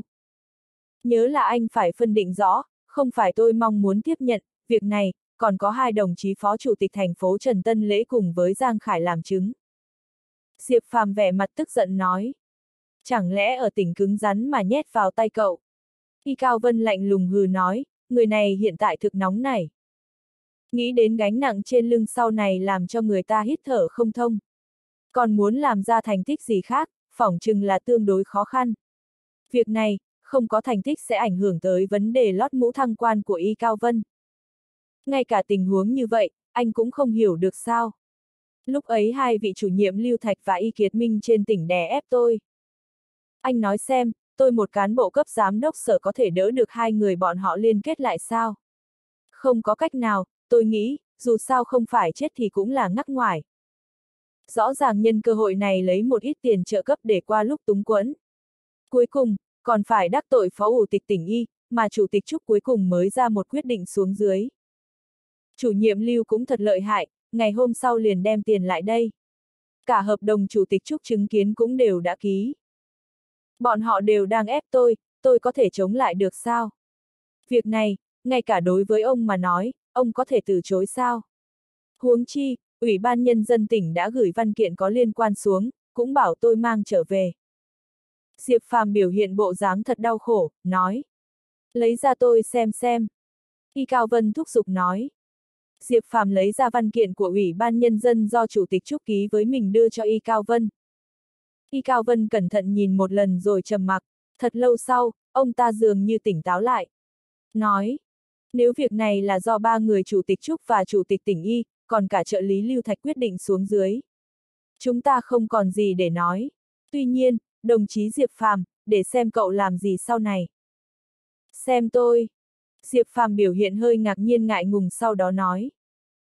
Bí thư y, đây là chuyện của thành phố Đông Cống chúng ta, cũng không phải là chuyện riêng của cá nhân tôi phải không? Ha ha, chủ tịch chúc cho cậu tổng cộng 80 triệu, mà trợ lý lưu cắn răng rút 60 triệu. Còn có Dương Xuân mang 50 triệu, này tổng cộng một chút là 900 triệu đều vào ngân quỹ tên của chủ tịch thành phố nhà cậu. Hơn nữa cấp trên có chỉ thị, 900 triệu này nhất định phải dùng hồi sinh lại nhà máy dương đường Dương Xuân. Nếu lãnh đạo ở tỉnh tín nhiệm cậu như vậy, cậu nên gánh vác trách nhiệm, dũng cảm khơi mào chuyện làm sống nhà máy đường Dương Xuân. Việc này, thành ủy chúng ta không có giúp bất luận chân tay gì. Chờ một chút sẽ mở hội nghị thường vụ, đem việc này quyết định xuống dưới. Tôi quyết định, nhà máy đường Dương Xuân hoàn toàn do cậu chủ trì việc vực dậy. Y Cao Vân hóa ra không phải người bình thường, sau khi xem xong văn kiện liền phát hiện có điểm yếu trong đó, lập tức có thái độ phủi tay. Mặc dù cũng có chút đỏ mắt vì khoản tiền vài trăm triệu, nhưng việc này rất khó giải quyết. Phỏng chừng, tiền này lấy cũng không tốt, đến lúc đó nếu nhà máy vẫn đóng cửa, phỏng chừng, mũ ô sa của người nào tiếp nhận sẽ bị thổi bay. Như vậy sao được, tôi đang muốn nói tình hình với anh một chút. Cũng chính là xem 100 triệu này nên quy hoạch thế nào. Nhà máy đường Dương Xuân này tốt nhất vẫn nên để anh chủ trì làm việc. Tôi cho người phối hợp công tác với anh là được. Diệp Phàm có chút bộ dáng khẩn trương nói. Ngay cả mồ hôi nhỏ trên trán người này cũng lập tức bức bối bay ra. Làm cho Y Cao Vân trở thành một người nóng nảy, cảm giác muốn kéo chính mình vào chung dòng nước lũ. Đương nhiên, đồng chí Diệp Phàm này, là đang cố ý trêu đùa lão ta. Không thể, văn kiện này là do ba người chủ tịch Trúc, phó chủ tịch tỉnh Y cùng trợ lý lưu tự tay ký. Bên trên đều xác định nhà máy đường Dương Xuân là do đồng chí Diệp Phàm tiếp nhận toàn bộ. Bọn họ cho cậu mục tiêu là trong 2 năm phải cứu sống nhà máy đường Dương Xuân. Nếu lãnh đạo tỉnh coi trọng cậu như vậy, cậu cũng không thể đẩy cho người khác. Việc này cứ quyết định như vậy đi, để hội nghị thường vụ thảo luận qua một chút là được. Thành ủy chúng ta nhất định sẽ hưởng ứng mọi việc của Ủy ban Nhân dân tỉnh, dốc sức toàn lực. Sau này, việc của nhà máy đường Dương Xuân bất luận vị lãnh đạo nào của thành ủy cũng sẽ không nhúng tay vào. Chỉ cần là chuyện của nhà máy đường Dương Xuân, đồng chí Diệp Phàm có thể tự quyết định. Thái độ của thành ủy là dứt khoát ủng hộ, hoàn toàn không tham dự, để một không gian rất lớn cho cậu chủ trì phát triển. Tin rằng cậu có thể đem nhà máy đường vượt qua khó khăn, thành ủy tin tưởng vào năng lực của cậu. Đương nhiên, làm lãnh đạo thành ủy, nhà máy đường thực cần muốn trợ giúp gì chúng tôi có thể suy xét trợ giúp nhất định. Đương nhiên, sự trợ giúp này cũng là trong phạm vi năng lực của chúng tôi. Y Cao Vân đưa ra đường đi cho Diệp Phàm, về phần nói trợ giúp, cái đó cơ bản là đẩy đi, đến lúc đó ông ta nói không có năng lực trợ giúp thì anh có biện pháp nào để bắt ông ta giúp nào. Đối với việc này, đồng chí Tiểu Diệp đương nhiên trong lòng đã biết. Thấy mục đích đạt được, Diệp Phàm còn muốn trở bài một chút, lại nói. Tôi hy vọng thành ủy sẽ suy xét việc này một chút. Không cần, tôi tin tưởng các đồng chí khác chắc chắn cũng đồng ý với đề nghị của tôi. Y Cao Vân khoát tay áo, đó là quyết tâm không tiếp nhận việc này để có thể đem người phóng hỏa cho chết cháy.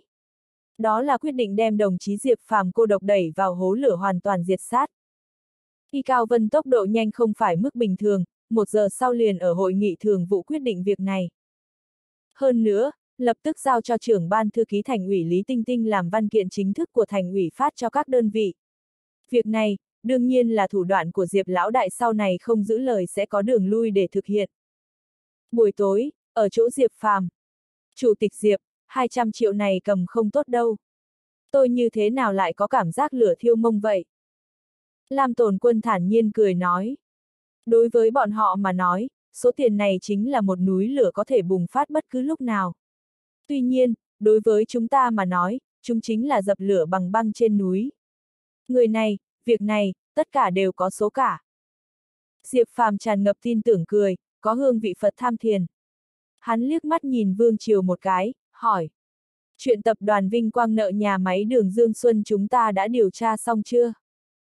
Tôi dùng thủ đoạn đặc thù đã tra được gần như vậy, tin rằng số liệu này là đúng. Tháng 1 năm 1998, Chủ tịch Hội đồng Quản trị Tập đoàn Vinh Quang bà Cam Vũ Thuần Thuần đã dùng lãi suất cách xù hàng năm là 4 phần để mượn tiền bán đất của nhà máy đường Dương Xuân cả thảy là 430 triệu. Tuy nhiên, vẫn chưa đủ. Phòng trưng Cam Vũ Thuần Thuần cùng đám người Lý Khê Mãn của nhà máy đường Dương Xuân có giao dịch ngầm. Bằng không, Lý Khê Mãn không có khả năng cho mượn nhiều tiền như vậy mà không thúc giục đòi trả. Trong đó khẳng định là có nội tình. Vương Triều vừa đưa tài liệu cho Diệp Lão Đại vừa nói. Bốn phần lợi tức, quả thật có chút dọa người, có mấy người có thể đạt tới cái đỉnh này. Mấy trăm triệu này thì lợi tức một năm trên dưới 170 triệu. Tháng 1 năm 1998 đến tháng 1 năm nay đã được 5 năm. Nếu tính đến hiện tại đã 5 năm rưỡi, một năm 170 triệu, 5 năm đạt 800 triệu. Trong đó còn không có tính lãi mẹ đẻ lãi con, nếu tính cả cái này, phỏng chừng mà nói, tập đoàn Vinh Quang còn nợ gần 1 tỷ. Khoản tiền này nếu có thể lấy được, nhà máy đường Dương Xuân chúng ta lập tức sẽ nóng lên. Còn lo lắng vấn đề đóng cửa gì, cơ bản là không cần lo lắng. làm tồn quân đầu óc như một cái bàn tính, ngay lập tức đã tính ra. Tiền này, tiếng thì khủng nhưng sợ lấy lại không được. Bằng không, vài năm gần đây tình trạng nhà máy đường Dương Xuân như vậy, vì sao Lý Khê Mãn không thúc giục Cam Vũ Thuần trả tiền? Diệp Phàm lạnh lùng hừ nói. Trong đó chắc chắn có bí mật, Cam Vũ Thuần này không đơn giản, chẳng lẽ trong đó còn có liên quan gì phải không? Ví dụ như, Cam Vũ Thuần quen một số lãnh đạo ở tỉnh. Việc kia là tại các vị lãnh đạo kia can thiệp xuống, Lý Khê Mãn bất đắc dĩ phải cho tập đoàn Vinh Quang vay. Mà tập đoàn Vinh Quang cơ bản là không còn khoản tiền trên. Phỏng chừng là có ý bùng nợ, hoặc là, Cam Vũ Thuần cùng Lý Khê Mãn là một bè. Lấy tiền nhà nước cho vào túi nên không còn cái dám gì nữa. Vương Triều liên tưởng khá mạnh mẽ. Chứ không phải là phó chủ tịch tỉnh Y. Lam Tồn Quân tỏ vẻ đáng khinh cười nhạt. Gần đây Phó Chủ tịch tỉnh Y cùng thành phố Đông Cống chúng ta quan hệ dường như rất chặt chẽ, ông ta cùng Lý Khê Mãn quan hệ rất thân thiết. Với Cam Vũ Thuần, thật ra chưa chắc, Lý Khê Mãn vì sao muốn cho Cam Vũ Thuần vay tiền, phỏng chừng là có ý đồ gì. Nguyên nhân thứ hai cao hơn. Ví như, như Vương Triều nói ông ta cùng Cam Vũ Thuần là đồng bọn. Hoặc Cam Vũ Thuần cùng ông ta hợp tác ngầm chiếm hữu tài sản. Bằng không, Cam Vũ Thuần là phụ nữ, cô ta lập lên tập đoàn Vinh Quang làm sao có khả năng phát triển nhanh như thế, cũng không phải vay ngân hàng, vài năm vừa rồi nghe nói tổng tài sản đã đạt mấy tỷ. Tập đoàn Vinh Quang sản xuất về y dược, ô tô và các nghề khác. Tuy nói ngành sản xuất kiếm được tiền, nhưng không có khả năng thành món lãi cách xù như vậy. Diệp Phàm phân tích nói. Tồn quân gật gật đầu, liếc mắt nhìn Diệp Phàm một cái, nói. Theo tư liệu tin cậy biểu hiện, tháng 1 năm đó, Cam Vũ Thuần đem thay đổi nhà máy tơ lụa Dương Xuân, thành lập công ty hữu hạn vật liệu Vinh Quang ở thành phố Đông Cống. Vật liệu này cũng không rõ ràng chỉ là chế phẩm đá phiến, mà phổ biến tương đối rộng rãi, như đá phiến, gỗ rán, phiến cách nhiệt, vật liệu trang trí bọn họ đều sản xuất. Từ đó về sau, Cam Vũ Thuần tinh thần hăng hái lên, vài năm gần đây, thành lập 12 công ty gia đình, do xí nghiệp Vinh Quang cai quản. Nên xí nghiệp trở thành nhà khai thác bất động sản, phát triển, chế tạo ô tô, thương mại, vật liệu xây dựng cùng công nghiệp chế biến thủy tinh tập hợp thành xí nghiệp tổng hợp. Mà Cam Vũ Thuần lại làm việc thật, từng được bầu làm Tây Lâm tỉnh, nhân vật tiêu biểu vinh danh ngày 83, là một trong 10 thanh niên kiệt xuất thành phố Đông Cống, được Hội Nữ Doanh nghiệp Tây Lâm lần thứ tư bầu làm phó hội trưởng, thành viên mặt trận Tổ quốc lần thứ ba thành phố Đông Cống, năm trước không ngờ được tuyển làm đại biểu Hội đồng Nhân dân cả nước. Lam Tồn Quân nói, sạp đủ thứ vậy, hiệu quả và lợi ích công ty con như thế nào?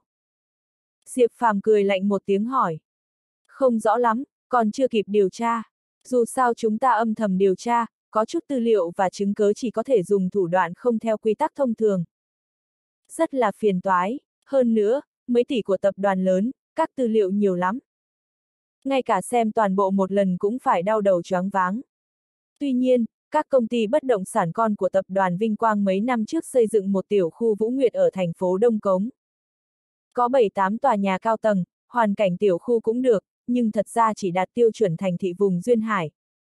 Chỉ có điều, tiêu thụ phòng ở cũng không lạc quan, đến bây giờ nghe nói chỉ bán được hơn 10 phòng. Ôi, dân đông cống nghèo như vậy, ai lại ở phòng xa hoa diện tích từ 140 đến 280 mét vuông. Mà giá cả phòng ở cũng vượt qua phạm vi chịu đựng của người dân đông cống, đương nhiên không ai mua. Lâm Tồn Quân thở dài, nói. chương 1869, Cam Nương Tử có lời mời. Vương Triều, cậu tiếp tục điều tra nhé. Cậu Lam có thể rút lui không cần xen vào việc này, bởi vì, cậu phải dốc toàn lực vào nhà máy. Đường Dương Xuân. Diệp Phàm phân phó. Mấy ngày hôm nay tôi luôn suy nghĩ về việc nghiên cứu nhà máy đường Dương Xuân. Nếu cứ phải có động thái lớn thì chúng ta nên cải cách tái cơ cấu toàn diện ở xí nghiệp. Tuy nói là xí nghiệp nhà nước, nhưng cũng không thể đi theo lối xí nghiệp nhà nước trước đây. Nói đến tài chính, nên để mỗi người ở nhà máy đều có cổ phần được chia lợi tức. Chỉ có như vậy công nhân viên chức nhà máy mới tích cực. Hơn nữa, mấy chục cán bộ cấp sở của nhà máy phải nghĩ cách chuyển đi mới được.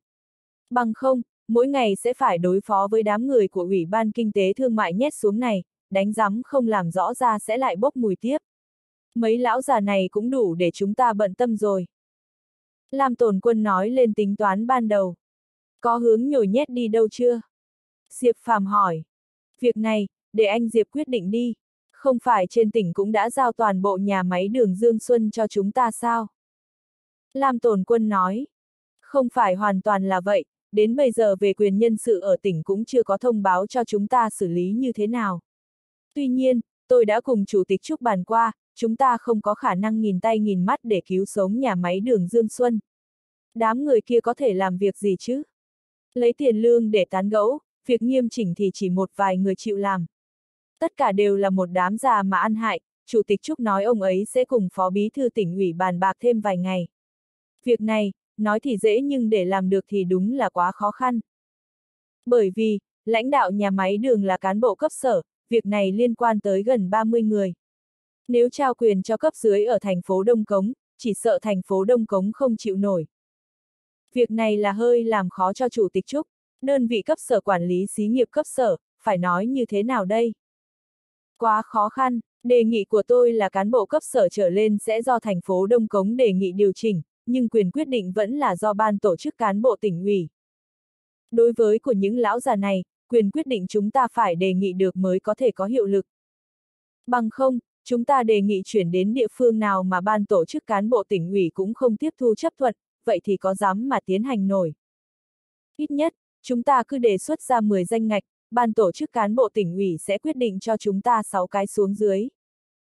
Bằng không, cải cách nhà máy đường chỉ có thể là chuyện nói chơi mà thôi. Diệp Phàm vẻ mặt nghiêm trọng.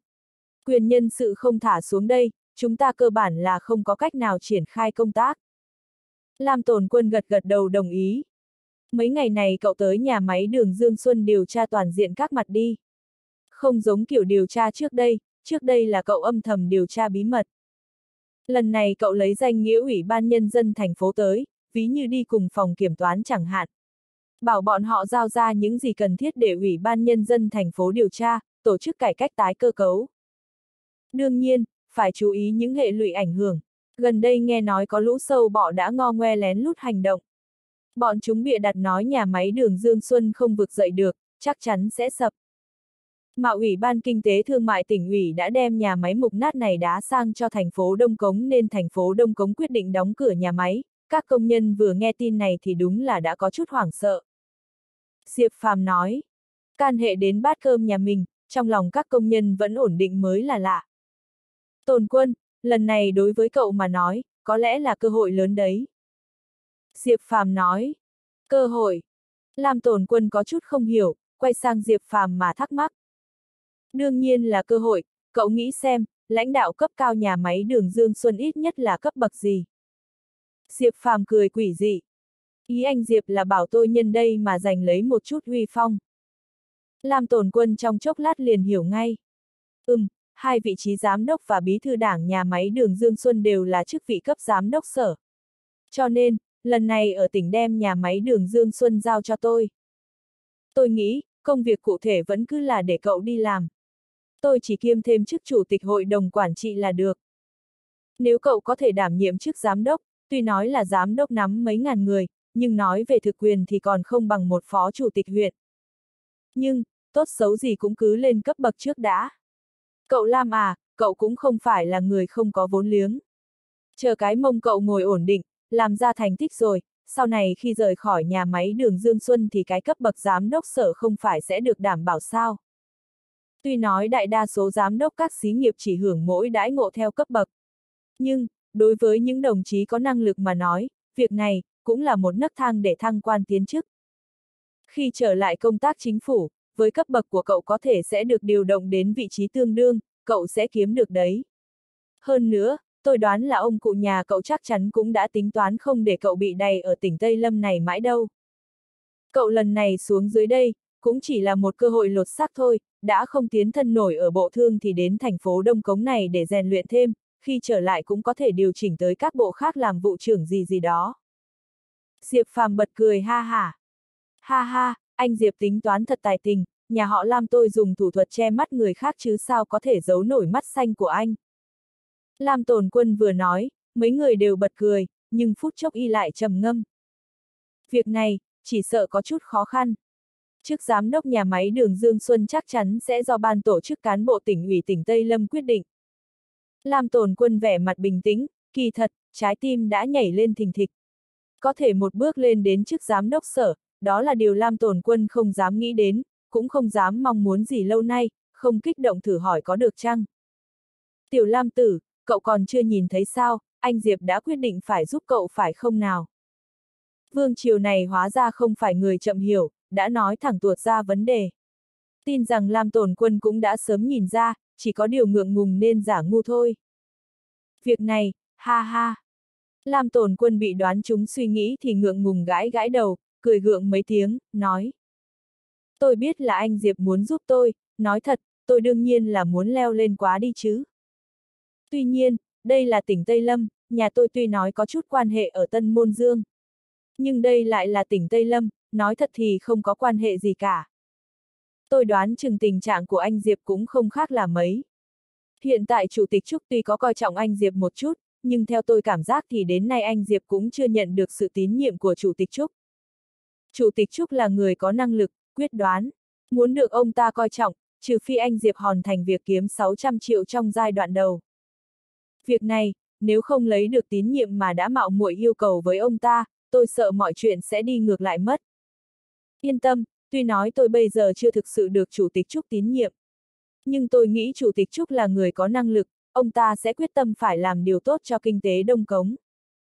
Trước mắt chuyện quan trọng hơn chính là nhà máy đường Dương Xuân. Chủ tịch Trúc chắc chắn không muốn nhìn thấy nhà máy gục ngã như thế. Cho nên, ông ấy đặt hy vọng vào tôi. Mà đã có hy vọng là còn có tương lai, nếu ông ta đã nghĩ như thế, Diệp Phàm tôi có đề xuất chút yêu cầu thì ông ta cũng sẽ thông qua được. Hơn nữa, cậu Lam à, tôi cảm thấy cơ hội lần này là khó có được, sao không đi vật lộn thử một lần. Nếu cậu thực sự hạ quyết tâm, Diệp Phàm tôi sẽ giúp cậu. Diệp Phàm trước sau giọng nói tương đối có lực, âm thanh rơi xuống có sức nhấn đầy tính khẳng định. Anh Diệp không ngại nói ra những lời này thì Lam Tổn Quân tôi cũng không ngại đấu tranh nữa. Lam Tổn Quân rốt cục đã chịu hạ quyết tâm. Buổi sáng ngày hôm sau, Diệp Phàm đang ở văn phòng xem quy hoạch mở rộng thành phố về phía nam. Lúc này, Giang Khải nhẹ nhàng gõ cửa, tiến vào nói.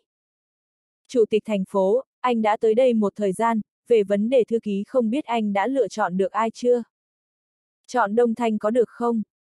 Diệp Phàm liếc mắt nhìn Giang Khải một cái, nói. Đông Thanh, anh ta sao được chứ? Giang Khải vừa nghe đã thốt lên. Sao lại không được? Diệp Phàm thản nhiên nói.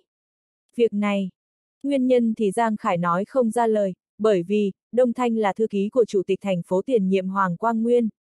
Tuy vậy Đông Thanh cũng chưa từng được trọng dụng ngay thế này, Hoàng Quang Nguyên sau khi đến Đông Cống đã chọn Trần Trí đảm nhận chức thư ký đầu tiên. Mà Trần Trí làm việc cạnh Hoàng Quang Nguyên có nửa năm. Sau Hoàng Quang Nguyên lại muốn chọn một thư ký khác từ văn phòng thành ủy thì mới là đến lượt Đông Thanh. Không ngờ Đông Thanh làm thư ký mới được nửa năm, Hoàng Quang Nguyên lại bị điều đến tỉnh khác. Kỳ thật, lúc ấy đồng chí Hoàng Quang Nguyên cũng là cán bộ đất khách nên bị đám người Y Cao Vân dùng thủ đoạn ép buộc. Mà đồng chí Hoàng Quang Nguyên sang tỉnh khác ngay cả chức chủ tịch thành phố cũng không được làm, đảm nhiệm chính là chức phó chủ tịch thường trực thành phố, cấp bậc vẫn là giám đốc sở. Mà Đông Thanh đương nhiên lại càng xui xẻo, trở thành bà quá không chỗ nương tựa. Bình thường lãnh đạo mới tới đều không dùng thư ký của lãnh đạo cũ. Việc này muốn nói nguyên nhân thì là rất nhiều. Ví như vấn đề tín nhiệm, có thể một lòng với chủ mới không, ai dám khẳng định có thể nhớ chủ cũ tốt với mình thế nào hay không. Mà Hoàng Quang Nguyên vì bị điều đi vội vàng quá nên ngay cả việc bố trí chức vụ cho Đông Thanh cũng không kịp. Hiện tại Đông Thanh chỉ tới văn phòng thành ủy làm nhân viên tạp vụ. Văn phòng thành ủy là do Lý Tinh Tinh trưởng ban thư ký thành ủy chủ trì công việc, mà Lý Tinh Tinh lại cùng phe với Y Cao Vân. Hoàng Quang Nguyên bị Y Cao Vân đẩy đi, đương nhiên, đối với Đông Thanh, đồng chí Lý Tinh Tinh không có hỏa nhã gì cho lắm. Đông Thanh vừa tới văn phòng thành ủy liền trở thành một người làm công việc vặt. Đi đưa văn kiện, đi lại giữa các nơi đều là do cậu ta làm. Đông Thanh trong lòng buồn bực nhưng cũng chỉ có thể thở dài vì số phận mình không tốt mà thôi. Mấy ngày hôm trước Diệp Phàm ở bệnh viện ngẫu nhiên gặp được Đông Thanh, phát hiện người này vô cùng có hiếu. Đông Thanh chỉ có hai mươi mấy tuổi, còn chưa lấy vợ. Mà mẹ cậu ta đang nằm viện ở Đông Cống, Đông Thanh chăm sóc bà cực kỳ cẩn thận. Lúc ấy mẹ Đông Thanh nói là muốn ăn mì luộc Dương Đại Đồng, tuy nhiên đã là buổi đêm. Cửa hàng Dương Đại Đồng đã sớm đóng cửa. Đông Thanh không ngờ giữa đêm khuya chạy tới nhà người ta cầu xin, đi xe đạp qua lại 7-8 cây số mới mang được bát mì về cho mẹ ăn. Diệp Phàm có chút cảm động, cảm thấy người có hiếu như vậy nhất định là rất lương thiện. Vì thế khi không thấy Giang Khải đề cử ứng viên thì cuối cùng lại chọn Đông Thanh. Hơn nữa, Đông Thanh cũng đã ở văn phòng thành ủy vài năm, đối với tình hình ở thành phố hẳn là tương đối quen thuộc. Mà Hoàng Quang Nguyên lại được điều tới tỉnh khác công tác, Đông Thanh có nhớ chủ cũ cũng là khoảng cách quá xa. Khoảng cách xa, quan hệ con người đương nhiên sẽ dần dần mờ nhạt, xa mặt cách lòng mà. Không cần nói nữa, cứ chọn cậu ta đi. Cậu thông báo với cậu ta, lập tức tới chỗ tôi làm việc. Diệp Phàm khoát tay. Trong lòng Giang Khải cảm giác có chút kỳ dị, nhưng vẫn gật đầu đi làm. Tuy nhiên, trong chớp mắt Giang Khải đã quay lại đặt lên bàn một tấm thiếp mời, mặt trên còn tỏa ra một mùi thơm thoang thoảng ngồi nói. Chủ tịch thành phố, bà Cam Vũ Thuần Chủ tịch Hội đồng Quản trị Tập đoàn Vinh Quang đột nhiên muốn mời anh bữa cơm rau dưa, anh xem đi ạ. À. chương 1870, người phụ nữ có năng lực. Chấm, ô, dáng vẻ Diệp Phàm rất bình thản, thản nhiên mở tấm giấy mời còn thoang thoảng hương thơm ra, nói.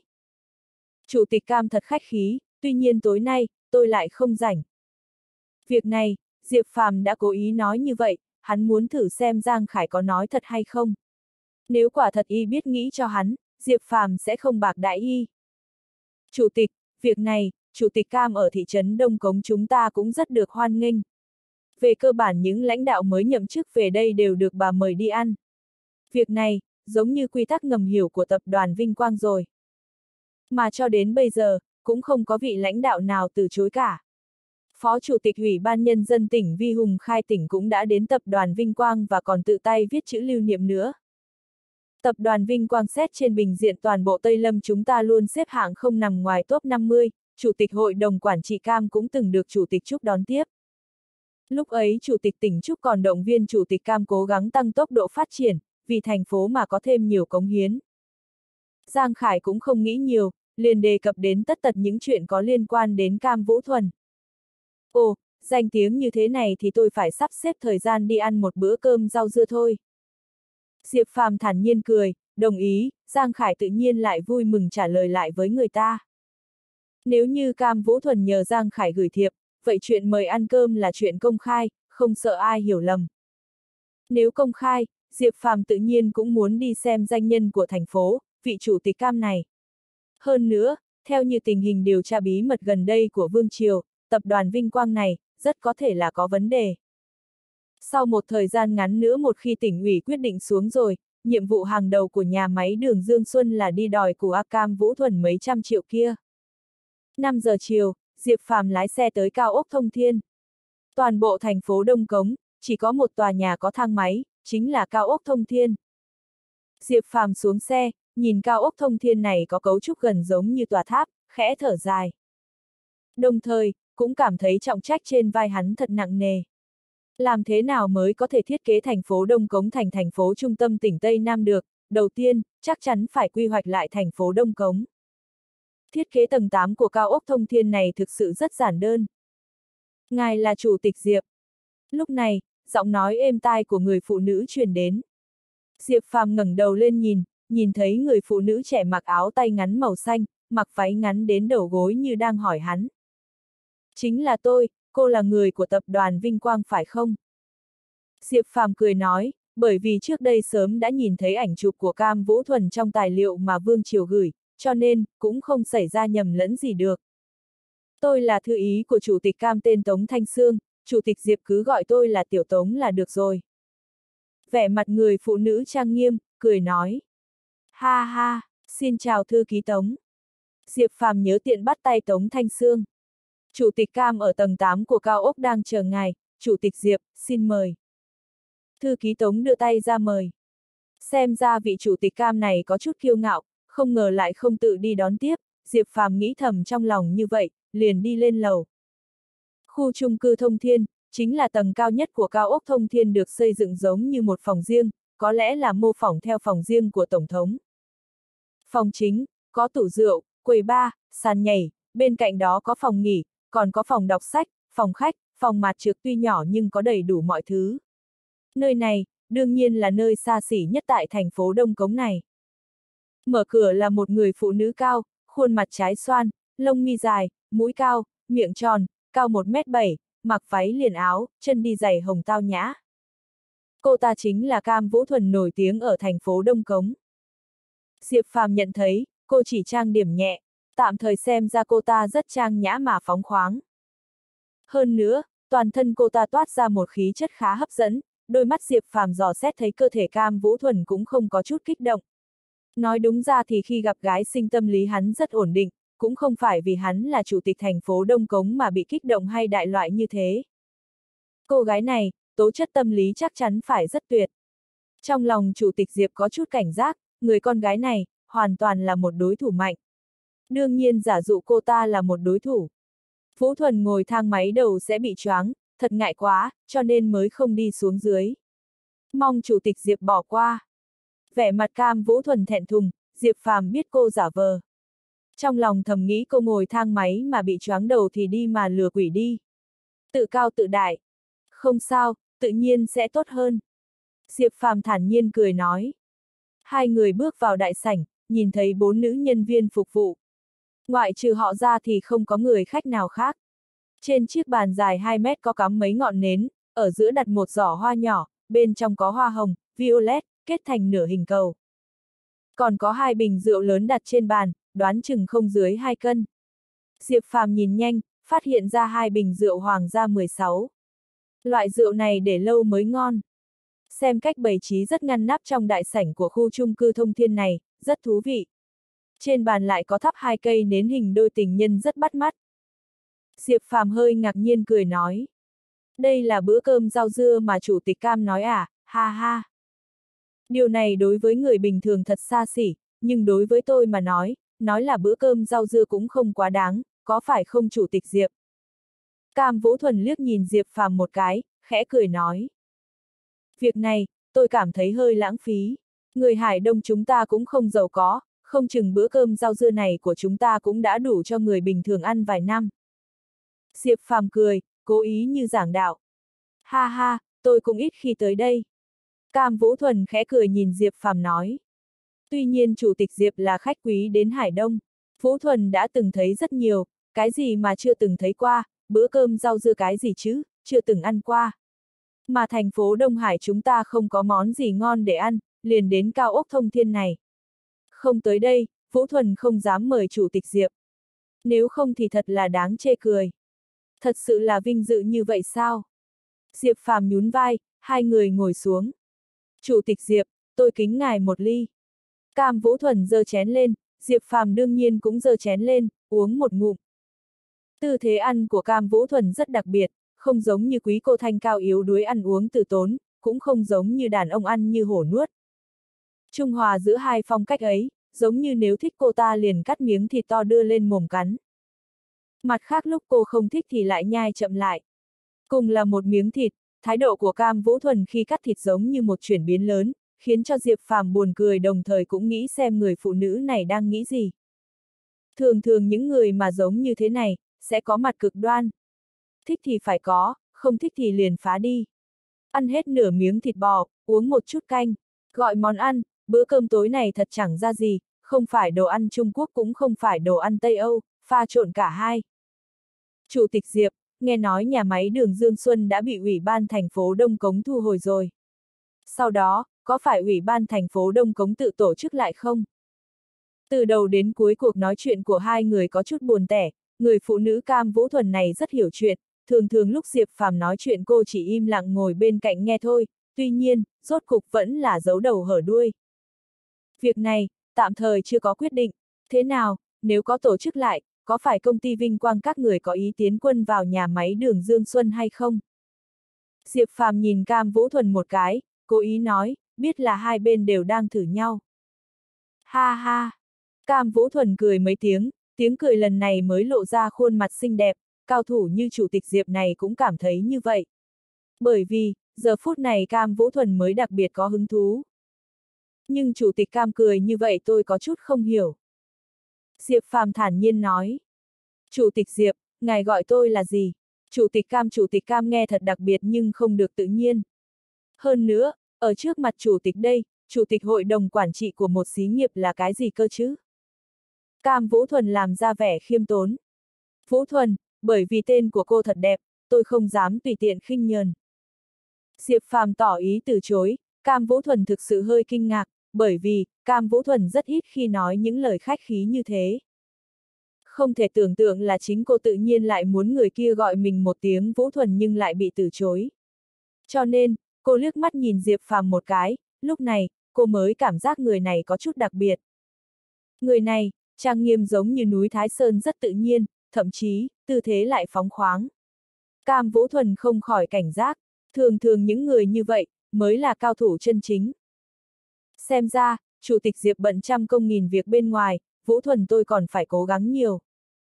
Cam Vũ Thuần đột nhiên giống như có chút ưu phiền, bình tĩnh liếc nhìn Diệp Phàm một cái, khuôn mặt kia có thể khiến cho hàng vạn đàn ông thương nhớ. Diễn thật hồn nhiên, trong lòng Diệp Phàm thầm thở dài, nói. Tôi nào dám, cô là danh nhân của tỉnh Tây Lâm chúng ta, còn lớn hơn rất nhiều so với thị trưởng chó má này. Không tin chúng ta đến thành phố Tây Quế hô một tiếng, sẽ biết ngay tên của cô nổi hơn tên của tôi gấp N lần. Cho nên, tôi có chút lo lắng, không dám tùy tiện gọi bậy, tôi sợ, bị nước miếng của anh em làm cho chết đuối mất. Vẻ mặt Diệp Phàm trang nghiêm lại nói ra câu vui đùa, hơn nữa, còn cố ý nói thô tục chủ tịch chó má. Ngay lập tức, Cam Vũ Thuần cười phá lên, tư thế cười ôm bụng giống như đồng nghiệp vậy. Chủ tịch Diệp rất hài hước. Cam Vũ Thuần cười nói, liếc nhìn Diệp Phàm một cái, nói. Chủ tịch Diệp, nhà máy đường các anh có dự định qua tay cho các xí nghiệp khác không? Qua tay, Chủ tịch Cam rất có hứng thú với nhà máy đường. Diệp Phàm liếc nhìn Cam Vũ Thuần một cái, hỏi.